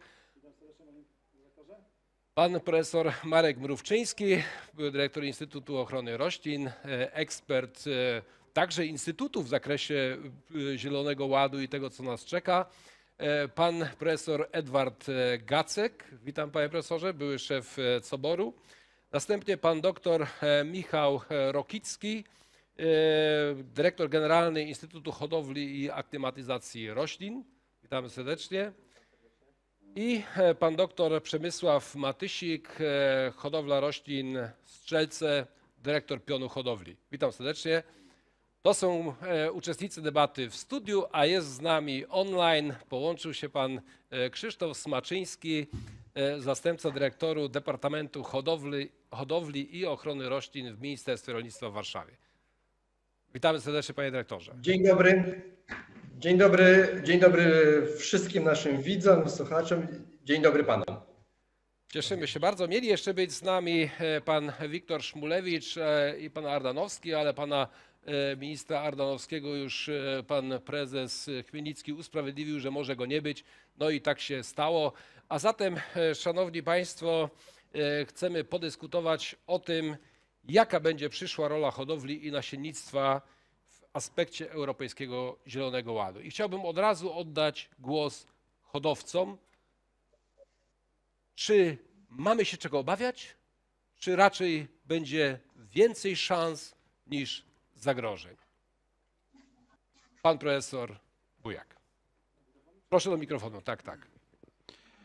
Szanowni Państwo, no, stoimy w obliczu e, tego wyzwania, którym jest Zielony Ład i mam nadzieję, że hodowla nasza, nie tylko nasza, ale generalnie hodowla jest bardzo taką działem, który szybciutko się adaptuje. Czyli te zmiany, które następują, będą szybciutko rekompensowane przez nowe odmiany i mam nadzieję, że to, że będziemy mieć nowe odmiany, które będą dostosowane do tych reguł, które będą tam obowiązywały w tym Zielonym Ładzie, będziemy szybko mogli je wprowadzać do y, naszej, do naszej uprawy, naszego rolnictwa. My jako Centralny Ośrodek Badania Odmian Roślin Uprawnych te odmiany mamy jako pierwsi do przetestowania. Czyli my mamy, będziemy mieć dość szybko wiedzę na temat ich e, odporności, tolerancji czy reakcji na warunki, które wtedy występują. Zwłaszcza e, przy konieczności ograniczenia chociażby stosowania środków ochrony roślin, czy też stosowania nawożenia. Stąd też ta informacja, którą my uzyskamy, to informacja, którą szybciutko przekażemy rolnikom. Nie tylko mm, w trakcie badań rejestrowych, ale również i w trakcie, w trakcie tych badań porejestrowych, tego systemu, który mamy, który weryfikuje nasze odmiany e, później po ich rejestracji i uwzględnia ten czynnik również lokalizacyjny, czyli ten czynnik zmienności środowiskowej, zmienności glebowej czy klimatycznej. Także myślę, że na początku będzie nam trudno zastąpić te odmiany wysokoplenne, prawda, przy tym niższym poziomie nawo- nawożenia, tu przede wszystkim, ale z biegiem czasu nasza, nie tylko nasza hodowla, ale hodowla bardzo szybko dokona pewnych korekt w swoich programach hodowlanych i te odmiany nowe będą do nas docierać. My dzisiaj dyskutujemy o tym, że tak naprawdę potrzebujemy nowych odmian, a tymczasem widzieliśmy w dzisiejszych prezentacjach, że e, wykorzystanie tego potencjału genetycznego obecnie wcale nie jest tak wysokie, jakby powinno e, to wyglądać, chociażby z punktu widzenia ekonomicznego. Panie prezesie, z czego się to bierze, że raptem około 20, nieco powyżej 20%, a ja ostatnio słyszałem takie dane, że mamy kilkanaście procent wymiany materiału siewnego, jeśli chodzi o zboża. Dlaczego wciąż e, no, raczkujemy w miejscu? Y, Tak, jest to problem, z którymi się borykamy przynajmniej od 20 lat. I, i właściwie y, to y, trudno wytłumaczyć, y, dlatego że z jednej strony y, jest y, narzekanie producentów na niską opłacalność, w- niskie plony, są zawirowania, jeżeli chodzi o, o plonowanie w poszczególnych latach.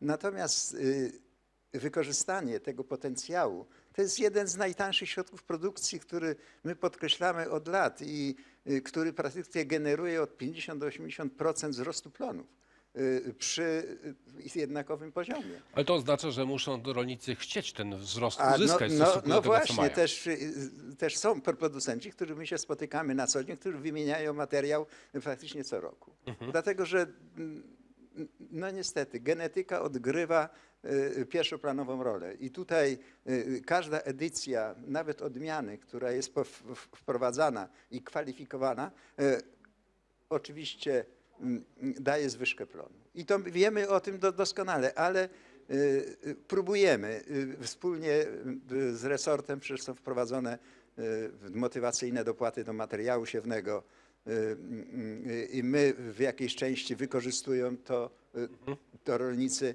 y, ale to jest poziom, y, praktycznie wstyd się przyznać, y, bo jesteśmy w szarym końcu Europy. I, i ja s- przy spotkaniach y, z, z kolegami z Unii zazdroszczę im po prostu, że tam wymiana jest w granicach y, 60, 70, 80%. No, więc z tego to jest, to na to się składa wiele, wiele czynników, których po prostu chyba socjologowie rozszyfrują. To. Pan doktor e, Matyścik reprezentuje hodowlę roślin strzelce. Jesteście niejako na pierwszej linii frontu. Jak byście, e, jakby pan to wytłumaczył, e, dlaczego tak stoimy w miejscu, jeśli chodzi o wymianę materiału siewnego? Bo my chcemy dzisiaj podyskutować niejako o wejściu na wyższy poziom, bo odmiany mają nam dać odpowiedź, jak się uporać z wyzwaniami Zielonego Ładu, a tymczasem nie wykorzystujemy tego potencjału na co dzień. Tutaj jest problem złożony, tak jak e, przedmówca powiedział, myślę bardziej socjologiczny, ukryty no niestety w społeczeństwie, ponieważ e, no, w produkcji rolnej na, nasiona rolnik może sam wytworzyć. No, nie wytworzy nawozów sztucznych, nie wytworzy tej chemii. I tutaj oczywiście odgrywa aspekt ekonomiczny główną rolę i naszą rolą doradztwa nasiennictwa, hodowców, firm nasiennych jest przekonanie rolników, że mm, no, to stosowanie tego kwalifikowanego materiału siewnego, korzystanie z tej genetyki, z tego zdrowego materiału siewnego, bo oni, większość rolników korzysta z tych nowych odmian, tylko niestety problemem jest e, no, tak zwana szara strefa. My wielokrotnie możemy zaobserwować nawet ogłoszenia na portalach aukcyjnych, gdzie są oferowane i to odmiany zarejestrowane rok czy dwa lata wcześniej, więc no, no widać, że ta genetyka jest, tylko ta szara strefa ma znamiona zorganizowanej, czy też nie? Bo y, ja pamiętam y, co roku, jak nasze fora się odbywały, to oczywiście zawsze ten temat się pojawia i dyskutujemy o tym, co należy zrobić, y, żeby no, z jednej strony praktycy wykorzystywali ten postęp, a z drugiej strony, żeby hodowcy mieli też pieniądze na swoją pracę, prawda?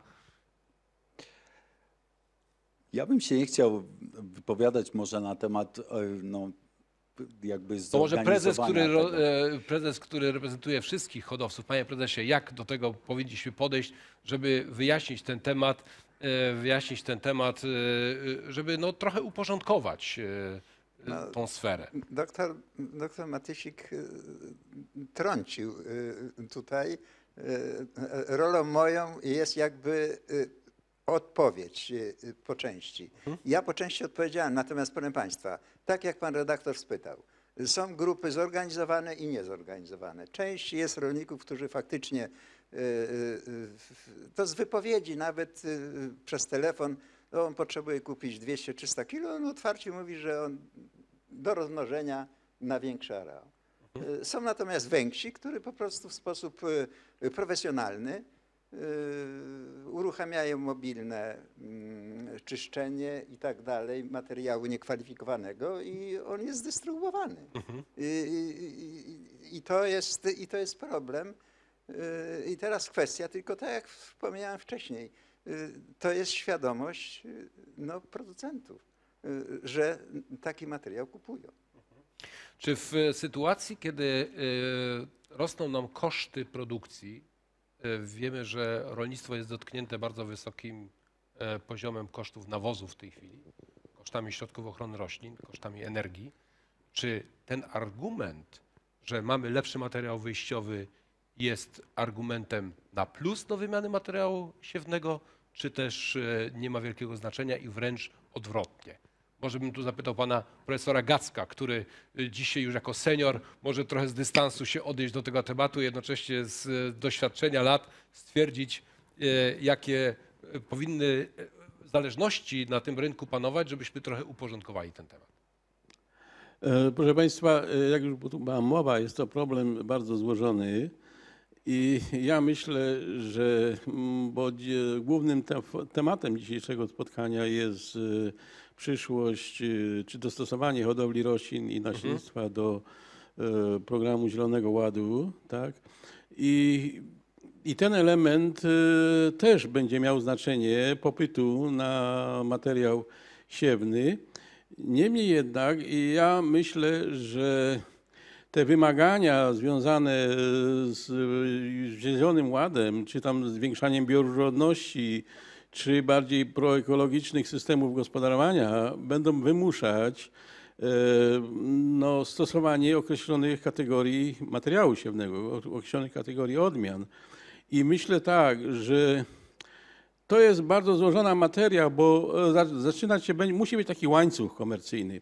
Musi się zaczynać od, można powiedzieć, nawet od badań, hodowli roślin, e, hodowli różnych kategorii odmian, doświadczalnictwa odmianowego, rejestracji tych odmian, różnych kategorii odmian, bo to już nie będą tylko odmiany konwencjonalne, będą to odmiany y, różne te konserwujące, no ale to one i tak już są, ale bardziej te proekologiczne i typowo ekologiczne. I do tego musimy być przygotowani i do tego pod każdym względem hodowla musi zacząć. I następnie e, coboru, rola coboru, czyli badania urzędowe, rejestracja i rekomendacja odmian i nasiennictwo później i odpowiednia promocja tego wszystkie, tych wszystkich informacji i materiałów do praktyki rolniczej. I moja tu taka uwaga, myślę, że to musimy to systemowo do tego podejść i, i mając na względzie różne wymagania, różne no, segmenty tego przyszłego rolnictwa, które no, niewątpliwie będzie bardziej zróżnicowanym rolnictwem niż jest w chwili obecnej.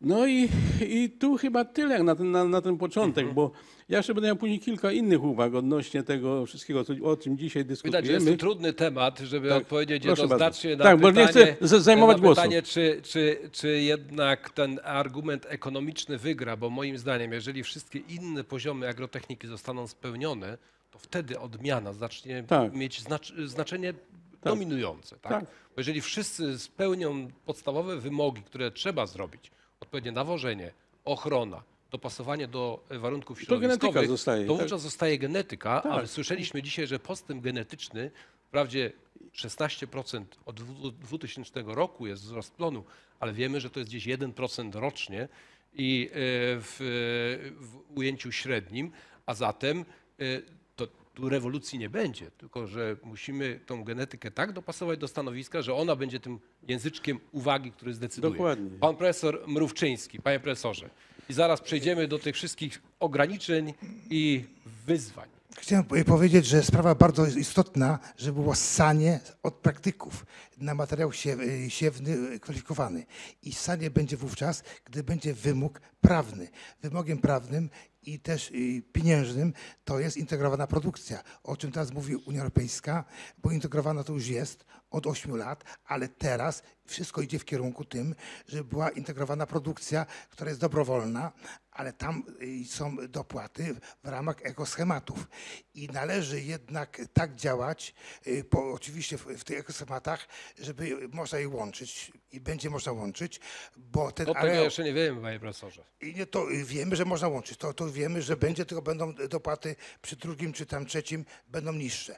Ale tam w ekoschemacie dotyczącym integracji produkcji jest podane, że wymóg będzie wysiewu materiału kwalifikowanego i zaprawionego w systemie ESTA. I to jest bardzo ważne, y, żeby ten jednak ten ekoschemat był większy. Na razie poszły propozycje do Brukseli y, mały areał, ale jednak ten ekoschemat integrowanej produkcji powinien obejmować wszystko i metody biologiczne, inne działania, i, i międzyplony, ale też materiał kwalifikowany. I tutaj jest zadanie też dla ministerstwa, żeby ten ekoschemat był wielki i opierający się głównie na, y, na integrowanej produkcji, która obejmuje też materiał kwalifikowany i powinna wszystko obejmować produkcji roślinnej. Dlatego powinien być większy areał, y, czy milion, czy więcej hektarów, a nie właściwie taki drobiazg, jak jest obecnie podany. I powinien y, być ten wymóg y, spowodowałby, że będzie wówczas wymiana, bo praktyk nie dostanie dopłaty w ramach eko- ekoschematu tego wielkiego, do integralnej produkcji, gdy nie będzie spełniał i nie, i nie zastosuje i nie przedstawi faktury zakupu y, materiału kwalifikowanego i też oczywiście zaprawionego w systemie ESTA. I to jest taka możliwość W, zrobienia. przyszłości, w przyszłości myślę, że wszyscy będziemy musieli e, iść w kierunku integrowanej produkcji, bo w, spełniając wymagania Zielonego Ładu nie będzie innej możliwości. Ale e, oczywiście wiemy, że kiedy wprowadzono dopłaty do materiału siewnego, to nastąpił nieznaczny, ale jednak wzrost wykorzystania tej, tego materiału. E, Tu chciałbym się zwrócić do pana dyrektora Smaczyńskiego. E, W ministerstwie pewnie są takie informacje. E, Czy ta liczba beneficjentów dopłat do materiału siewnego się ustabilizowała, czy ona może nam zaczęła spadać? Jak to wygląda, panie dyrektorze? I czy te dopłaty do materiału siewnego, one rzeczywiście przyczyniły się do znaczącego i w jakim stopniu wykorzystania kwalifikowanego materiału siewnego?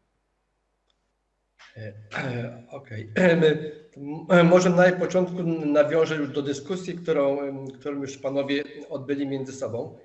E, Tak naprawdę widać z dyskusji tej dotyczącej hodowli jednak e, ostrożny optymizm. E, Wydaje się na taki ogólny stan naszej wiedzy, tego co widzimy dookoła, ten nasz e, optymizm, okej, dobrze, że jest ostrożny, ale nie powinniśmy popadać jednak e, w przeciwną skrajność, że, że to jest e, bardzo no, dla nas e, pesymistyczne przedsięwzięcie, bo jednak mamy, hodujemy odmiany tu i teraz i od wielu lat wstecz jednak w tym miejscu, gdzie je uprawiamy. One są na bieżąco zmieniane przez, wa- modyfikowane przez warunki środowiskowe, w jakich hodowcy hodowcy je hodują, jakich e, no, testujemy, potem trafiają, trafiają do rolników. I tak naprawdę oczywiście e, ostrożny, nie można wyprowadzić dziś informacji, jakie powinniśmy mieć odmiany dziś w roku 2022, aby je tak zaplanować, że powinniśmy je wyhodować na rok na przykład 2035. E, Bo e, to rzeczywiście trudno by byłoby w taki sposób zaplanować. Natomiast prowadząc jednak e, działania tak, jak to robimy dziś, e, regularnie, w sporej skali, żeby nie powiedzieć w dużej skali, e, ten nasz ostrożny optymizm oczywiście jest, jest ok, ale osobiście uważam, że szanse naszej hodowli raczej są większe niż to po prostu nawet dziś przedstawiamy. I zasadnicze pytanie dotyczące no, dopłat do Materiału materiału siewnego, tak wymiany i, i co się z tym wiąże. E, Wszyscy, no, którzy są w branży, tu tacy jesteśmy, e, doskonale pamiętają, że dopłaty od materia- do materiału siewnego mamy w Polsce od roku 2007. E, Każdego roku na ten cel przeznaczamy no, więcej, mniej, w każdym około e, 100 milionów złotych. I rzeczywiście ten pierwszy ruch widać było bardzo wyraźnie, że wzrasta liczba m, podmiotów, które są zainteresowane. E, Teraz e, jakby ta wielkość beneficjentów uległa pewnej stabilizacji. Jest to około tam 75-80 tysięcy e, beneficjentów. Natomiast też trzeba przypomnieć, że ostatnie lata są e, trudne, aby taką analiza była no, tak poprawnie przeprowadzona i tak już bez, bez cienia wątpliwości, dlatego że niestety tak się złożyło, że pomoc y, de minimis w ostatnich latach Zachowała jest tak. dość mocno obciążona przez inne, przez inne zjawiska. I prawdopodobnie to nie jest do, dokładna liczba rolników, jaka byłaby zainteresowana tym mechanizmem, bo czasami rolnicy po prostu niestety są zmuszeni wybierać, po jaki mechanizm będą sięgać, bo, bo wszystkie jednak zamykają się w pomocy de minimis, no, która nie jest no, do końca elastyczna, tak jest ograniczona przez limit dla pojedynczego rolnika i przez limit, i przez limit y, y, ten krajowy. E, Tutaj panowie też podnieśli w dyskusji taką, taką rzecz, że jednak rolnicy może nie doceniają tą rzeczywistą wartość materiału siewnego.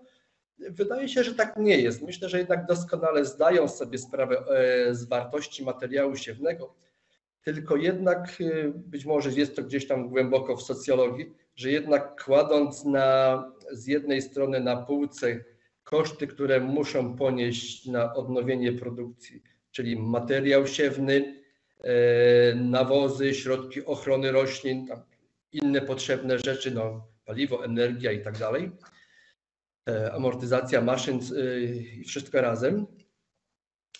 E, Jednak przy takich e, produkt, e, przy tych uprawach, które no nie zawsze dostarczają tą, tą, pewność, tą pewność biznesową, są w sposób ekonomiczny zmuszeni do, do rezygnowania i niestety e, to bardzo przykre, że w tej sytuacji rezygnują z materiału siewnego, który mógłby pomóc wielu innych, wielu, no, w zapobieganiu następnym no, kłopotom chociażby no, z występowaniem Dziękuję, chorób ba, bardzo dziękuję, bardzo dziękuję panie dyrektorze. Dziękuję. Y, y, Za tą część oczywiście i za, ten, za tę wypowiedź. Ja myślę, że jeszcze jedną rzecz powinniśmy tutaj uwzględnić, a mianowicie jeżeli zdamy sobie sprawę z tego, że takich gospodarstw, które są naprawdę w grupie nowoczesnych, Ostatnio rozmawiałem z panem profesorem y, Walentym Pocztą na temat raportu, który został przygotowany przez kluczowe instytucje, obszerny wywiad w marcowym wydaniu Topagraru. Y, doszliśmy do wniosku, że tak naprawdę gospodarstw, które uzyskują parytetowy dochód porównywalny do gospodarki, jest około 150 tysięcy, które gospodarują na ponad 40% do 50% areału. I może trzeba przyjąć tak, że jeżeli weźmiemy te większe gospodarstwa i ten procent wykorzystania materiału siewnego, to nie zostaniemy przy 20, a będziemy już przy blisko 40%. Stawiam tylko zapytanie, bo to panowie, e, którzy jesteście na tym rynku, jesteście w stanie najlepiej ocenić, jaki jest potencjał i jakie są e, możliwości, e, jeśli chodzi o wykorzystanie postępu genetycznego w praktyce. Panie prezesie, jeszcze tylko słowo komentarza do tego wątku i przechodzimy już teraz wyłącznie do Zielonego Ładu. Y, Tutaj y, profesor Poczta ma trochę racji, dlatego że my też obserwujemy, y, że te gospodarstwa, jak ja mówimy, towarowe, tak się potocznie mówi, one y, y, doskonale orientują się na oznaczenie materiału siewnego i, i, i wiedzą.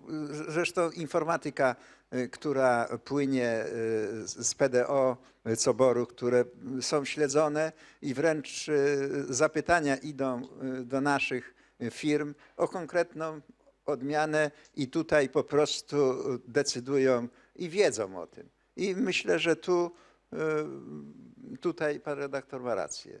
To y, y, jest po części prawdą. Natomiast jak jestem przy głosie, y, na pewno byłoby większe zainteresowanie kwalifikowanym materiałem siewnym. Tu kłania się szerszy problem sprawa przemysłu i sprawa konsumenta.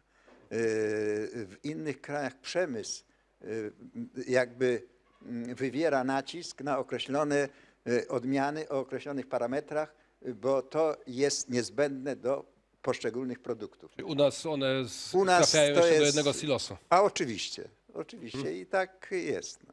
Dziękuję. Ale ja myślę, że zainteresowanie konkretnymi odmianami jest e, duże, bo widzimy chociażby po publikowanych wynikach Coboru z każdego roku, jak bardzo rolnicy czekają na te dane i jednak kierują się już bardzo konkretnym wyborem. To już pewnie nie jest tak, że zwłaszcza te większe gospodarstwa, e, które są przyszłościowe, e, kupują to, co jest dostępne u miejscowego e, handlarza czy handlowca, a jednak świadomie wybierają te odmiany.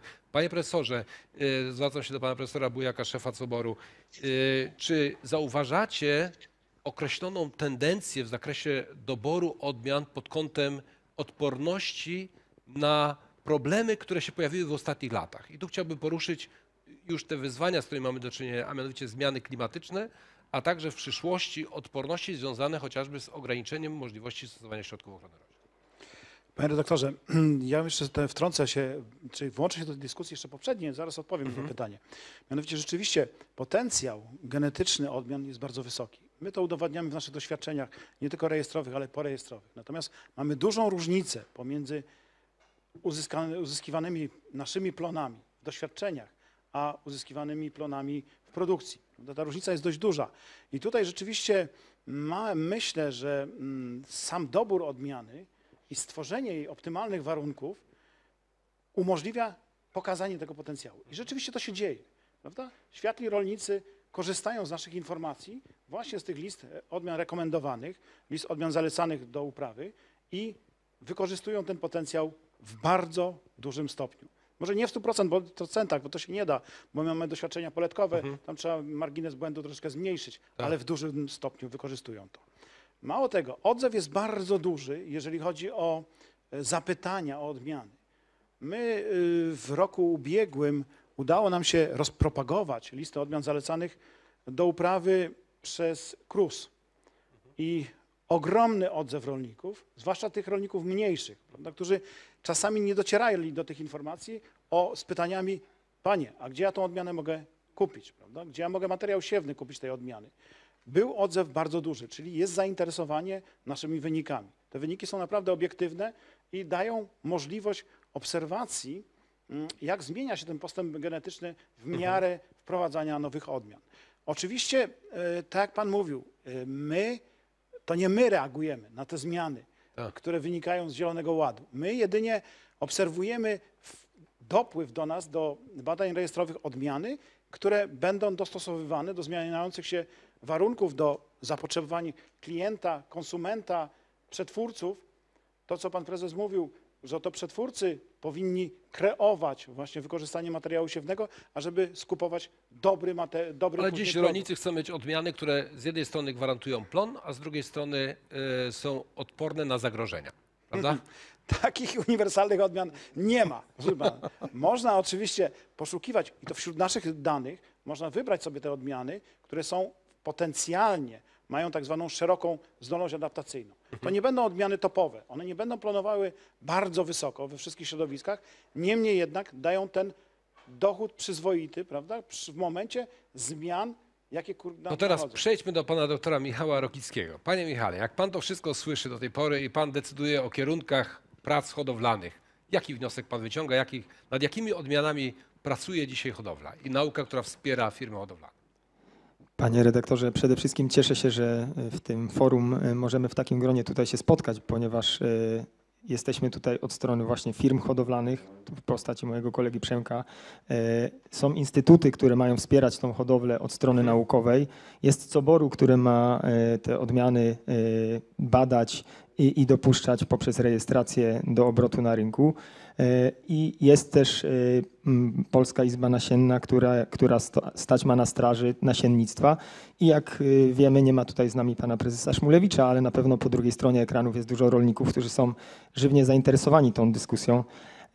Ja myślę, że tutaj wiele tych wątków już, już zdążyliśmy sobie powiedzieć i na pewno temat wykorzystywania kwalifikowanego materiału siewnego jest tematem złożonym, bo trudno nie zrozumieć e, rolników, którzy wiadomo, patrzą na ekonomię przede wszystkim, patrzą na to, ile e, pieniędzy muszą e, za nasiona zapłacić. E, Kolega Przemek wspomniał o tych kwestiach e, związanych właśnie z tym, że, że nasiona może rolnik wyprodukować sam, chemii nie wyprodukuje, e, środków ochrony czy, czy właśnie nawozów, musi je kupić. Więc w sytuacji, kiedy to wszystko jest droższe, e, to na pewno, na pewno szuka alternatywnego rozwiązania. Natomiast jakby z naszej strony też Instytutu wspierającego e, spółki hodowlane, ale też z poziomu hodowli, myślę, że potrzeba też zrozumienia naszej strony, że dla nas kwalifikowany materiał siewny to jest to źródło postępu, to jest ten pieniądz, który e, z rynku wracając do nas daje nam możliwość e, e, inwestowania w nowoczesne technologie, czy inwestowania właśnie w postęp biologiczny, o którym teraz tutaj zaczynamy rozmawiać. Myślę też sobie, że, że ta polityka Zielonego Ładu, ograniczenie tej chemii, to co pan redaktor też już wspomniał, czyli, czyli te ograniczenia, które powstaną, dają większą szansę odmianom odpornym. A jak odmianom odpornym, to myślę, że te znaczenie kwalifikowanego materiału siewnego będzie coraz wyższe, ponieważ I y, konkretnych odmian, które będą miały pożądane cechy, prawda? I dla, stąd moje pytanie. Dokładnie E, tak, Długi właśnie. wstęp, panie doktorze, ale e, przejdźmy teraz do tego. nie miałem okazji, nie miałem okazji Ja w tej rozumiem, pierwszej części, oczywiście. natomiast to, to było bardzo ciekawe i to, co Tak. powiedział też dzisiaj pan minister, tak, że powinniśmy szuka, słuchać rolników. Myślę, że hodowla właśnie w ten sposób próbuje e, działać, więc słuchamy e, rolników, czego potrzebują, jakiego rodzaju odmian. Tak? I jakie dzisiaj wy rozpoznajecie wyzwania? To, co powiedzieliśmy już tutaj, myślę, pośrednio wybrzmiało, mianowicie odmiany, które przede wszystkim y, bardzo dobrze plenują, ale potencjał planowania to też nie jest mm, to samo co stabilność planowania. I myślę, że dzisiaj mm, szukamy takich odmian, które stabilnie planują w różnych y, warunkach, w różnych środowiskach, y, w różnych właśnie aspektach ochrony, bo to daje nam zwiększenie potencjału poszczególnych odmian. Odmiany zbóż żyją na rynku kilka lat. Każdy rolnik szukając, tak jak pan redaktor powiedział, wychodząc y, w poszukiwaniu odmian, szuka przede wszystkim nowych odmian, bo w nich widzi szansę na, na nowoczesność, na, na, na postęp biologiczny. Tak to zresztą funkcjonuje, tak? Co boru, co roku rejestrując nowe odmiany, y, przyjmuje na rynek y, odmiany, które ten postęp mają. Y, Oczywiście mówimy dzisiaj o, o zmniejszeniu ochrony chemicznej, czyli jasne jest, że będziemy szukać odmian przede wszystkim odpornych, odpornych właśnie na te czynniki środowiskowe. Do tej pory zawsze, e, zawsze szukaliśmy odmian e, w hodowlach e, przede wszystkim odpornych na różnego rodzaju patogeny. Natomiast dzisiaj coraz większego znaczenia nabierają też te mm, środowiskowe uwarunkowania, a więc to już nie tylko susza, nie tylko mróz, ale też sytuacje, które pojawiają się w środowisku niespecyficzne, a więc niska nie za niska temperatura zimą i, i później na późne przymrozki. chociażby na tak? początku marca, tak jest, przeżywaliśmy dokładnie. dwa lata temu, prawda? I, I podobna sytuacja teraz, kilka stopni y, pod 10 stopni w plusie, a, a co będzie za 2-3 tygodnie, tego nie wiemy. Więc to są te wyzwania, z którymi y, musimy się mierzyć y, i hodowla myślę się mierzy i, i, i to będzie myślę w najbliższym czasie ta podstawa, do której będziemy dążyć. Oczywiście dyskutujemy o tym, e, że e, w strategii od pola do stołu, a także w strategii bioróżnorodności i w tych głównych wytycznych Zielonego Ładu, który e, dzisiaj komisarz Wojciechowski mówi, że są to polityczne wytyczne, do których mamy zmierzać. Ograniczenie stosowania środków ochrony roślin o 50%, nawożenia o 20%. E, One się już, e, można powiedzieć, uzewnętrzniają chociażby w liście dostępnych substancji aktywnych, których w ostatnich latach znacznie ubyło, panie profesorze. Zwracam się do pana profesora Mrówczyńskiego I- już można stwierdzić, że nie czekając na 23 czy kolejne lata, my mamy problem z zabezpieczeniem tej ochrony i jakie pan widzi zagrożenia, w których obszarach hodowla będzie musiała wyjść naprzeciw, ponieważ ta lista dostępnych substancji aktywnych nam się mocno skraca. Gdzie są te obszary, gdzie czekamy utęsknieniem na efekt hodowli? Główny problem będzie, y, będzie w klimacie, bo zmiany klimatyczne wpływają na, te, na większe zagrożenia. Na to nakłada się, o czym mówił pan redaktor, nakłada się wycofanie przez Unię Europejską substancji czynnych. I to wpływa razem, sumarycznie, na te wie, wielkie problemy, ale praktyka już wie. Załóżmy, y, y, mamy przykład rzepaku ozimego, gdzie jest kiła kapusty i praktycy już wiedzą, że na to nie ma innej metody, albo podozmian, około 10-letni albo nawet dłuższy, bo tyle przeżywają y, przetrwalniki i teraz kiły kapusty, teraz albo mamy odmiany odporne, bo chemii już nie ma, bo Unia Europejska w październiku wycofała tyfat metylu, który był o 11 substancją, która działała na, na tego patogena, czyli na kiłę kapusty. I teraz tylko zostały odmiany odporne. Dobrze, że coraz więcej i co boru w tym roku pan dyrektor y, zarejestrował, zaakceptował, zarejestrował dwie odmiany y, nowe i tych odmian jest 14, czyli mamy 10% odmian już odpornych na kiłę i praktyk wie i szuka tych odmian i innych nie wysieje, bo inne nie działają na kiłę, czy nie są y, odporne, ale intolerancyjne. Podobna sprawa jest bardzo duża, też rzepaku, jest wirus żółtaczki rzepy i to są mszyce, które przenoszą.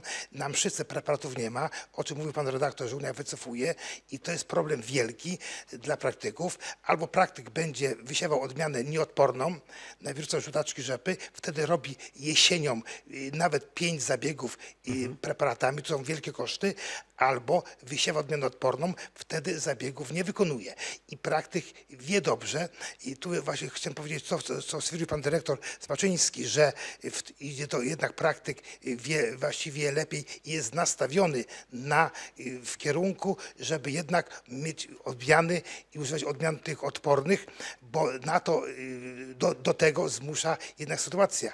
Czyli to, te zagrożenia, ale też wycofywania i to się razem sumuje na to, że praktyk będzie musiał być zainteresowany odmianami, ale żeby pomóc praktykowi, to trzeba do tego jednak do systemu dopłacić, bo te odmiany odporne na kiłę czy na, na wirusa żółtaczki rzepy, one są droższe niż odmiany nieodporne trzykrotnie. No ale jest konkretna korzyść też. Jest korzyść, ale jednak gdy to będzie wymuszone, tak przy okazji oczywiście integrowanej produkcji, że tam będzie to obligo wstawione i takie obligo już jest wstawione, że jednak musi, musi wysiewać odmiany y, odporne, kwalifikowane, a odporności to, y, to odmiana odporna to już decyduje coboru. I coborów ten, tą, tą daje ten, ten zapis i w, w wyszukiwarkach coboru praktyk znajdzie, jak wpisze odmianę, jak wpisze gatunek i załóżmy kiłę kapusty, to tam wyjdą te odmiany odporne, y, a nie inne. Dlatego Bardzo, bardzo dziękuję panie profesorze. Y, Panie profesorze, do pana profesora Bujaka się zwracam. Y, W każdej stacji oceny odmian jest, można powiedzieć, grono, które, w którym zasiadają także rolnicy, praktycy, prawda? Y, U państwa w Coboru y, również jest rada, gdzie, gdzie praktycy y, się wypowiadają. Z tych dyskusji w ostatnich latach, jakie problemy najczęściej wypływają, gdzie pan koncentruje się na tych parametrach oceny i jednocześnie jest przekaz informacji do hodowli, aby mieć odpowiedź na te problemy. Co pan zauważy? E, Rzeczywiście ma Pan rację, Panie redaktorze. W stacjach do oceny odmian, które są koordynatorami regionalnych, tych y, regionalnych re, doświadczeń porejestrowych, prawda, PDO tego systemu, spotykają się przy wyborze odmian y, do rekomendowanych na listę odmian zalecanych, spotykają się praktycy i oni zwłaszcza podkreślają to, żeby te odmiany były w coraz większym stopniu odporne na pojawiające się nowe patotypy. Prawda? Stąd też my w, później e, w badaniach, to już są porejestrowe badania, prawda? czyli wsłuchujemy się w te głosy rolników i rzeczywiście wpisując odmianę na listę, wskazujemy jej zalety prawda? i pozytywne działania. Czyli tutaj przede wszystkim odporność, ale również bierzemy pod uwagę stabilność planowania. To też rolnicy podkreślają, że odmiany dobrze, jak są bardziej stabilne, prawda? Czyli mm, nie tylko wąsko zaadaptowane do konkretnego środowiska, ale mające, dające przyzwoite plony w różnych środowiskach. To też jest kolejna rzecz, która wynika z tych, mm, tych naszych rozmów na komisjach, re- komisjach do spraw PDO. Natomiast y, w procesie rejestracji odmian, czyli to jest troszeczkę wcześniejszy etap, prawda, czyli tych badań rejestrowych, bardzo dużą rolę w tej chwili odgrywają właśnie te badania odporności. I y, każda komisja rejestrowa, która pochyla się nad mm, wprowadzeniem nowych odmian do, czy rekomendacją tych nowych odmian do zarejestrowania, do wpisania na krajową y, listę, bierze pod uwagę najważniejsze choroby, które są wywoływane przez patogeny, w mniejszym stopniu przez szkodniki, prawda? ale tu odporność na szkodniki również. My w Coboru niestety nie mamy możliwości mm, testowania na wszystkie szkodniki, mm, takich do, zakładania doświadczeń specjalnych i testowania. Niemniej jednak w niektórych przypadkach, chociażby w kukurydzy, prawda, na omacnicę, prosowiankę, czy mm, tutaj w przypadku buraków na nicienie, na montfika, te doświadczenia zakładamy i oznaczamy to. I powiem panu, że naprawdę y, te odmiany, które mają, oczywiście warunek jest taki, one muszą odpowiednio plonować, prawda? Muszą Tak. mieć odpowiednią jakość. Ta jakość to też jest dostosowana i to tutaj produc- znaczy odbiorcy, czyli przetwórcy tej żywności, tych powinni nam tą jakość definiować. Natomiast my utrzymujemy na określonym poziomie, czyli po pierwsze y, odpowiedni plon, odpowiednia jakość i dobra odporność. Oczywiście ta odporność nie będzie pełna nigdy, ale tolerancja na przyzwoitym poziomie. Stąd też, e, jeżeli, ale, znaczy hodowcy doskonale wiedzą, na co my zwracamy uwagę w procesie rejestracji i od razu reagują. Natomiast rzeczywiście to, co mówił tutaj profesor Mrówczyński, wycofywanie pewnych substancji aktywnych powoduje e, no, troszeczkę kłopotów w tym, ażeby ustrzec się czy chronić odmiany, chronić swoje uprawy przed danymi patogenami czy szkodnikami. Tutaj mamy przede wszystkim duży problem z wirusowymi chorob- chorobami powodowanymi przez wirusy, prawda? Wycofanie wielu środków, które, tu już zresztą profesor Murszczyński to mówił, e, środków, które... mm, No chociażby mogły- chroniących, e, chroniących właśnie nasiona, tak? nasiona, właśnie. Oczywiście, zaprawy problem, no, Dzięki- nikotynoidowe. Dzięki temu, no, no już nie, nie tak, no, chociażby neonikotyny, prawda, które chroniły nasiona i Mhm. zabezpieczały to przed e, przenoszeniem przez wirusy, e, przez wektory wirusy. Wydawało się, że jest to dosyć, wydawało się, że jest to dosyć e, efektywny i jednak nie aż tak obciążający środowisko sposób. Czy w, e, przy pojawiających się problemach w innych krajach jest szansa na to, że Komisja Europejska zmieni swój pogląd, swoje stanowisko w tym zakresie? Pan profesor? Mrówczyński? Jeżeli chodzi o zaprawy nasienne, to niestety y, Unia Europejska, wycofując substancje, y, szczególnie fungicydowe, y, też wycofuje zaprawy nasienne.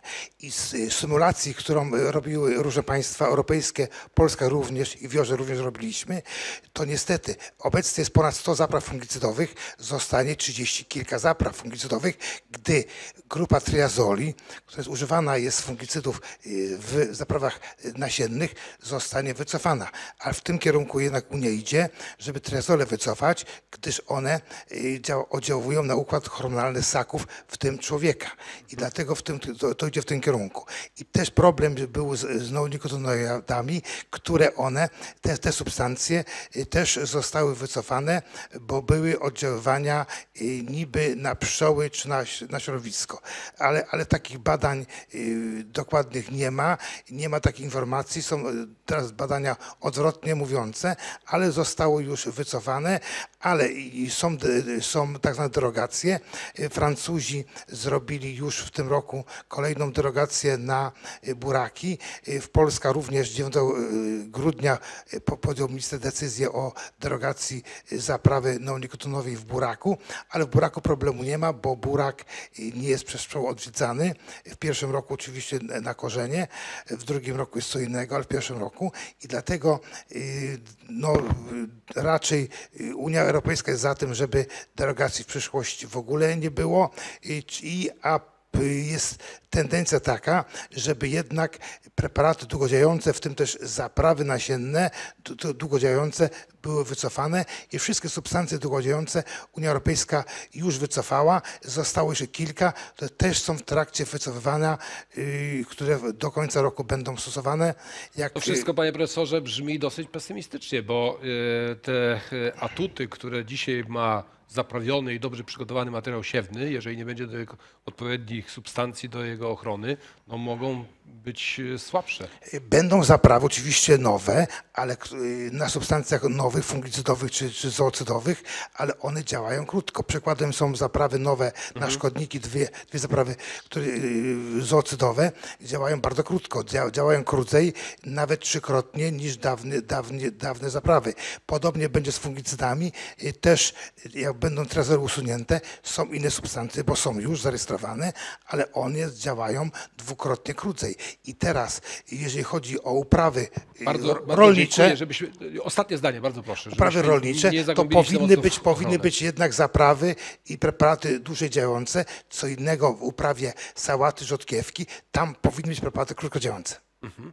Y, Wracając jeszcze do tych wyzwań y, dla hodowli, mamy pytanie z czatu i oczywiście wszystkich Państwa zachęcam do wysyłania tych pytań.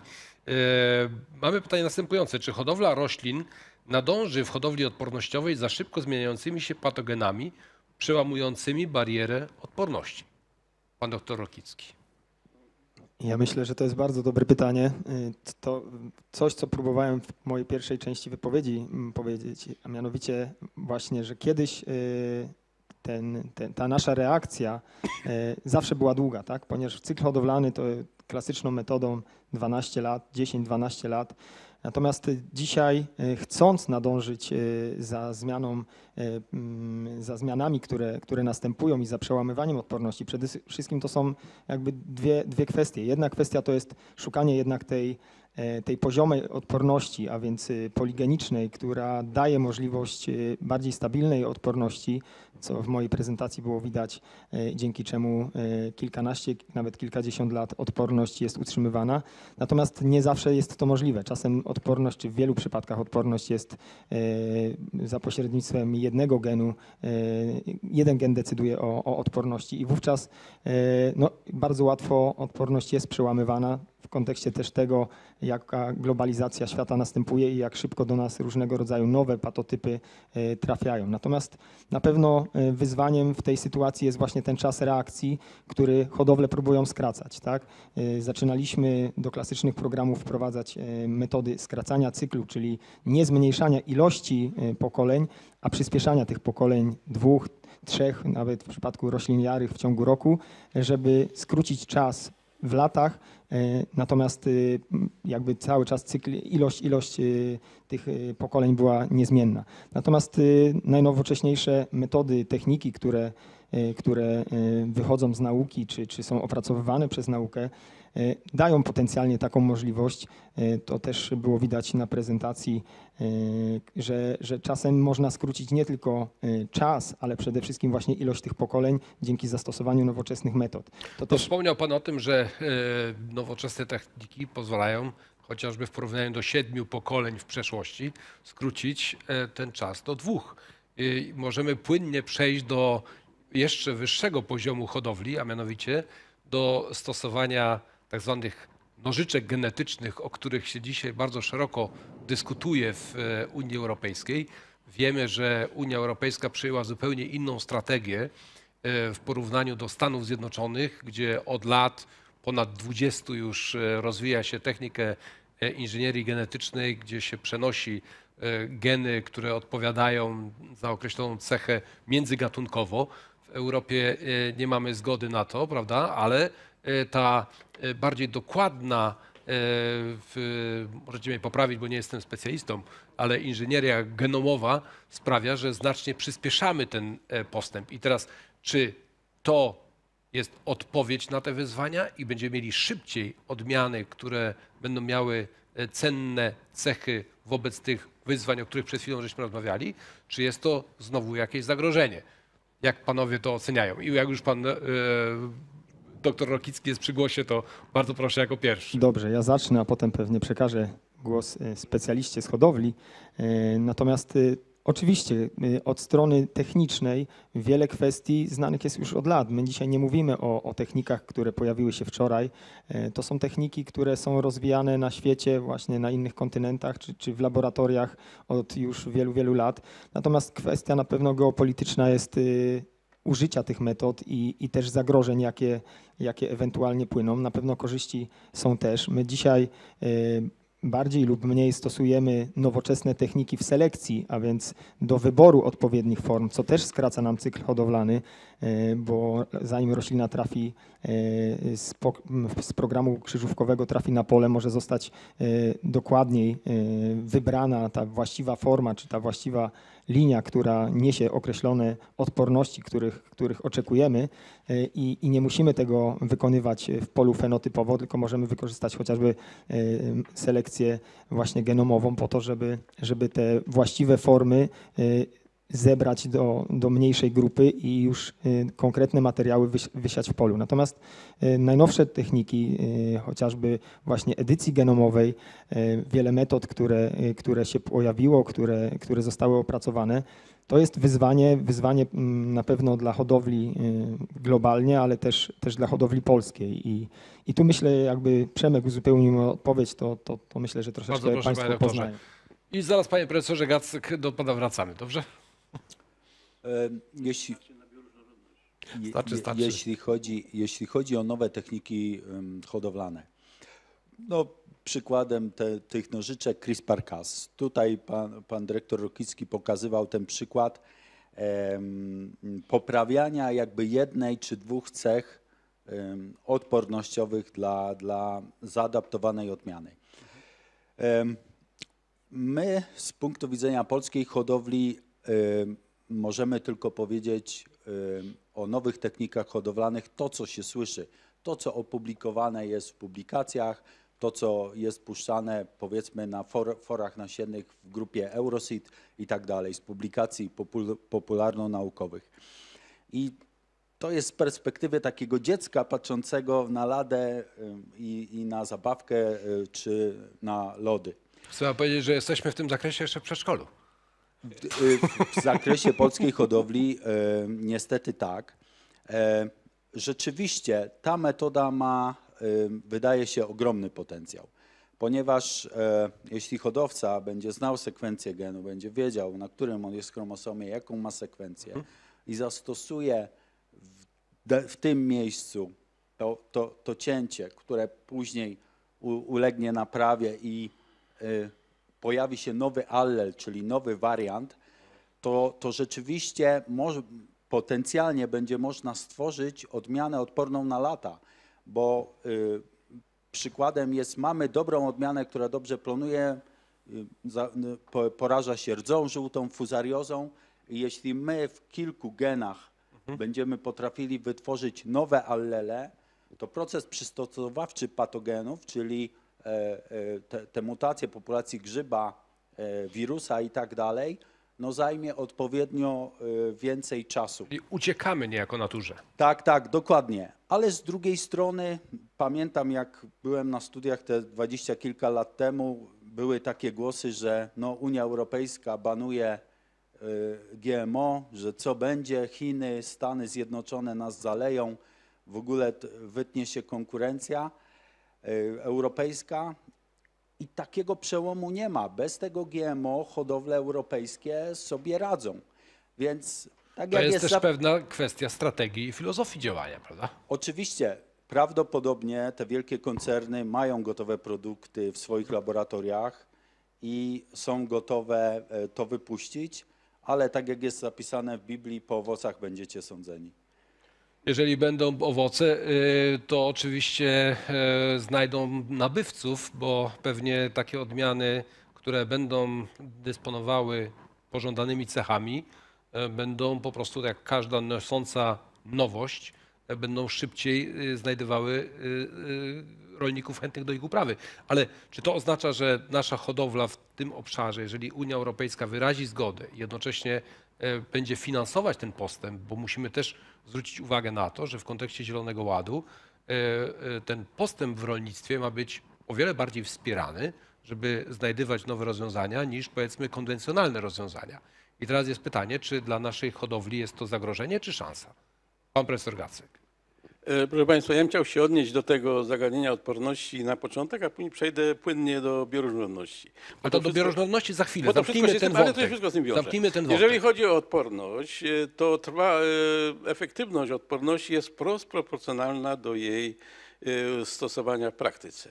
Im bardziej odmiany z danym genem czy genami odporności są popularne, tym szybsze są procesy adaptacyjne w populacjach patogenów. I to nie ulega wątpliwości. I tu za panowie powiedzieli z hodowli, że rzeczywiście próbuje się, bo my nie mamy szans. Patogeny, e, zdolności adaptacyjne patogenów w stosunku do genów są znacznie wyższe niż, niż nasze możliwości reagowania. Ten wyścig e, będzie trwał praktyce. zawsze. Tak. I zawsze, i jeszcze jest jedno. I teraz tak, ja bym tutaj, i tu dobrze, że mówi się że o tej poligonicznej odporności i tak dalej. Tu się sprawdza ta stara zasada, taka, ale bardzo prawdziwa, że przyroda i biznes lubi różnorodność. I przestrzeganie tej zasady jest niesamowicie ważne i tak dalej. Teraz, jeżeli chodzi o te nowoczesne techniki i tak dalej, tu pan redaktor wspólnie słusznie wspomniał, że w ramach Zielonego Ładu, bo dzisiaj mówimy o Zielonym Ładzie, tak, no większość tych technik, tak zwanych NBT, New Breeding Techniques, nie będzie mogło być stosowanych praktyce. I my musimy, praktyce hodowlanej, przynajmniej dla rolnictwa Tylko, tylko panie, proekologicznego profesorze, i... panie profesorze, jedno zdanie, które No. muszę wtrącić, bo Unia Europejska chyba zdaje sobie sprawę z tego, że nie możemy wszystkiego ograniczyć. Nie I możemy zgadza się, ograniczyć zgadza się, ale- roślin, nawożenia i jeszcze wytrącić instrumenty w Nie, hodowli. jeśli chodzi o, już mówię konkretnie, bo to akurat w tym zagadnieniu bardzo mocno jestem już teraz Mhm. wdrożony. Jeśli chodzi o odmiany dla systemów niskonakładowych, proekologicznych, i ekologicznych jako takich, nie ma możliwości zastosowania NBT e, Mhm. w procesach hodowlanych. E, Także to jest jedno. I, i druga rzecz to miejsce, no uważam, że mm, ale to dzisiaj, teraz na razie o tym nie mówimy, że te negatywne skutki takiego podejścia mogą być niwelowane przez zwiększanie bioróżnorodności. Czy w naturalnych ekosystemach, czy nawet takich, kiedy jest duża bioróżnorodność, czy mieszankach międzygatunkowych, czy odmianowych, choroby są wielkim zagrożeniem? Wcale nie. To Wszystko pan prezes Chmielnicki może powiedzieć, że w mieszankach międzygatunkowych i tak dalej, to czy nawet odmianowych już mieszankach, porażenie przez te główne choroby i tak dalej jest znacznie mniejsze. Ja nie miałem czasu dzisiaj powiedzieć, ale na tym czerwonym slajdzie było pokazane, NRD w swoim czasie prowadziło tam mixture te odmiany na areale prawie 80% w kraju. Skutkiem tego było to, że porażenie mączniaka spadło o 80% mączniakiem prawdziwym i zmniejszenie fungicydów o też około tam 70-60%. Także proszę Państwa, to działa bioróżnorodność, siła natury, ta, to diversity. No, dziękuję. Ale my potrzebujemy oczywiście w tym zakresie także e, zdecydowanie większej wiedzy. Zaraz chciałbym zgłębić jeszcze tą kwestię bioróżnorodności, bo to jest druga bardzo istotna strategia Komisji Europejskiej, ale w- chciałbym teraz się zwrócić do pana e, dyrektora Smaczyńskiego. E, Panie dyrektorze, czy w planach także związanych ze wsparciem hodowli. E, te nowoczesne e, techniki hodowlane, o których przed chwilą żeśmy rozpoczęli dyskusję, e, czy one mają uznanie i czy mogą firmy hodowlane liczyć na to, że otrzymają środki, które e, pomogą im rozwinąć te nowoczesne techniki, bo zgadzamy się, że e, światowe koncerny zaawansowane w tym zakresie i które miały tą możliwość testowania chociażby w e, różnych obszarach świata, są dziś o wiele bardziej zaawansowane. Jeżeli ta furtka zostanie uchylona, to już mogą się pojawić z gotowym produktem. Ale ja mogę uzupełnić, bo żeby tu nie było jakiegoś nieporozumienia przez nowoczesne te, ja, nie, ja nie, nie myślałem, mówiąc o nowoczesnych technikach hodowlanych, że one nie mają być wprowadzane, tylko że one nie mają być prowadzone w określonych programach hodowlanych. Dziękuję. A w innych, dla rolnictwa konwencjonalnego jak najbardziej. Nowoczesne, im bardziej nowoczesna, im bardziej szybka, im bardziej efektywna, Bardzo tym lepiej. dziękuję, Natomiast są pewne ograniczenia. Dziękuję. Dziękuję. Zaraz, będzie, zaraz wrócimy do bioróżnorodności. Proszę bardzo, panie dyrektorze. E, Bardzo dziękuję. E, Szanowni Państwo, Szanowni Panowie, e, minister rolnictwa ma budżet na tak zwane badania podstawowe w hodowli roślin, aby wspierać postęp biologiczny w, w tej dziedzinie. W tej dziedzinie. I, w, I historia pokazuje, że w przeszłości już takie badania prowadziliśmy dla jednej, dla jednej z metod. Tak naprawdę w obszarze nauki nie ma ograniczeń, aby w badaniach podstawowych y, takich, y, takich działań nie robić. Możemy to robić y, śmiało. Natomiast zainteresowanie hodowców też ograniczyło się jak na tą porę tylko do jednego, do jednego przypadku. Dziękuję. Pan doktor Rokicki? Znaczy ja może tylko powiem tak, oczywiście tutaj zgadzam się z panem dyrektorem, e, taka, takie badania w zbożach e, jedne były prowadzone faktycznie w ostatnich latach, więc można przyjąć, że to była pierwsza, pierwsza wspólna nasza próba hodowli, nauki e, i oczywiście finansowania przez ministerstwo. Ja też myślę, że kwestia nowych technik związana jest z dużymi pieniędzmi. No to są, nie ukrywajmy, drogie, drogie metody i na pewno to, co pan dyrektor powiedział, musimy nad tym pracować. Y, Musimy, myślę, też o tym rozmawiać y, właśnie na poziomie nauki i, i hodowli i, i też takie spotkania w ramach właśnie tych nowoczesnych technik i, i tego, co dzisiejsza nauka nasza posiada, a co potrzebują hodowcy. Myślę, że, że takie dyskusje chcemy w najbliższym czasie przeprowadzić właśnie po to, żeby sobie wspólnie odpowiedzieć na pytania, bo hodowców interesuje to, co nauka ma, czy nauka y, w pewnym zakresie jest gotowa, y, gdyby y, takie okienko się otworzyło. Natomiast nauka też potrzebuje informacji, co konkretnie y, hodowlę będzie właśnie będzie w kręgu zainteresowania hodowli. Natomiast na pewno to, co podkreślę jeszcze raz, myślę, że to są duże pieniądze, ale, ale z tego, co słyszeliśmy w tych y, ostatnich wykładach z dwóch dni, dwa dni temu, kiedy pani dyrektor y, Dobrzyńska mówiła, na pewno w ramach Europejskiego Zielonego Ładu mają być większe nakłady na, na innowacje, na wdrażanie właśnie tych nowoczesnych technik no, hodowli, do hodowli z nauki, też y, wszelkiego rodzaju y, teleinformatycznych rozwiązań. Także ja liczę na to, że, że dyskusja wspólna, zarówno dzisiaj, jak i, i w kręgu właśnie hodowli z nauką, może przyczynić się do tego, że takich badań, o których tutaj pan dyrektor mówił, e, będziemy prowadzili więcej i że nie tylko na poziomie badań podstawowych, ale też na poziomie e, badań wdrożeniowych w przyszłości, jeżeli, jeżeli taka e, będzie potrzeba. Czyli musimy tak naprawdę szybko przeskoczyć z tego przedszkola i w, wskoczyć na uniwersytet. Albo chociaż do liceum, czy do technikum.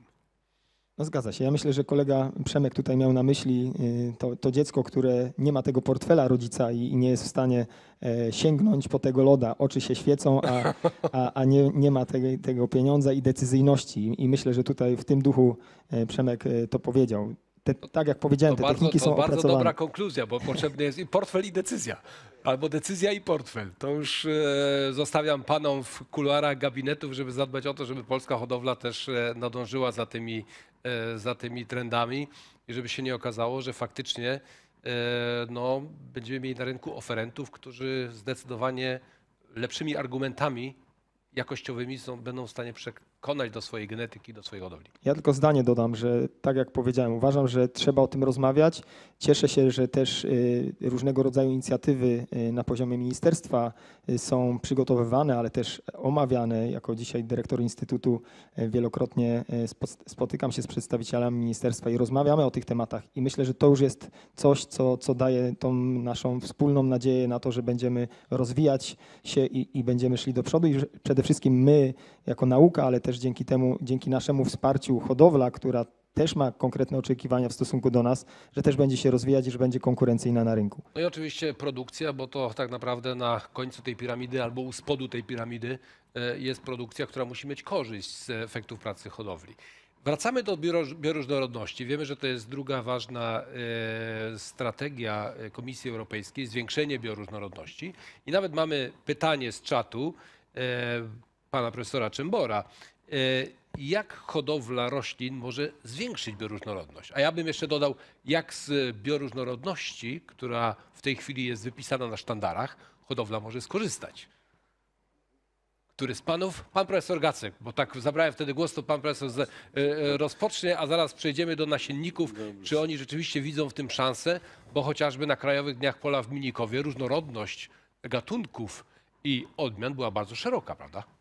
E, Proszę Państwa, odpowiadając na to pytanie, e, bym tak e, powiedział, że hodowla roślin może bardzo wiele zrobić na rzecz bioróżnorodności i do tej pory no nie, nie miało to miejsca do końca, ponieważ dominowały nowoczesne systemy uprawy, systemy oparte na pojedynczych odmianach, na monokulturach, na dużych areałach i hodowla roślin przez ostatnie no, kilkadziesiąt dobrych lat starała się wytwarzać odmiany wysoko produktywne, wysoko intensywne odmiany i następowało zawężenie bazy genetycznej tych odmian. Stąd powstały te wszystkie nieszczęścia związane z uprawą takich odmian. E, To są no, głównie w zbożach, ale nie tylko, e, w innych gatunkach również. Mniejszą uwagę zwracano na różnicowanie na poziomie genomowym, na poziomie gatunkowym i na poziomie międzygatunkowym, tak ogólnie naukowo mówiąc. Na poziomie zawężania, czyli ciągle to zawężanie trwało. Dopiero teraz w kontekście Zielonego Ładu no, strategia zaczyna, przynajmniej dyskusje są prowadzone takie, że to no, należy odwrócić takie postępowanie i już zacząć różnicowanie czy genetycznej odporności, genetycz, e, materiałów genetycznych czy przyszłych odmian od hodowli roślin. Jest to możliwe. No ja dzisiaj nie miałem czasu, w każdym razie Proszę Państwa, ja tylko tak jeszcze jedno powiem, że to ta problematyka Zielonego Ładu wymaga e, bliższego, e, dalszej dyskusji i wymaga spotkania się świata nasiennego i nie tylko, ale świata nasiennego PIN, powiedzmy hodowcy i tak dalej. I my powinniśmy na bieżąco wszyscy zacząć dyskutować i rozważać możliwości właśnie zwiększania bioróżnorodności. Y, Mam na myśli spotkania z, spół- z Instytutem powiedzmy hodowli, hodow, placówki hodowlane, e, PIN-em i innymi powiedzmy udziałowcami właśnie tego całego robimy, sektora nasiennego. Także hodowla roślin ma bardzo dużo do zrobienia I niestety hodowla roślin, cudzysłowie, no musi odwrócić te swoje, te swoje postępowanie To od razu do e, pana w kierunku prezesa. monokultur. Do pana Dziękuję. prezesa Leszka Chmielnickiego. Panie Leszku, Eee. widzicie w tym szansę na to, żeby poprawić kondycję finansową hodowli? Bo jest sanie duże. Ostatnio słyszałem, nie powiem od e, którego z hodowców, że jest takie zainteresowanie, zwłaszcza odmianami roślin strączkowych za granicą na zachodzie, że nie są w stanie nadążyć wywozić. Y, No może za mocno powiedziane. Ja No specjalnie powiedziałem, żeby sprowokować nie u- dyskusję, ja ale- nie uzdrowię, ale jest Ja nie zainteresowanie. uzdrowię hodowli, y, y, dlatego że wszystko zależy, to co wspominaliśmy od rynku. Jeżeli jest rynek, wtedy są wpływy do hodowli. Inaczej sobie nie wyobrażam tego, tak jest na całym świecie. Tylko nie w Polsce po prostu, ale my jesteśmy mm, specyficznym krajem. Natomiast trzeba przy- przyznać, że w bioróżnorodności, bo tutaj pan profesor Gacek mm, wspomniał, ja dokończę tylko. Y, Proszę Państwa, ja się zainteresowałem tym y, w latach 90. Mm, Myśmy się spotkali z profesorem Gackiem w Bąkowie i żeśmy pewne rzeczy, y, zaczął już wtedy pracować nad bioróżnorodnością, czyli po prostu na temat mieszanin. Następnym Wyprzedził czas o 20 lat. Wybitnym hodowcą, wybitnym hodowcą i to mówię z pełną odpowiedzialnością, y, był nieżyjący doktor Lamenda, który po prostu y, wyśmienicie. Ja byłem zafascynowany, zresztą współpracowałem z nim mm, kilkanaście lat, mm, y, około 20. Y, No niestety żałujemy, że odszedł. On wtedy już robił bioróżnorodność. Państwo sobie, ja to powiem głośno tutaj, żeby wszyscy słyszeli. To jest wizja. Hodowla twórcza jest to wizja i pasjonactwo. Po prostu nie da się inaczej wyhodować. On wyhodował pewne gatunki, na przykład gorczycę, która praktycznie przez pół roku utrzymywana w glebie w 100% niszczy nisienie. To jest przebadane, my to mamy przebadane precyzyjnie. Następne facelia. W 100%. Jest rzodkiew oleista. W 100%. Mało tego. Ostatnio w rzodkwi oleistej stwierdzono jako przedplon niszczenie kiły kapuścianej. Więc y, my w przyrodzie mamy mm, bardzo dużo nieprzebadanych rz- rz- rzeczy. Ja też y, patrzę, co się robi w, w Europie. Też no, kiłę. No profesor Robak ze Skierniewic właśnie brał mm, od nas po 5 kilo przez 4 lata mm, nasiona. Wie, panie profesorze, niech pan mi powie, po co? Bo, bo mówię, nie dam, jak nie będę wiedział. A on mówi, no to właśnie dlatego, że mam zakilone pole i wiem, że państwa odmiana praktycznie w 100% y, niszczy kiłę. No więc y, są, y, y, można wzmacniać. Ja mówię, wszystko jest też w glebie. To, co wspominamy, y, y, y, gleba jest istotą. Mówimy o odmianach, ale jeżeli ta odmiana nie będzie miała odpowiednich warunków.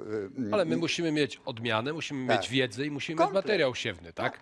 I jednocześnie wkomponować to w, e, właśnie w ten cykl produkcyjny, gdzie proponujemy rozwiązania, które pomogą ograniczyć zużycie środków ochrony roślin, czy też powiedzmy poprawić na tyle stanowisko, że możemy chociażby lepiej e, wykorzystać nawozy, bo pewnie Nobla dostanie ten, komu się uda e, zaimplantować bakterie brodawkowe na zbożach, które będą nam chłonęły azot z powietrza. Tak. No w dzisiejszym czasie, gdyby ktoś miał taką Narzędzie. odmianę, to podejrzewam, że nie nadążyłby jej sprzedawać. Ja nie wiem, czy to jest możliwe, możliwe, bo może jest to tylko i wyłącznie kwestia GMO, które jest u nas zabronione, ale nawet Amerykanie jeszcze chyba tego nie wymyślili. A zatem no, są pewne kierunki, ale wróćmy do, na ziemię i do bioróżnorodności. E, Do pana profesora Bujaka mam pytanie. Czy w badaniach Coboru pojawia się więcej gatunków po to, żeby mieć tą odpowiedź? Jeżeli zainteresowanie rolników w roku 2023-2024 na to, żeby tą bioróżnorodność na polach spełnić, bo jednak trzeba będzie mieć gatunki interesujące poplonowe. Jeżeli chcemy y, uprawiać więcej strączkowych czy więcej soi w naszych warunkach, też musimy mieć e, e, odmiany dopasowane do stanowiska. Czy, czy już dzisiaj pracujemy nad tym, żeby mieć tą odpowiedź na zapytanie? E, To znaczy tak, hodowcy już nad tym pracują. Rzeczywiście coraz więcej odmian różnych gatunków, takich, które wspominał już tutaj chociażby mój przedmówca, pan prezes Chmielnicki, chociażby gorczyca, rzodkiew, wiele gatunków bobowatych, zarówno grubo, jak i drobnonasiennych. To są gatunki, które są w tej chwili w badaniach rejestrowych, które my będziemy rejestrować. Tych gatunków wiele lat nie było. My, jako jednostka rejestrująca, mamy autoryzację na, do rejestracji 178 gatunków roślin rolniczych. A ile gatunków badacie obecnie? E, No w tej chwili wie pan co, no na pewno nie we wszystkich badamy, prawda? Ale mamy gro tych Mhm. badań, tak. Jeżeli nie są zgłoszenia nasze, to mamy badania na zlecenie innych jednostek rejestrowych, które do których zrobimy mamy autoryzację. konkurs u nas na łamach i na Także- stronie, czy ludzie są w stanie wymienić. Ja sam pomyślałem, że chyba bym nie Rzeczywiście wymienił. 178 tak, 178. sorry. Czyli to jest naprawdę, naprawdę ogrom. W roślinach rolniczych 93. Także jest to Mhm. dużo, prawda? Mamy warzywne jeszcze i sadownicze, o których tutaj nie mówimy akurat w tym gremium.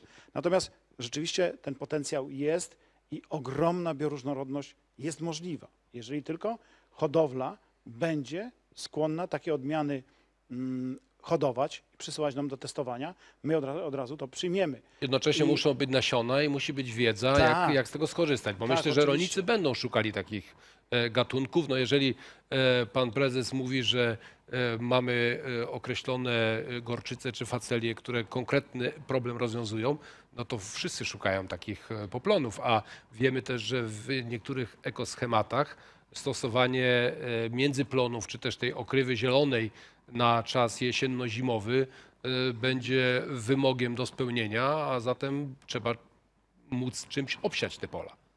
Dokładnie, także tutaj jest rola hodowli, żeby nam zgłaszać, my je będziemy testować i będziemy później propagować. Oczywiście coraz więcej mamy odzewu, jeżeli chodzi o rośliny bobowate, grubonasienne. Prawda? Tych Mhm. odmian rejestrujemy bardzo, no powiedziałbym, bardzo dużo w stosunku do kilku lat wcześniej. Prawda? Ich nie było. W tej chwili znowu jest renesans na te odmiany, a zwłaszcza jeżeli chodzi o soję. Prawda? Tych odmian soi jest coraz więcej i one są coraz lepiej dostosowane. To wszystko po to, ażeby moim zdaniem wrócić do prawidłowego podozmianu, bo jeżeli nie będziemy go przestrzegać, no to niestety, jak w tej chwili ktoś tutaj mówił na tej sali, pan profesor chyba Gacek, mamy karykaturę w tej chwili yy, płodozmianu. Jeżeli wrócimy do tego, to i automatycznie będzie nam łatwiej. Ale my musimy mieć takie, my musimy mieć takie Natomiast- podozmiany, które rolnikom gwarantują odpowiednią stabilizację ekonomiczną, bo nikt nie robi Dokładnie. podozmianu po to, żeby Oczywiście. z jednej strony chcą uprościć rolnicy, ale muszą też zarobić na tym, więc to, jeżeli rozszerzymy zmianowania, to tylko wtedy, jeżeli dodatkowe rośliny nam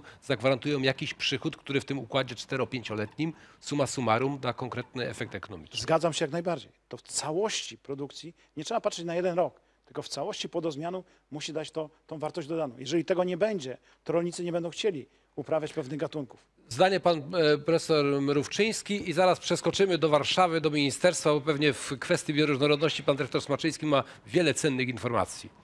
Y, Wspaniale, że, że ministerstwo pomyślało, że w, eko, w ekoschematach będzie do, będą dopłaty y, do międzyplonów czy poplonów. I bardzo dobrze. I te właśnie dopłaty będą zależały od tych międzyplonów i po, poplonów, które będą działały fitosanitarnie. I bardzo dużo pytań mamy w Instytucie o te wskazanie y, tych gatunków, tych odmian, które takie warunki spełniają. I to jest bardzo ważne, żeby te poplony raz ograniczały czy kiła kapusty, czy też ograniczały y, nicienie i w, to, w tym kierunku idą też hodowcy, żeby takie odmiany były. I też mamy przykład owsa, który jest y, uznany, zawsze był uznany, jest uznany za, za uprawę fitosanitarną, szczególnie gdy mamy bardzo dużo zbóż, przecież trzy czwarte upraw y, to są zboża, czyli de facto monokultury. I dlatego jest bardzo ważna sprawa ostatnio, żeby y, wskazywać też praktykom, jakie odmiany, jakie gatunki działają fitosanitarnie, y, ale też jest sprawa bardzo ważna, bo też się praktycy pytają, jakie można wysiewać raz i mieszaniny różnych gatunków, odmian i to jest bardzo ważne między, międzygatunkowo, ale też poszczególne y, odmiany y, y, razem, kilka odmian, o czym mówił pan profesor Gacek. Także to jest na pewno jest clue na ograniczenie też chemii poprzez te gatunki. Panie profesorze, od razu może y, dobrze się tutaj komponuje pytanie z czatu od pana Krzysztofa. Y, Czy możliwe w uprawie produkcyjnej jest podzielenie pola na obszary okolone gęstymi krzakami, by zwiększyć liczbę ptaków i być może uprawiać rośliny odstraszające mszyce? Czy jest taka, czy jest taka szansa? Oczywiście, że tak, jak najbardziej. Po to już y, Ch- Chłopowski wy- wymyślił lat temu 200 prawie, że są właściwie te, te y, y, pasy. Na tych pasach y, zielonych Ale czy rzeczywiście mszyce? Nie, tam są właściwie głównie, tam, wierzył tam są to, głównie ale- biedronki, i są pożyteczne różne, Mhm. w tym są też oczywiście biedronki się rozwijają, które pozwalają nam ograniczyć imszycę i dlatego te pasy są bardzo potrzebne i do tego jednak jest, y, powrót jest, ale teraz ministerstwo w ramach tych ekoschematów popiera, y, popiera głównie y, pasy kwietne i bardzo dobrze, że... że Ale panie profesorze, na pasy kierunku kwietne jest raptem powierzchnia 4,5 tysiąca hektarów ale to dotyczy, cały ale kraj. ten pas kwietny ma być dla danego rolnika bardzo wąski, mały, nie że całe gospodarstwo.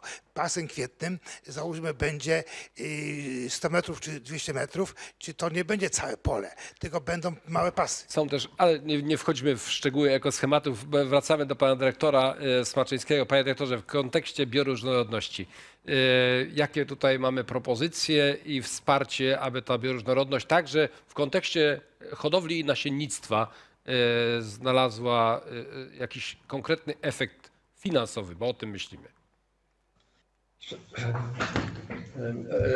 E, Panie Przewodniczący, w zasadzie zanim Pan zadał pytanie do mnie, to dzięki uprzejmości Pana Profesora Mrówczyńskiego już padła odpowiedź. E, To świadczy o tym, jak dobrze prelegenci i no, fachowcy w tej dziedzinie się rozumieją. E, Współpracuje Instytut Ochrony Roślin z ministerstwem. Należy podkreślić rolę e, właśnie no, poplonów, wsiewek i, i, no, i wszystko, co się po prostu z tym wiąże, co może dodatkowo wpływać na chociażby poprawę zdrowotności gleby w tym, gleby w tym przypadku, również e, zwalczanie, zwalczanie chwastów, czy też wykorzystywanie nadmiaru pewnych składników pokarmowych, jak również tym gronie- uruchamianie tych, które, które są e, no, uwstecznione, na przykład fosforu, poprzez niektóre, niektóre międzyplony. Ale to w W tym gronie, panie dyrektorze, to w tym gronie, panie dyrektorze, Proszę? wiemy. Y, y, Ja raczej myślę o tych y, propozycjach wsparcia, tak jak było wsparcie do uprawy roślin strączkowych, czy do tej bioróżnorodności. Czy mamy jakieś konkrety? Tu aż się prosi nawiązać do polskiego programu białkowego, który trochę przycichł w ostatnim czasie, a wiemy, że to wymaga także pewnej promocji hodowli konkretnych odmian, które by nam ten temat rozwiązały. Wcale chyba mocno nie przycichł, bo jednak, bo jednak zasadniczy problem e, dotyczący e, zwiększenia samowystarczalności w białku mamy jednak ostatecznie nierozwiązany, tak jakbyśmy sobie tego życzyli. E, Dalsze działania, dalsze działania są planowane. Tutaj przecież spotykamy się i z ogromną inicjatywą tego, co robi Centralny Ośrodek Badania Odmian Roślin Uprawnych z inicjatywą białkową, pro, proponowaniem wyboru wyboru odpowiednich odmian, nie tylko dla roślin tych tradycyjnie uprawianych, y, czyli łubiny, bobik, y, groch, y, ogromne doświadczenia z soją i tutaj też jest y, super informacja dla, dla producentów, dla producentów w tym zakresie. Mhm. E, A zatem, e, panie e, profesorze, bo to e, o inicjatywie białkowej i tej bioróżnorodności dosłownie dwa zdania i powoli będziemy zbliżać do finału naszej debaty. Rzeczywiście, tak jak pan dyrektor tutaj wspomniał, ta inicjatywa białkowa zrodziła się w Coboru po to, ażeby pokazać przede wszystkim to zróżnicowanie Najpierw był odmianowe. polski program białkowy, z tego co Najpierw pamiętam. był po, polski program białkowy, tak. owszem, zgadzam się. Natomiast polski program białkowy nie oferował odmian, nie pokazywał, które Tak, odmiany są tak. przystosowane do konkretnych terenów uprawy. W Mhm. tej chwili zwłaszcza zwiększyliśmy bardzo dużą liczbę doświadczeń, prawda? Dzięki temu mogliśmy wybrać odmiany, które są dobrze przystosowane do konkretnych rejonów kraju. Dzięki temu wskazaliśmy, że soja, która była na początku no, wskazywana, że może być uprawiana do linii e, Autostrady A2. autostrady A2 może być uprawiana również na północy, pod warunkiem, Zaczęli ci po drugiej stronie. właśnie, ale pod warunkiem odpowiednio dobranej odmiany. Tak, Nie wszystkie odmiany tam się nadają. Także efekty tego, tego programu widzimy, wskazujemy odmiany, które w, którym, re- w danym rejonie są najlepsze i preferujemy, czy wskazujemy je do produkcji. Natomiast Uprawa roślin białkowych oczywiście to jest e, bardzo dobre rozwiązanie dla bioróżnorodności. E, Tu mamy pytanie, które nurtuje wielu praktyków, czy to będą rodzime gatunki białkowe, czy to będzie soja. która No. będzie, że tak powiem, kukurydzą już- białkową północy, tak? No właśnie, to już jest ko- kolejna rzecz, bo to nie zależy już od nas jako e, ośrodka rejestrującego czy wskazującego odmiany, prawda? My możemy wskazać, które będą dobre, natomiast tu będzie to zależało od podmiotów skupujących i, e, i podmiotów, które będą przerabiały te produkty białkowe. Oczywiście e, nasze odmiany bobiku planują bardzo dobrze, prawda? Z łubinami jest różnie, one są troszeczkę zawodne w planowaniu. Niemniej jednak udowodniliśmy, że ta soja, mimo że jest gatunkiem nam obcym, w naszym rejonie też planuje dobrze i w sprzyjających warunkach nawet bardzo dobrze. A w niektórych rejonach to rzeczywiście dochód z uprawy tej soi jest y, dużo, dużo wyższy niż uprawy innych rodzimych naszych gatunków białkowych. Mało tego, te rośliny białkowe, czy rośliny motylkowate, czy albo teraz jakie nazywamy bobowate grubonasienne, mają jeszcze jedną ważną rzecz. To jest, proszę Państwa, darmowa fabryka azotu. Przy ogromnej zwyżce cen ale, nawozów azotowych, proszę nie zapominać, że to w całości uprawy na pewno nam się zwróci albo da tą No, wartość dodaną. Już nawet wiemy od 40 do 80, nawet do 100 kg mogą Dokładnie zostawić azotu w glebie, e, a zatem to dosyć łatwo skalkulować, ale musi też być plon, który się da dobrze spieniężyć, bo Oczywiście. inaczej to sam azot nie przekona, żeby To, ten rok panie redaktorze, jak, poświęcić. jak wszystko, wszystko y, ostatecznie to się kumuluje na czym? Na ekonomice, prawda? Tak, tak. No, my musimy tą Musimy- ekonomię w Zielonym Ładzie dopasować Dokładnie. do środowiska, ale wiemy też, i to z dyskusji, chciałbym, żeby to też wybrzmiało z naszej debaty dzisiejszej, wiemy o tym, że tak naprawdę, i tu się zgadzam akurat z tym, co powiedział minister Ardanowski dzisiaj, że e, nie powinniśmy się dać wepchnąć w ekstensyfikację rolnictwa, bo my musimy w Zielonym Ładzie zrobić krok w kierunku nowoczesności i wielu problemom po prostu uciec, stosując nowoczesne technologie i bardzo, bardzo dobre know-how. Ale ja tu mam jeszcze jedno pytanie z czatu, y, korzystając, że pan dyrektor Smaczyński jest z nami.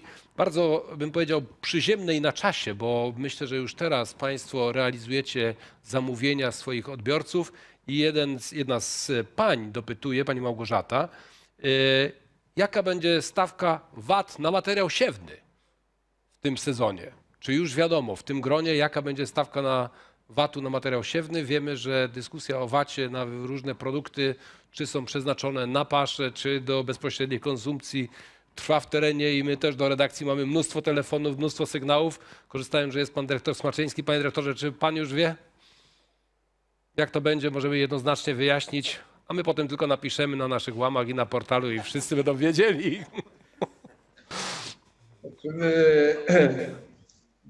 O ile pamiętam, to Państwo występowaliście w sposób oficjalny do naszego ministerstwa, aby otrzymać informacje od. e, Wszystkimi możliwymi e, drogami występujemy, żeby dostać się do informacji, to prawda. dotyczącą, e, dotyczącą e, stawek podatku, stawek podatku e, VAT.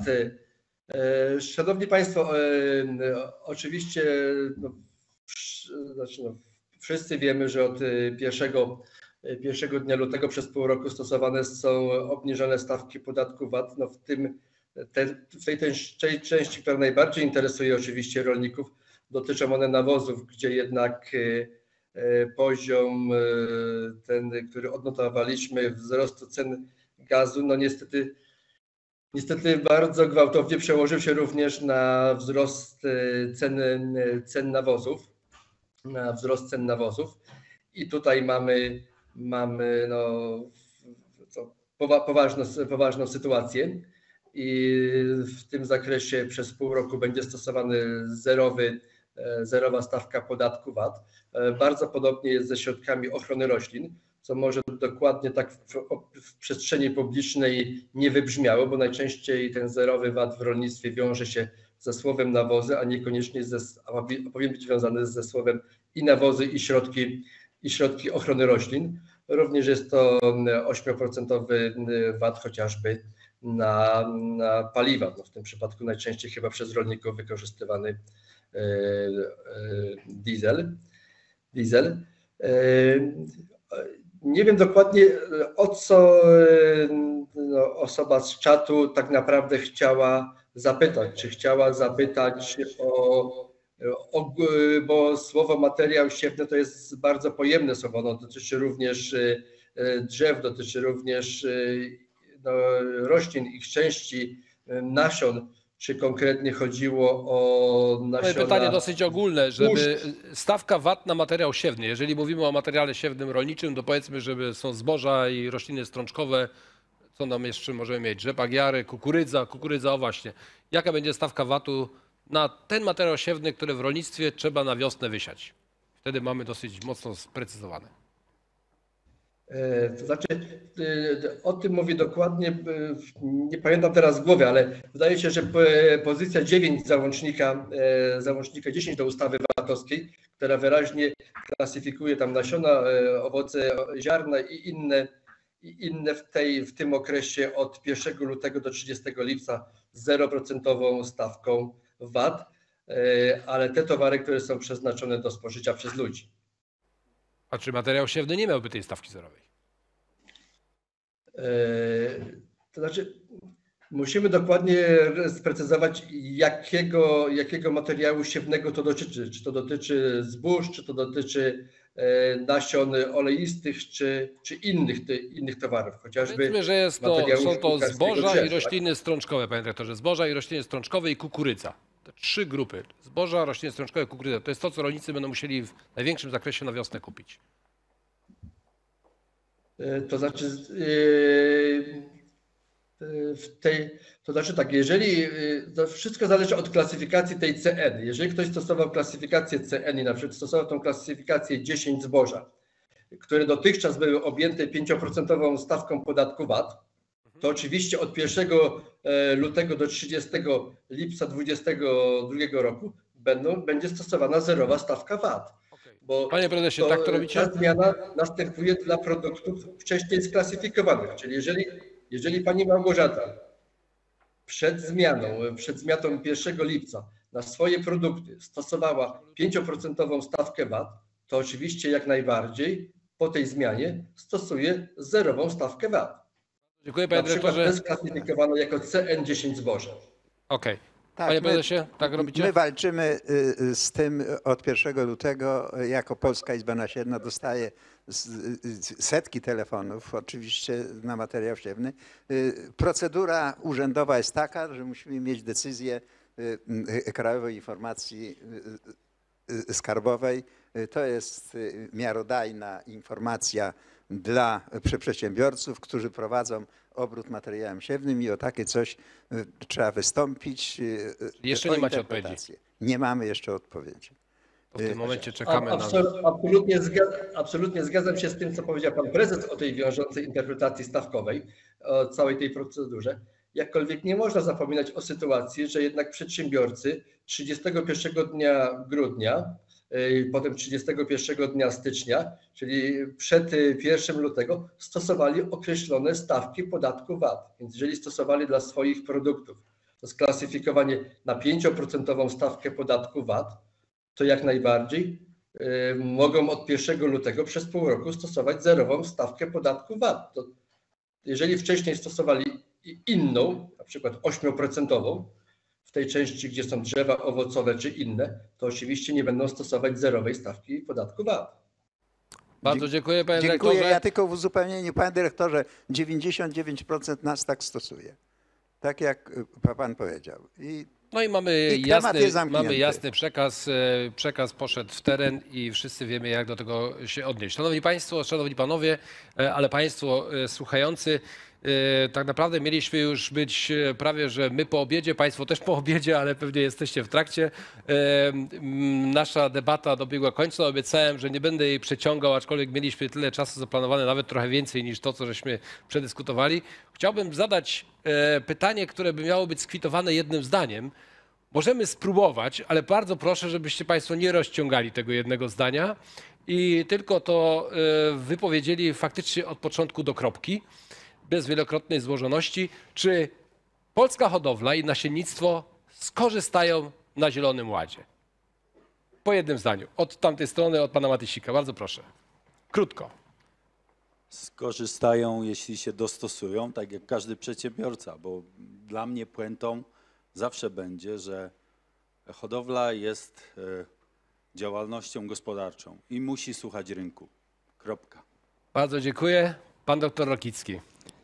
Będziemy starali się odpowiedzieć na wyzwania, jakie Zielony Ład niesie. Bardzo dziękuję. To było krótko. Pan profesor Gacek. Yy, nie ma- Trzymam za słowo, też krótko. Krótko. Nie mają wyjścia, muszą się dostosować i myślę, że te warunki ekonomiczne też będą w miarę e, wprowadzania Zielonego Ładu coraz bardziej korzystne i się e, jednostki od, odnajdą. Dziękuję. Bardzo dziękuję. Profesor Mrówczyński. Praktycy oczekują na odmiany odporne tolerancyjne na agrofagi i też na, na oczywiście y, wszystkie inne zagrożenia i dlatego na pewno zapłacą wielkie pieniądze, żeby takie odmiany kupić i to jest przyszłość y, też hodowli. Pan profesor Bujak. Ja uważam, że hodowla się dostosuje i będziemy rejestrować odmiany, po pierwsze, dobrze planujące, a po drugie, odporne na pojawiające się nowe prototypy i również odporne na stresy abiotyczne. Bardzo dziękuję. I zanim pan, pre, pan prezes, to jeszcze pan dyrektor Smaczyński w odpowiedzi na to pytanie jednym krótkim zdaniem. Hodowla skorzysta na Zielonym Ładzie, czy też inne zdanie? Chociaż pan reprezentując ministerstwo nie może inaczej powiedzieć, jak skorzysta. Na pewno skorzysta. Nasi przedsiębiorcy i nasi hodowcy e, na pewno w całym tym biznesie nasiennym zachowują się jak e, szybka ryba. Może nie wszyscy z nich są grubymi rybami, ale na pewno ich szanse nie są przekreślone. Tak Bardzo jak dziękuję dziś panie dyrektorze. Doskonale odnajdują się w rzeczywistości. Bardzo dziękuję panie dyrektorze. I pan prezes Pan dyrektor Leszek mi wyjął e, właśnie e, od, odpowiedź. To samo. e, My jesteśmy dosyć operatywni, mobilni, przyzwyczailiśmy się od lat e, do różnych sytuacji e, i jesteśmy bardzo operatywni i jeżeli się dostosuje cały rynek, czyli odbiorcy, e, m, nasiennicy i hodowcy, e, spokojnie na tym zarobimy.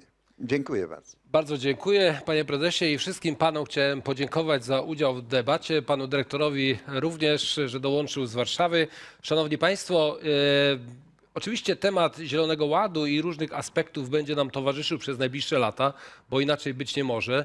Ja jestem przekonany, że właśnie ten krok w kierunku nowoczesności e, będzie odpowiedzią na to, aby rzeczywiście wszystkie parametry produkcji, a w tym hodowlę, potencjał odmian i genetykę wykorzystywać e, możliwie najbardziej optymalnie. I to będzie zadanie, jak powinniśmy w rolnictwie wiele dziedzin połączyć, aby ten efekt osiągnąć, a to, że będziemy mieli rolnictwo konwencjonalne, a raczej bym się skłaniał e, ku temu, że to będzie rolnictwo zintegrowane i precyzyjne w przyszłości, a także rolnictwo ekologiczne, no to są e, dwa obszary, w których będziemy wspólnie się rozwijać i mam nadzieję, e, że i strona finansowa biznesu w rolnictwie, a także samych rolników będzie na tyle dobra, że mamy przed sobą dobrą przyszłość.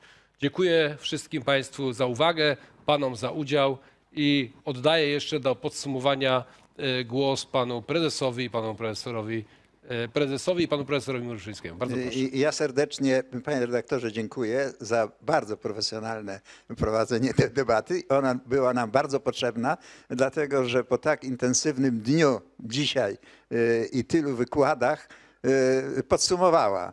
Także ja nie będę oryginalny.